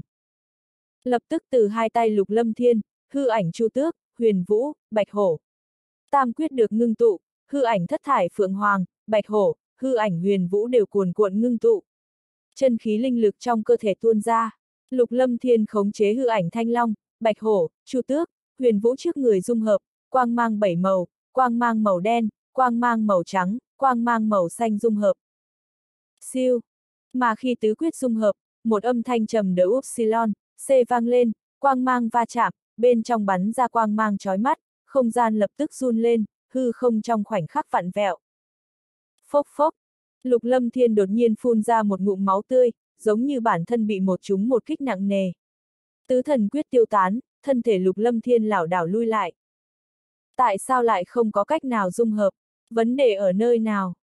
Lục lâm thiên đứng dậy, không ngừng suy nghĩ. Trong thời gian suốt 3 tháng trong tầng thứ tư thiên trụ giới này Lục Lâm Thiên dùng để dung hợp tứ thần quyết. Thế nhưng hắn lại không có cách nào làm được. Sau khi đạt được thanh long quyết trong hư không bí cảnh, Lục Lâm Thiên vẫn luôn suy nghĩ làm sao có thể dung hợp tứ thần quyết, nhưng tới tận lúc này hắn vẫn không có cách nào thành công. Uy lực của tứ thần quyết Lục Lâm Thiên biết rõ. Sau khi dung hợp tam thần quyết, uy lực có thể so với vũ kỹ thiên cấp. Nếu như dung hợp thành công tứ thần quyết thì không biết uy lực sẽ cường hãn tới bực nào, Lục Lâm Thiên có nằm mơ cũng nghĩ tới. Vì sao lại không có cách nào thành công? Chẳng lẽ sai ở chỗ nào đó? Lục Lâm Thiên khoanh chân ngồi xuống, bắt đầu suy nghĩ vấn đề. Cứ như vậy thời gian lần nữa trôi qua, Lục Lâm Thiên không tìm thấy vấn đề cho nên đành phải tiếp tục tiến vào trong không gian của vô tự thiên thư lĩnh ngộ linh hồn lực, lực lượng thời gian và không gian, còn có lực lượng thuộc tính. Trong Bắc Cung gia tộc, trong đình viện màu trắng, Bắc Cung kình thương nắm một khối ngọc giản tin tức, tâm thần rót vào bên trong, quang mang trên ngọc giản lóe lên rồi biến mất. Tìm được rồi, nhiều năm như vậy rốt cuộc cũng tìm ra được. Trong mắt Bắc Cung kình thương bỗng nhiên hiện lên sát ý. Trong hậu sơn phi linh môn, một đạo thân ảnh xinh đẹp đang chơi đùa với bảy tiểu gia hỏa. Ngọc giản tin tức trong tay đại hồn anh lục lâm thiên lập tức hóa thành bột phấn. Đồng thời trong mắt đại hồn anh hiện lên sát khí. Phụ thân, thiên địa các đưa tới tin tức gì vậy? Lục Kinh Vân hỏi. Thiên địa các đã tìm được nơi hạ lạc của linh vũ giới. Đại hồn anh ngẩng đầu, bất chi bất giác đã trôi qua hơn 2 năm, rốt cuộc cũng có tin tức của linh vũ giới. Không biết Du Thược và Lăng Thanh Tuyền lúc này thế nào?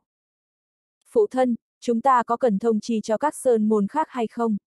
Du Thược muội muội có lẽ hiện tại đang ở trong linh vũ giới. Lục Kinh Vân hỏi. Không cần thông báo cho các sơn môn khác. Đại hồn anh do dự một lát rồi nói. Thông báo cho Bắc Cung gia tộc và độc cô gia tộc là được rồi. Trong một tòa sơn mạch bị cấm chế bao phủ, năng lượng bàng bạc lan tràn. Trong thạch động, trong miệng đồ án hình thú dữ tợn có một giọt linh dịch từ từ chảy xuống, tạo thành âm thanh thanh thúy quanh quẩn trong sơn động. Một đạo thân ảnh vô thanh vô tức xuất hiện trong sơn động, cảm nhận khí tức trong sơn động, người này lập tức nhíu mày. Chẳng lẽ thời gian đã tới? Tại sao ngươi lại tới đây? Một đạo âm thanh như chuông bạc truyền tới, âm thanh giống như ma âm khiến cho linh hồn chấn động. Lập tức trong miệng đồ án hình thú dữ tợn kia có một đạo quang mang huyết sắc lóe lên, lập tức hóa thành một đạo thân ảnh xinh đẹp lung linh. Ánh mắt lục lâm thiên nhảy lên, lập tức đáp xuống bên cạnh đạo thân ảnh xinh đẹp này. Cảm nhận khí tức trên người, lục lâm thiên có chút kinh hãi, rung động nói. Không ngờ lại tiến bộ nhanh như vậy, sợ rằng sắp đột phá tới đế giả trung kỳ A. Nơi này chính là linh mạch do linh khí thiên địa hội tụ thành. Đối với linh vật trời sinh chúng ta mà nói, linh khí thiên địa chính là chất dinh dưỡng tốt nhất. Mẫu đơn mỉm cười, trong đôi mắt đỏ tươi hiện lên sự vui vẻ. Bộ cung trang màu đỏ giống như máu tươi lưu chuyển, bao phủ lấy đường cong linh lung. Đoạn thời gian này ở trong nơi linh khí thiên địa hội tu, mẫu đơn nhận được chỗ tốt cực lớn. Trong hư không bí cảnh nàng bị nhốt rất lâu, cho nên tâm cảnh của nàng cực kỳ cao. Lúc này rời khỏi hư không bí cảnh, lại ở nơi linh khí thiên địa tụ tập, tốc độ tu luyện của nàng có thể nói là đang bay vậy. Vậy thì chúc mừng nàng. Lục Lâm Thiên gật đầu, ban đầu hắn đã nghe mẫu đơn nói, nếu như nàng tu luyện ở nơi linh khí thiên địa tụ tập thì chỉ cần tu luyện một ngày cũng tương đương với việc tu luyện trong hư không bí cảnh 10 năm. Linh khí thiên địa đối với linh vật trời sinh mà nói tuyệt đối là năng lượng tu luyện tuyệt hảo. Nhìn mẫu đơn, ánh mắt lục lâm thiên rung động, không biết có phải do thực lực tăng lên hay không mà thân thể mẫu đơn ngày càng mê người. Thân thể mềm mại uyển chuyển kia đối với người khác chính là một loại upsilon bản quyền võ IG. Ngươi không cần phải chúc mừng ta, linh hồn phân thân của ngươi khôi phục càng thêm kinh khủng. Ta hấp thu linh khí thiên địa còn linh hồn phân thân của ngươi thì thôn phệ linh khí thiên địa.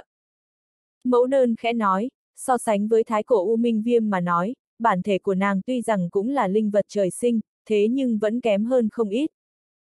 Hình như khôi phục không ít.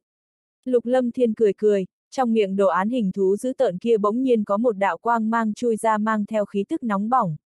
Lập tức hóa thành một lục lâm thiên mặc áo bảo xanh thứ hai. Đây chính là linh hồn phân thân thái cổ U Minh Viêm. Hai đạo thân ảnh song song đứng, khí chất, thần sắc giống như đúc. Không có bất kỳ sự khác biệt nào, duy nhất chỉ có một thứ, đó là trên linh hồn phân thân có khí tức nóng bỏng tỏa ra. Trong khí tức nóng rực còn xen lẫn âm hàn khiến cho linh hồn người ta run sợ. Nơi linh khí thiên địa hội tụ này đã không thể tiếp tục chống đỡ cho người thôn phệ nữa. Nếu không nó nhất định sẽ khô héo. Mẫu đơn nhìn lục lâm thiên, trong hơn hai năm qua, năng lượng thiên địa ở nơi này đã yếu bớt một mảng lớn. Mà đại bộ hận đều do thái cổ U Minh Viêm thôn phệ. Nếu cứ tiếp tục như vậy thì linh mạch thiên địa này chắc chắn sẽ bị hủy. Ánh mắt bản thể lục lâm thiên nhìn vào linh hồn phân. Cả hai tựa như một thể cho nên lúc này lục lâm thiên hiểu rõ biến hóa trên người thái cổ U Minh Viêm. Hơn hai năm hấp thu năng lượng thiên địa ở trong này khiến cho thái cổ U Minh Viêm khôi phục kinh người. So với thời điểm rời khỏi hư không bí cảnh đã hoàn toàn giống như hai người khác nhau, cách biệt một trời một vực. Đương nhiên Lục Lâm Thiên vừa mới tiến đến đã cảm nhận được linh mạch thiên địa biến hóa. So với lúc trước, linh khí thiên địa ở trong này đã cực kỳ bạc nhược, yếu kém. Nếu như bị cắn nuốt tiếp thì sợ rằng linh mạch thiên địa này sẽ biến mất, không biết tới năm tháng nào mới có thể khôi phục. Cảm nhận khí tức trên người linh hồn phân thân thái cổ U Minh Viêm, Lục Lâm Thiên phỏng đoán, lúc này sợ rằng thái cổ U Minh Viêm ít nhất cũng khôi phục tới đế giả trung kỳ, thế nhưng rõ ràng còn chưa đạt tới đế giả trung kỳ đỉnh phong. Lục Lâm Thiên vốn còn tưởng rằng nếu như thái cổ U Minh Viêm cứ tiếp tục ở đây tu luyện thì sớm muộn gì cũng có thể khôi phục tới thực lực khi trước. Nhưng hắn không biết linh mạch này có thể chống đỡ cho thái cổ U Minh Viêm khôi phục hay không mà thôi. Hiện tại đúng như dự đoán của hắn, linh mạch này căn bản không thể chống đỡ cho thái cổ U Minh Viêm hoàn toàn khôi phục. Ta có cảm giác ngươi có chút khác trước. Mẫu đơn nhìn bản thể lục lâm thiên, nàng có thể phát hiện ra được khí tức trên người lục lâm thiên cũng không có quá nhiều biến hóa. Thế nhưng trên người hắn lúc này lại có khí tức khiến cho nàng không có cách nào bỏ qua, khí tức này khiến cho nàng kiêng kỵ. Mẫu đơn nghi hoặc, đây là bản thể của lục lâm thiên chứ không phải là linh hồn phân thân. Rõ ràng chỉ có tu vi vũ đế nhị trọng thế nhưng lại khiến cho nàng có cảm giác kiêng kỵ, chuyện này khiến cho nàng cảm thấy khó hiểu. Thật sao? Lục lâm thiên nhìn vẻ mặt nghi hoặc của mẫu đơn mỉm cười, tu vi của hắn không có tiến bộ. Thế nhưng những năm này ở trong tầng thứ tư thiên trụ giới cũng chừng năm 60 năm. Nhờ ba bản vô tự thiên thư, lĩnh ngộ thuộc tính, thời gian, không gian và linh hồn của hắn đã có tiến bộ cực lớn. Mà ngay cả lục lâm thiên cũng cảm giác được biến hóa của bản thân mình. Đây là một loại biến hóa thần dị khó có thể phát hiện ra. Giống như tăng vọt về chất, lĩnh ngộ tăng vọt khiến cho hắn ngày càng cảm giác thân thiết hơn với thiên địa. Mẫu đơn cũng không hỏi nhiều lục lâm thiên, chỗ bất phàm trên người nhân loại này quá nhiều, nàng đã nhìn thấy rất nhiều cho nên cũng không quá ngạc nhiên. Làm sao ngươi tới đây? Chẳng lẽ đế giả triệu hoán đã bắt đầu sao? Mẫu đơn nhìn lục lâm thiên, dường như nhớ tới cái gì đó mà vẻ mặt ngưng trọng. Thiên đế kia rất có khả năng chính là người phong ấn U Minh khi trước. Đế giả triệu hoán nghe nói chỉ có tiến vào không có đi ra. Chuyện này khiến cho nàng vừa mới đi ra khỏi hư không bí cảnh lập tức cảm thấy bất đắc dĩ. Nếu sớm biết như vậy không đi ra khỏi hư không bí cảnh thì tốt hơn. Đế giả triệu hoán còn một đoạn thời gian nữa. Bất quá ta phải đi làm một ít chuyện. Vẻ mặt lục lâm thiên cũng ngưng trọng không thôi. Thực lực của linh hồn phân thân thái cổ U Minh Viêm có lẽ tiến rất xa. Chỉ là hắn không biết có thể đối phó với giới chủ linh vũ giới kia hay không mà thôi. Hai bản vô tự thiên thư hắn không thể để mất được. Ngay cả linh hồn phân thân cũng muốn dẫn đi, chuyện này sợ rằng không tầm thường. Trong mắt mẫu đơn bắn ra quang mang kỳ dị, nhìn Lục Lâm Thiên rồi hiếu kỳ hỏi. Đúng là không tầm thương. Lục Lâm Thiên cười nhạt một tiếng, đối phó với giới chủ linh vũ giới kia hắn không có một chút nắm chắc nào cho nên mới thông báo cho độc cô gia tộc và bắc cung gia tộc. Hai gia tộc sớm có hứng thú với vô tự thiên thư, nhưng hoàng tộc đều bị lệnh cấm, cho nên bắc cung gia tộc và độc cô gia tộc có ra tay hay không hiện tại ngay cả bản thân lục lâm thiên cũng không biết. Thứ khiến cho lục lâm thiên khó nghĩ nhất chính là lăng thanh tuyền và du thược đều có quan hệ với linh vũ giới. Đến lúc đó hắn đối mặt với giới chủ linh vũ giới thì sẽ thế nào? Thù của lục gia cộng thêm ân oán những năm gần đây. Lại còn ân oán của nghĩa phụ nam thúc với linh vũ giới, nhất định hắn phải giải quyết tất cả. Thực lực của ta tiến bộ không ít, lần này ngươi cho ta đi tham gia náo nhiệt một chút. Mẫu đơn nhìn lục lâm thiên, trong đôi mắt đỏ tươi hiện lên sự vui vẻ. Tùy tiện, người muốn đi thì cứ đi theo ta là được. Bản thể lục lâm thiên và linh hồn phân thân thái cổ U Minh Viêm đồng thời nhếch miệng nở nụ cười giống như đúc. Linh hồn phân thân lập tức tiến vào trong mi tâm của lục lâm thiên rồi biến mất không thấy. Đông Hải, trên hải vực bao la, vào đêm, cả thiên địa chìm trong bóng đêm. Trên bầu trời có thể nhìn thấy vầng trăng sáng lờ mờ, sóng biển chấn động, có thể nghe thấy rõ tiếng sóng biển đập vào dải đá ngầm, bọt nước bắn tứ tung. Dưới ánh trăng lờ mờ chiếu rọi, trên một hải vực có từng đạo thân ảnh đột nhiên xuất hiện, có khí tức mênh mông đột nhiên hàng lâm trong thiên địa. Phi linh môn rốt cuộc cũng có động tác với linh vũ giới. Cường giả phi linh môn vừa mới xuất hiện trên bầu trời lập tức lơ lửng trên đó, không có một hành động nào tiếp theo. Mấy thời thần sau, sắc trời dần dần biến hóa, phía đông sáng lên, tia sáng mặt trời đầu tiên hiện lên phía chân trời. Sáng sớm, trên hải vực, gió biển thổi qua khiến cho người ta có chút thoải mái. Sóng biển nhàn nhạt, quần đảo xanh ngắt khiến cho người ta có cảm giác giống như một bức tranh thủy mặc. Siêu. Trên không trung, gợn sóng trong không gian chấn động, thân ảnh lục lâm thiên và mẫu đơn xuất hiện, hai con mắt khép hờ của chúng cường giả phi linh môn cũng đột nhiên mở ra. Bái kiến trưởng môn. Chủ nhân. Đám người cực lạc tam quỷ, hỏa sĩ tôn giả cùng với chúng cường giả phi linh môn hành lễ. Thiên địa nhị lão, Kim Huyền, Hắc Vũ, Khiên Bách Biến, Thiên Thủ Quỷ Tôn, Bàn Hủy, Long Linh, Độc Long, Như Hoa cùng chúng cường giả đều có mặt. Mặt khác còn có trên trăm cường giả vương cấp cùng yêu thú, linh thú thất giai. Mấy trăm người có tu vi xuất cấp, cùng không ít yêu thú, linh thú lục giai. Lâm Thiên, linh vũ giới ở đây sao? Thánh thủ linh đế, thánh linh lão tổ, bạch long đại đế đi tới bên người lục lâm thiên rồi nói. Đúng vậy, Lục Lâm Thiên gật đầu, động thủ với linh vũ giới đương nhiên phải cần sư phụ cùng các vị sư thúc tương trợ. Nhưng đại ca Dương quá cùng lục tâm đồng thời gian này lại có dấu hiệu đột phá, cho nên lục lâm thiên không muốn làm kinh động hai người. Khó trách không có cách nào tìm được tung tích của linh vũ giới, hóa ra lại ẩn thân trong hải vực. Độc cô cảnh văn nhìn xuống hải vực phía dưới, dùng tâm thần của nàng cũng khó có thể phát hiện ra khí tức bên người.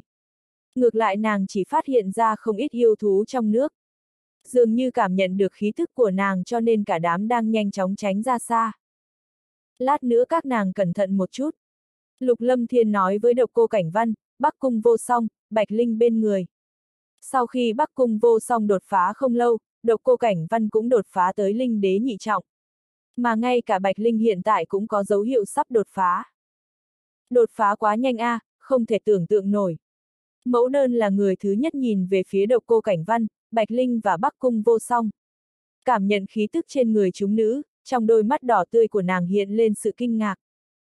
Có người tới. Bạch Linh nhìn về phía trước, trong tâm thần của nàng lúc này có khí tức cường hãn đang phá không bay tới. Là Tiểu Long tới. Lục Lâm Thiên mỉm cười, lần này trừ thông báo cho độc cô gia tộc cùng Bắc Cung gia tộc ra thì hắn cũng chỉ thông báo cho Tiểu Long mà thôi. Dùng thực lực bía y thái của Tiểu Long, có lẽ có thể giúp được không ít chuyện. Lão đại, đệ tới rồi. Ngay khi Lục Lâm Thiên nói xong, một đạo thân ảnh màu vàng đã phá không bay tới, lập tức xuất hiện trên không trung. Mái tóc quan màu vàng, ánh mắt tà mị. Tu vi dường như tiến bộ không ít a. Lục Lâm Thiên nhìn Tiểu Long, hai năm qua khí thức trên người Tiểu Long cường hãn hơn không ít, sợ rằng thực lực cũng đạt tới tầm cao mới. Lão đại, dường như huynh có chút khác lạ. Tiểu Long nhìn lão đại, cảm nhận khí tức trên người lão đại, nó có thể cảm nhận ra biến hóa mơ hồ. Tiểu Long lại nhìn về phía đám người Bắc Cung vô song, độc cô Cảnh Văn cười nói. Bạch Linh tỷ, vô song tỷ, Cảnh Văn tỷ, chúc mừng các tỷ. Đệ cũng đang muốn đi gặp lũ nhóc đây. Gặp thì có thể, thế nhưng đừng quên lễ gặp mặt. Độc cô Cảnh Văn cùng đám người Bắc Cung vô song, Bạch Linh mỉm cười nói. Cái này, hắc hắc. Tiểu Long cười hắc hắc nói. Hiện tại đệ lấy ra thứ gì chi sợ lão đại cũng không đặt vào trong mắt a. Hiện tại phi linh môn là sơn môn có nội tình dày nhất trên đại lục. Đệ không lấy ra được bao nhiêu vật tốt nha.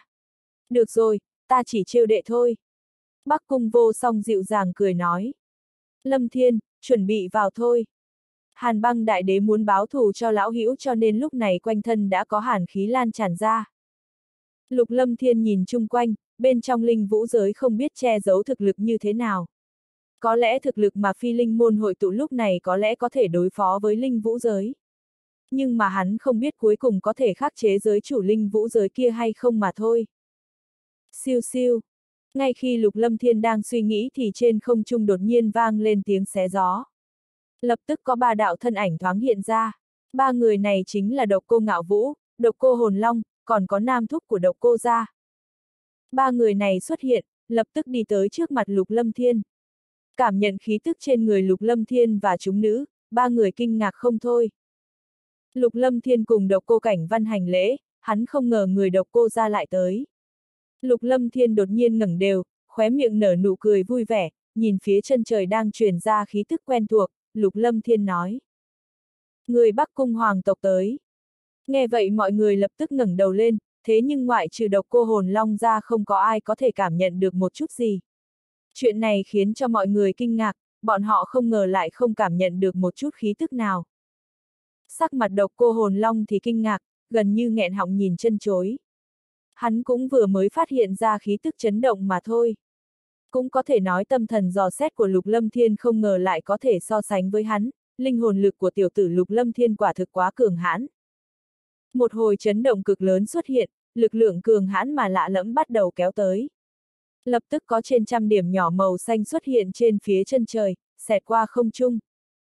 Tiếp theo trong nháy mắt, trên trăm đầu yêu thú khổng lồ lập tức xuất hiện, đều tản ra khí tức kinh người, trên đầu mỗi một đầu yêu thú đều có một chiếc sừng dài màu xanh lá. Tràn ngập khí tức thuộc tính mộc nồng đậm, hai cánh tựa như lá cây, đều là thiên mộc độc long thú cấp độ lục giai.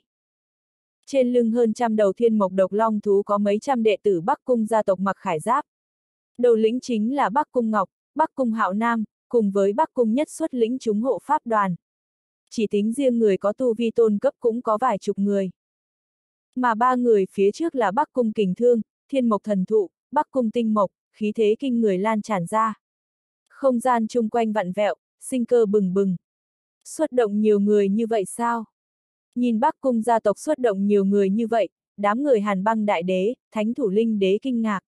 Hoàng tộc không thể nhúng tay vào chuyện ngoại giới, Bắc Cung gia tộc xuất động nhiều người như vậy khiến cho mọi người cảm thấy ngạc nhiên. Nam Thúc, độc cô hồn long, độc cô ngạo vũ có chút nghi hoặc. Độc cô gia tộc nhúng tay vào chuyện này là bởi vì độc cô ngạo nam vốn là người độc cô gia tộc. Độc cô gia tộc và linh vũ giới có ân oán đương nhiên có thể nhúng tay vào. Đương nhiên còn sự hấp dẫn của vô tự thiên thư, nhưng mà cuối cùng độc cô gia tộc cũng không dám xuất động nhiều nhân mã như vậy. Phụ thân, nhìn thấy người Bắc Cung gia tộc tới, Bắc Cung vô song lập tức tiến lên đón. Vô song, rốt cuộc ta cũng tìm thấy hung thủ chặn giết ta và mẫu thân con. Bắc Cung kình thương nói. Phụ thân, là ai? Thân thể mềm mại của Bắc Cung vô song run lên, trong lòng nàng lúc nào cũng muốn biết được hung thủ sát hại mẫu thân. Linh vũ giới, lúc trước chính là người của linh vũ giới ra tay. Ngày hôm nay ta thể phải san bằng linh vũ giới. Ánh mắt Bắc Cung kình thương trầm xuống, hàn ý lạnh lẽo lan tràn ra. Hàn ý lan tràn khiến cho cả không gian run lên, lạnh nhạt nói. Người lúc trước sát hại mẫu thân con ta nhất định sẽ không bỏ qua. Ta thể phải băm vằm hắn thành vạn đoạn. Con cũng phải báo thù cho mẫu thân. Bắc cung vô song nắm chặt hai tay, giờ phút này trong mắt tràn ngập hàn ý. Nhạc phụ. Lục Lâm Thiên đi tới bên người Bắc cung vô song, hắn không ngờ linh vũ giới có liên quan tới cái chết của mẫu thân vô song, khó trách Bắc cung gia tộc lại có đội hình rầm rộ hư vậy. Lâm Thiên, bắt đầu động thủ đi, ngày hôm nay nhất định phải san bằng linh vũ giới thành bình địa. Bắc cung kình thương nói, hắn tìm mấy chục năm mới biết cửu nhân là ai. Giờ phút này làm sao hắn có thể buông tha được cho linh vũ giới cơ chứ? Những năm này sợ rằng linh vũ giới đã không còn giống như trước kia. Tất cả phải cẩn thận một chút. Nam Thúc tiến lên, những năm gần đây linh vũ giới đã sớm không còn giống như khi trước. Hiện tại ngay cả hắn cũng không quá hiểu về linh vũ giới. Mà hang ổ của linh vũ giới đã sớm rời đi, hiện tại ẩn giấu phía dưới hải vực này. Lục Lâm Thiên nhìn hải vực phía dưới, lúc trước ở trong Đông Hải, cách thiên vân đảo không xa có phân đà của linh vũ giới. Hắn không ngờ hang ổ của linh vũ giới cũng ở trong Đông Hải này, nhưng lại ở trong biển sâu. Dựa theo tin tức mà thiên địa các truyền tới, nơi ở của linh vũ giới nằm trong một không gian bị phong tỏa. Liên thông với không gian đó là một đường hầm không gian. Mà cửa vào đường hầm không gian lại ở dưới hải vực này. Mọi người chuẩn bị tiến vào linh vũ giới, không cần lưu tình. Lục Lâm Thiên nhìn nghĩa phụ Nam Thúc, khẽ gật đầu một cái rồi vung tay lên. Sóng biển phía dưới đột nhiên biến hóa, từng đạo sóng biển đột nhiên tạo thành vòng xoáy, thân ảnh Lục Lâm Thiên được kim quang bao phủ lập tức nhảy xuống vòng xoáy rồi biến mất. Chúng ta vào thôi.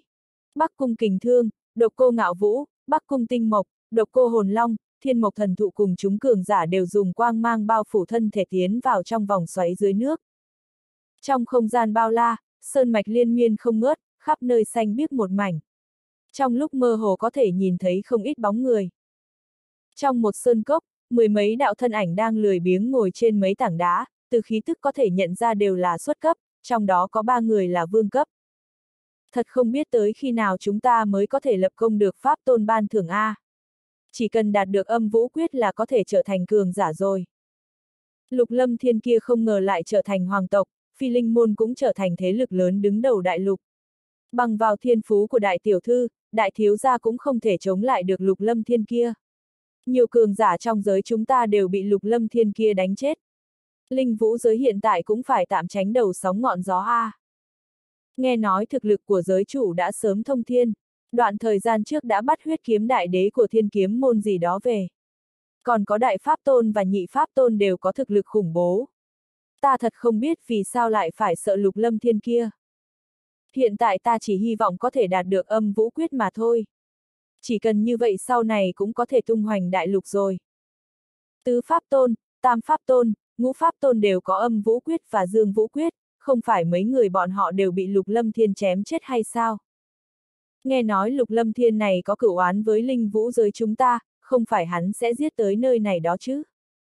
Đừng nói liên thuyên, nếu như bị các trưởng lão biết thì chúng ta sẽ rất thảm. Hơn 10 người nghị luận, một đại hán trung niên dường như là đầu lĩnh lập tức lạnh lẽo quát mọi người. Mọi người nghe vậy lập tức sợ hãi im bặt. Siêu siêu.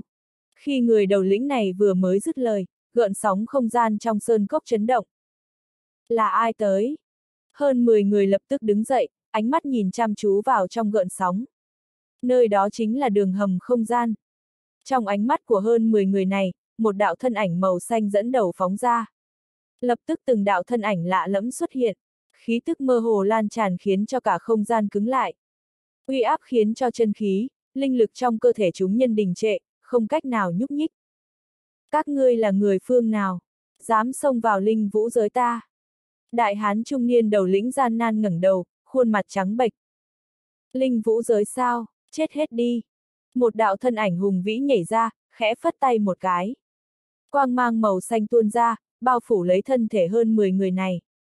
Sinh cơ trong không gian chung quanh lập tức biến mất. Phanh phanh phanh. Hơn 10 người này còn chưa kịp phản ứng đã hóa thành thây khô. Cuối cùng trong không gian sụp đổ hóa thành cho tàn. Siêu siêu.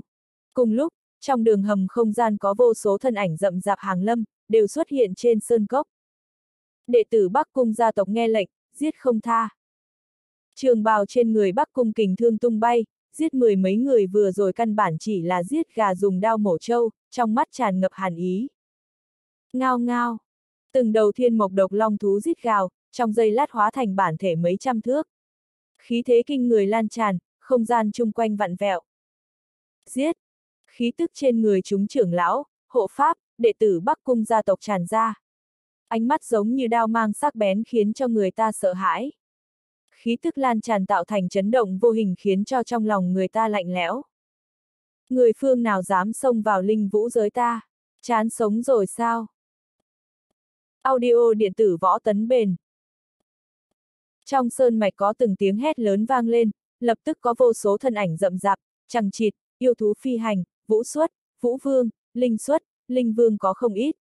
Còn có người có tu vi tôn cấp ở bên trong. Người linh vũ giới đạp không đứng thẳng, ánh mắt âm trầm nhìn về phía đám người xa lạ vừa mới xuất hiện. Mà mấy người có tu vi tôn cấp đột nhiên cảm giác được khí thức trên những người xa lạ kia, ánh mắt đột nhiên kinh hãi. Một đám kiến hôi cũng dám hô to gọi nhỏ, giết. Bắc cung ngọc quát, thân hình hóa thành một đạo tàn ảnh màu xanh, mang theo kình phong khủng bố. Những nơi hắn đi qua, sinh cơ bị diệt sát, một hoàng khí phô thiên cái địa bắt đầu lan tràn, bao phủ người linh vũ giới. ầm ầm ầm, người linh vũ giới kêu thảm thiết, bị Bắc Cung Ngọc đánh thành mảnh vỡ. Mấy người có tu vi tôn cấp thì nhanh chân hơn cho nên may mắn chạy thoát được một kiếp. Giết! Cùng lúc, cường giả Bắc Cung gia tộc theo Bắc Cung Ngọc lao thẳng về phía trước, chân khí phô thiên cái địa tuôn ra. Một hoàng khí lan tràn, người của linh vũ giới chưa kịp phản ứng đã trở thành pháo hôi mà vẫn lạc. Hoàn toàn không có lực chống lại, hoàng khí uy áp, đám người này hoàn toàn không chịu nổi một kích. Tự tiện xông vào linh vũ giới, giết không tha. Trên không trung xa xa có một tiếng hét lớn vang vọng. Lúc này cả không gian run lên tựa như sơn băng địa liệt. Trong không trung có từng đạo quang trụ bằng năng lượng bắn thẳng lên trời cao. Khí tức lạnh lẽo, âm trầm phô thiên cái đỉ. Cẩn thận, trong linh vũ giới có đại trận. Ánh mắt thánh thủ linh đế trầm xuống, thân ảnh lập tức lao thẳng về phía trước. Tay vung ra một đạo quang trụ màu trắng, đánh lên trên không trung. Dưới đạo quang trụ này, linh lực phô thiên cái địa lan tràn, những nơi nó đi qua vết nứt đen kịt trong không gian xuất hiện. ầm ầm. Cũng vào lúc này, trên không trung có một đạo quang trụ bằng năng lượng cực lớn đánh xuống. Giống như là một con mắt lớn đánh vào đạo quang trụ của thánh thủ linh đế. Phanh phanh. Hai đạo quang trụ bằng năng lượng giống như thiên thạch va chạm vào một chỗ, trong chớp mắt cả phiến không gian đột nhiên bắn tứ tung, lộ ra vết nứt không gian đen kịt, dùng tốc độ đáng sợ lan tràn ra chung quanh. Đồng thời lực lượng đáng sợ giống như cơn hồng thủy khuếch tán. Khục! Dưới cỗ lực lượng khủng bố này, cả mặt đất phía dưới giống như sơn băng địa liệt, mặt đất trầm xuống. Lực lượng khủng bố lan tràn, lực lượng mạnh mẽ khiến cho thánh thủ linh đế lui lại. ầm ầm. Cùng một thời gian, cả phiến không gian chung quanh trong giây lát bị một màn sáng lớn bao phủ, khí tức âm trầm, mình mông hội tụ giống như che khuất bầu trời. Chúng ta bị đại trận vây khốn. Ánh mắt bách biến tôn giả khiến bách biến hơi trầm xuống, thân ảnh lóe lên lập tức đi tới bên người thánh thủ linh đế, ánh mắt nhìn chăm chú về bốn phía. Cưỡng ép phá trận đi, ta muốn nhìn xem đại trận này có thể ngăn cản được ta hay không. Ánh mắt bắc cung tinh mộc lạnh lùng, trường bào run run. Thân hình lập tức lướt lên giữa không trung, bàn tay nắm chặt, một đạo quyền ấn màu xanh đột nhiên được ngưng tụ trên không trung mang theo mộc hoàng khí minh mông. Quyền ấn đánh ra, lực lượng mạnh mẽ chút xuống không trung. Trong giây lát đánh vào trong màn sáng che khuất bầu trời kia. Phá cho ta! Bắc cung tinh mộc hét lớn một tiếng, quyền ấn màu xanh mang theo một hoàng khí chặt đứt sinh cơ bắn ra, dẫn động năng lượng thuộc tính mộc bàng bạc trong thiên địa. Năng lượng khủng bố hung hăng đánh về phía trước, dưới uy thế kinh người này, không gian ven đường dạn nứt, âm thanh bạo liệt kinh người vang vọng. ầm ầm, từng đạo lục mang bao phủ vết nứt không gian đen kịt vẫn đang lan tràn ra phía xa. Không gian to lớn dưới năng lượng khủng bố nả bị đánh vỡ. Cả không trung to lớn giống như thiên băng địa liệt, cả không gian hóa thành cho tàn, sinh cơ biến mất. Nhưng mà lực lượng khủng bố như vậy lại không làm cho màn sáng kia dạn nứt hoàn toàn. Thực lực thật mạnh. Ánh mắt lục lâm thiên khẽ đổi, bắc cung tinh mộc này không hổ là vũ đế ngũ trọng. Chỉ bằng vào lực lượng của một kích này, nếu như là huyết kiếm đại đế kia bị chúng phải thì không chết cũng phải trọng thương. Tăng thêm thân là hoàng tộc, thực lực của Bắc Cung Tinh Mộc so với đế giả đồng cấp bên ngoài còn cường hãn hơn nhiều. Cơ hồ cùng một lúc, trong chớp mắt trên không trung có một đạo thân ảnh lướt đi. Người này đạp không đứng thẳng, năng lượng thiên địa trên không trung trong lúc vô hình bị ảnh hưởng. Thần hoàng khí phô thiên cái địa lan tràn, khiến cho chúng cường giả phi linh môn bắt đầu bị áp chế. Phá! Độc cô hồn long nhìn màn sáng âm trầm trên bầu trời, miệng hét lớn một tiếng. Trong mắt xuất hiện hàn ý, linh lực toàn thân khống chế năng lượng thiên địa từ trong cơ thể hắn tuôn ra. Nhanh chóng ngừng tụ thành một đoàn năng lượng minh mông, cuồn cuộn trước người. Trong không gian tràn ngập năng lượng vô hình khiến cho linh hồn người ta run rẩy. Ngao! Đoàn năng lượng này xuất hiện, không gian phong vân biến sắc. Trong úc mơ hồ mang theo tiếng sấm nổ mạnh, một tiếng long ngâm vang vọng, hư ảnh cự long rít gào. Hư ảnh khổng lồ kia trong nháy mắt bành trướng, đánh về phía vết nứt không gian vừa mới dạn nứt, khiến cho cả không gian run rẩy không ngớt. ầm ầm, hư ảnh cự long va chạm với màn sáng, không gian nứt vỡ, màn sáng mênh mông âm trầm kia hoàn toàn bị đánh vỡ. Một mảng lớn không gian bị nghiền nát, hiện ra hư không đen kịt. Quang mang đen kịt, thâm thúy lan tràn, khiến cho da đầu người ta run lên. Linh hồn đám người hàn băng đại đế, thánh thủ linh đế run lên. Công kích của đế giả ngũ trọng so với bọn họ còn cường hãn hơn nhiều. Là tồn tại mà bọn họ hiện tại không thể so sánh.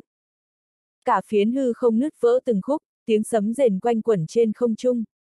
Trong lúc mọi người đều cho rằng đã phá được trận thì lại lập tức phát hiện ra cỗ khí thức kia lại từ trong không gian hư vô kéo ra, tiếp tục chiếm giữ trên không trung. Ồ! Hai người bắc cung tinh mộc, độc cô hồn long kinh ngạc kêu lên một tiếng, hai người bọn họ ra tay không ngờ lại không thể cưỡng ép phá trận pháp quỷ dị này. Chuyện này khiến cho trong lòng bọn họ có chút nghi hoặc. Đại trận này không tầm thường một chút nào. Bắc cung kình thương, độc cô ngạo vũ cùng với chúng cường giả giờ phút này vô cùng ngưng trọng. Lục lâm thiên nhìn bốn phía, đại trận này dường như có chút quỷ dị. Cho dù là càn khôn thiên nguyệt đại trận của Nguyệt Long các khi trước ở trong tay hai người Bắc Cung Tinh Mộc và độc cô hồn Long cũng sẽ bị phá hủy dễ dàng. Thế nhưng cái đại trận này ngay cả Bắc Cung Tinh Mộc và độc cô hồn Long cũng không có biện pháp phá vỡ, đủ để thấy chỗ bất phàm và khủng bố của nó. Chư vị, đại trận này không tầm thường, giống như ảo trận lợi hại. Muốn cưỡng ép phá trận sợ rằng độ khó cực cao. Thánh thủ linh đế nhìn bốn phía một lát, lúc này hắn cũng nhìn ra được một ít manh mối. Nghe vậy đám người Bắc Cung Tinh Mộc, độc cô hồn long, lục lâm thiên khẽ biến sắc. Khó trách vừa rồi cưỡng ép phá trận không có một chút hiệu quả nào. Ảo trận này không giống như trận pháp bình thường. Ảo trận tất cả đều là hư ảo, đối với ảo trận lợi hại mà nói. Nếu như cưỡng ép phá trận thì không thể tạo thành một chút hiệu quả nào, trừ phi là có lực lượng thông thiên. Đây còn không đơn giản chỉ là ảo trận, hẳn là ảo trận và đại trận công kích hợp lại làm một. Chúng ta phiền phức rồi. Bách biến tôn giả khiên bách biến bỗng nhiên lên tiếng, sắc mặt ngày càng ngưng trọng. Đến linh vũ giới ta làm càn, vậy thì thử thiên huyễn âm hỏa đại trận của chúng ta đi. Trên không trung lần nữa vang lên âm thanh cuồn cuộn, âm thanh quanh quân ở phía chân trời. Siêu siêu. Khi âm thanh này vừa dứt, khí tức mênh mông trên không trung bắt đầu chấn động. Trong ánh mắt của mọi người, khí tức kia lập tức hóa thành hỏa diễm ngập trời. Hỏa diễm này không có nóng bỏng mà tỏa ra khí tức âm hàm quỷ dị. Khiến cho người ta có cảm giác giống như ở cửu u địa ngục. Toàn thân cảm thấy dùng mình, linh hồn cảm thấy không được thoải mái. Hỏa diễm âm hàn che khuất bầu trời ngày càng nhiều hơn. Trong chớp mứt ngắn ngủi, trong không gian đã dày đặc hỏa diễm âm hàn. Khí tức hỏa diễm quỷ dị này khiến cho linh hồn người ta cực kỳ không thoải mái. Khí tức của hỏa diễm âm hàn này so với khí tức nóng bỏng của hỏa diễm bình thường còn khủng bố hơn. Siêu siêu. Hỏa diễm âm hàn tràn ngập không trung, mênh mông giống như che khuất bầu trời. Không trung vặn vẹo, chung quanh hỏa diễm tựa như lỗ đen, năng lượng âm hàn đáng sợ từ bên trong tràn ra. Hỏa diễm cuồn cuộn tràn ngập, không gian bạo liệt. Đây là âm hỏa, một loại hỏa diễm đáng sợ trong thiên địa. Có thể thiêu đốt linh hồn trong cơ thể, phòng ngự chân khí, linh lực bình thường không có cách nào hiệu quả. Tất cả mọi người đề phòng. Độc cô ngạo vũ nhìn lên hỏa diễm âm hàn khiến cho linh hồn người ta cảm thấy không thoải mái kia rồi nói. Sắc mặt hắn đại biến. Dường như có chút không thích hợp. Nhìn hỏa diễm âm hàn mênh mông tràn ngập không trung, trong đám người, mẫu đơn ngẩng đầu nhìn chăm chú lên trên không trung, trong đôi mắt màu đỏ hiện lên sự nghi hoặc. Sư phụ, sư huynh, có biện pháp nào phá trận hay không? Ánh mắt lục lâm thiên cũng ngưng trọng hẳn lên, hỏa diễm âm hàn này bất phàm, giống như chuyên môn đối phó linh hồn, cực kỳ khó đối phó. Cần một chút thời gian. Thánh thủ linh đế, khiên bách biến đã sớm dò xét xung quanh tìm kiếm biện pháp phá trận.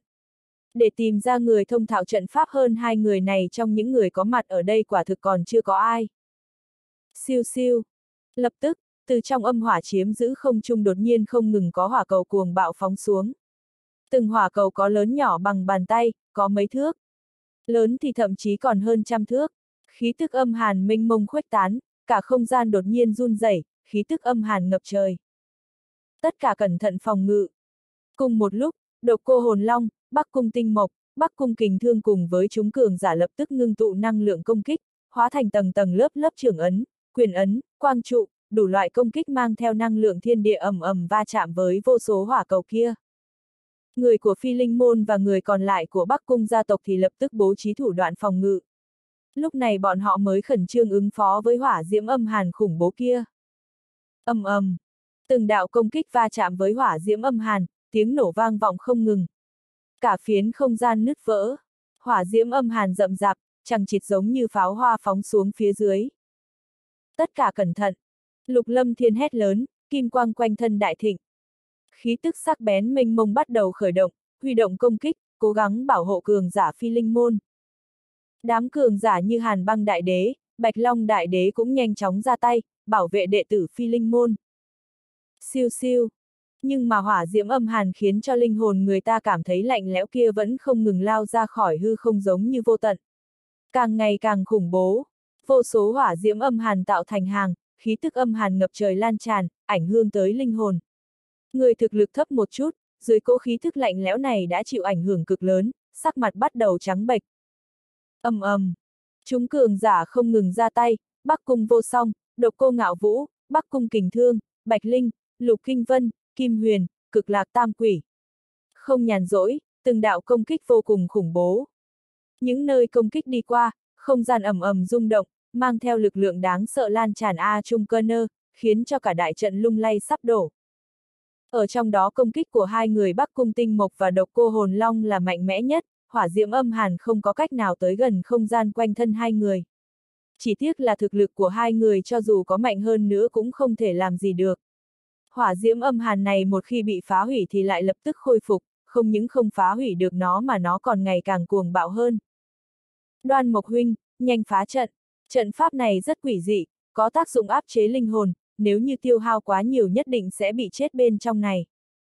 Bắc cung kình thương phá hủy một mảng lớn hỏa diễm âm hàn trước người, đồng thời lớn tiếng nói với thánh thủ linh đế. Cho chúng ta một ít thời gian.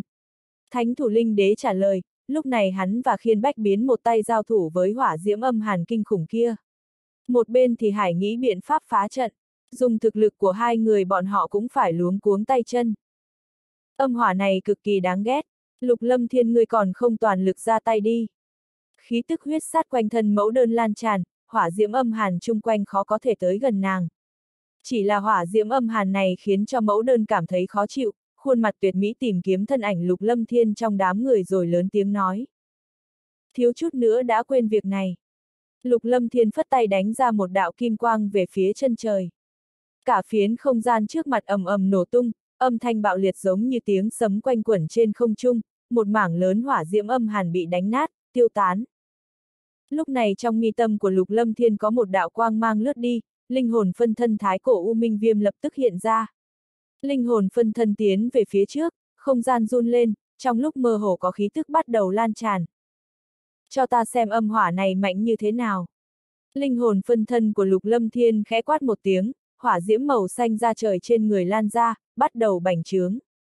Khi dứt lời, thân thể thái cổ U Minh Viêm đã hóa thành một cự nhân bằng hỏa diễm màu xanh ra trời khổng lồ, ước chừng ngàn thước, sừng sững đứng ở trong không gian. Cự nhân bằng hỏa diễm màu xanh ra trời này tựa như ngọn núi khổng lồ đứng sừng sững trong không gian, chung quanh là hỏa diễm màu xanh ra trời nóng bỏng cuồn cuộn. Nhiệt độ khủng bố kéo lên, không gian bị thiêu đốt thành hư không. Nhiệt độ đáng sợ khiến cho làn da người ta có cảm giác phỏng rát, đế giả bình thường bị ảnh hưởng cực lớn. Giờ phút này Bắc Cung Tinh Mộc cùng độc cô Hồn Long, Bắc Cung Kình Thương, tất cả tộc nhân Bắc Cung gia tộc đều nhìn chăm chú vào cự nhân bằng hỏa diễm màu xanh ra trời khổng lồ kia. Ánh mắt hai người Bắc Cung Tinh Mộc và độc cô Hồn Long khẽ đổi, dưới cỗ khí thức nóng bỏng này trong lúc mơ hồ bọn họ có thể cảm nhận được cảm giác áp lực. Khí tức nóng bỏng này khiến cho ngay cả hai người bọn họ cũng bị ảnh hưởng. Siêu siêu. Trên không trung tràn ngập hỏa diễm âm hàn giống như che khuất bầu trời, từng đoàn hỏa diễm âm hàn giống như mũi tên tiếp tục vô cùng vô tận phá không đánh xuống. Đánh về phía tất cả mọi người. Hừ. Cự nhân bằng hỏa diễm màu xanh ra trời cực lớn này hừ lạnh một tiếng, hai tay run lên. Trong không gian đột nhiên có hỏa diễm màu xanh ra trời tràn ra. Cự nhân bằng hỏa diễm màu xanh ra đột nhiên mở miệng, quang mang màu xanh ra trời từ trong miệng cự nhân đổ xuống, hóa thành hỏa diễm màu xanh ra trời.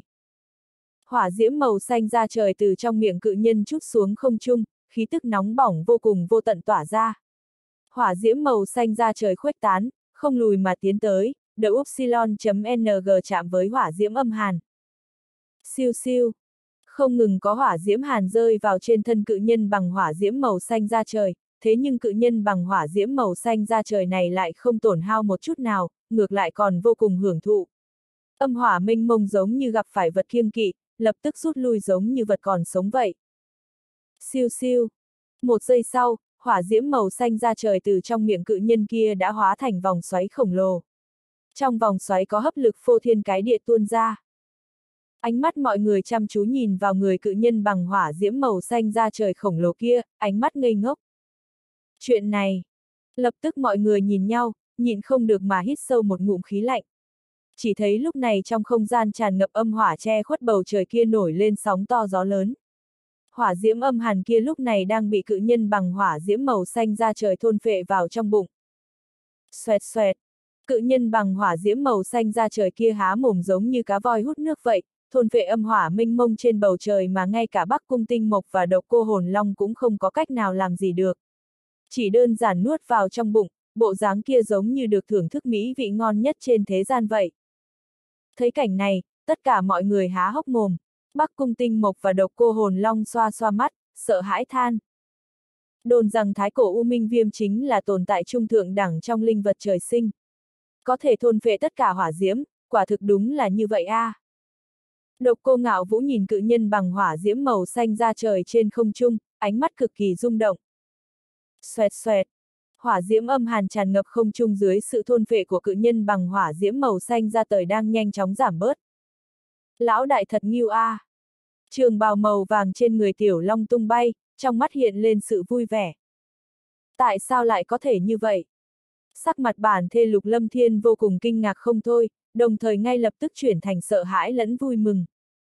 Trên khuôn mặt bản thể lục lâm thiên hiện lên sự sợ hãi và vui mừng là bởi vì sau khi thái cổ U Minh viêm thôn phệ hỏa diễm âm hàn kia, lục lâm thiên có thể cảm nhận rõ ràng được hỏa diễm âm hàn minh mông bị thái cổ U Minh viêm thôn phệ, lập tức chuyển hóa thành năng lượng tinh thuần, trợ giúp thái cổ U Minh viêm khôi phục. Âm hỏa minh mông bị cắn nuốt đối với thái cổ U Minh Viêm mà nói, so với thôn phệ linh khí trong linh mạch thiên địa còn mạnh hơn nhiều. Khí tức trên người kéo lên, đương nhiên loại khôi phục kéo lên này chỉ có một mình Lục Lâm Thiên mới có thể cảm nhận được rõ ràng. Dựa theo tốc độ này, Lục Lâm Thiên cảm giác chỉ cần có đầy đủ âm hỏa thì linh hồn phân thân của hắn muốn khôi phục tới thời kỳ toàn thịnh cũng không cần quá lâu. Tốc độ khôi phục quả thực giống như đang ngồi trong tên lửa vậy. Thái cổ U Minh Viêm trời sinh có thể thôn phệ năng lượng thiên địa, càng có thể thôn phệ các loại hỏa diễm làm cho mình lớn mạnh. Đối với Thái cổ U Minh Viêm mà nói, thôn vệ hỏa diễm khác so với thôn vệ năng lượng thiên địa còn tốt hơn nhiều. Trong lúc Lục Lâm Thiên kinh hỉ, âm thanh của mẫu đơn vang lên trong tai Lục Lâm Thiên. Lục Lâm Thiên gật đầu với mẫu đơn, vốn hắn cũng biết thái cổ U Minh Viêm có thể thôn vệ hỏa diễm, tất cả các loại. Chỉ là hắn không biết thôn vệ hỏa diễm còn có thể đề cao tu vi của mình mà thôi. Ta có cảm giác những âm hỏa này không bình thường, thế nhưng có lẽ đối với thái cổ U Minh Viêm lại có chỗ tốt cực lớn. Vẻ mặt mẫu đơn ngưng trọng nhìn qua Lục Lâm Thiên nói. Vốn nàng có chút nghi hoặc về âm hỏa này, thế nhưng nhìn thấy những âm hỏa này lại bị thái cổ U Minh Viêm thôn phệ cho nên lúc này nàng mới yên tâm đôi chút. Trong ánh mắt kinh ngạc của tất cả mọi người, không bao lâu sau, âm hỏa minh mông che khuất bầu trời trên không trung đã bị cắn nuốt sạch sẽ. Âm hỏa giống như che khuất bầu trời lúc này đều bị nuốt vào trong người cự nhân bằng hỏa diễm màu xanh ra trời lớn chừng ngàn thước kia. Âm hỏa giống như bị áp xúc, tất cả đều biến mất khiến cho người ta rung động không thôi. Cùng lúc, tất cả mọi người không bị âm hỏa uy hiếp, trong lòng cũng cảm thấy dễ chịu hơn. Âm hỏa chuyên môn thiêu đốt, khắc chế linh hồn khiến cho tim mọi người đập nhanh hơn. Ồ! Ngoài không gian đại trận, trong lúc mơ hồ truyền ra không ít âm thanh kinh dị. Lúc này hai người Bắc Cung Tinh Mộc và Độc Cô Hồn Long cũng đang kinh ngạc. Điều khiến cho hai người Bắc Cung Tinh Mộc và Độc Cô Hồn Long kinh ngạc nhất chính là dùng thực lực của hai người bọn họ so với đám người Hàn băng đại đế, thánh thủ linh đế còn cường hãn hơn nhiều, cho nên lúc này bọn họ cũng có thể cảm nhận được sau khi thôn phệ hết âm hỏa kia, khí tức trên người thái cổ U Minh Viêm tăng lên không chỉ một chút ít. Loại tốc độ khôi phục này quá đáng sợ. Âm hỏa thật cường hãn. Giờ phút này linh hồn phân thân Lục Lâm Thiên cũng kinh ngạc. Sau khi thôn phệ âm hỏa minh mông này, Lục Lâm Thiên có thể cảm nhận được rõ ràng chỗ tốt mà hắn nhận được. Không ngờ so với chỗ tốt trong vòng 2 năm ở Linh Mạch Thiên Địa trong Vạn Thú Tông còn tốt hơn nhiều. Mà đây chỉ trong chốc lát mà thôi, khiến cho Lục Lâm Thiên vô cùng cảm thán. Lúc này thực lực của linh hồn phân thân thái cổ U Minh Viêm, Lục Lâm Thiên phỏng đoán sợ rằng đã đạt tới đế giả trung kỳ hậu giai.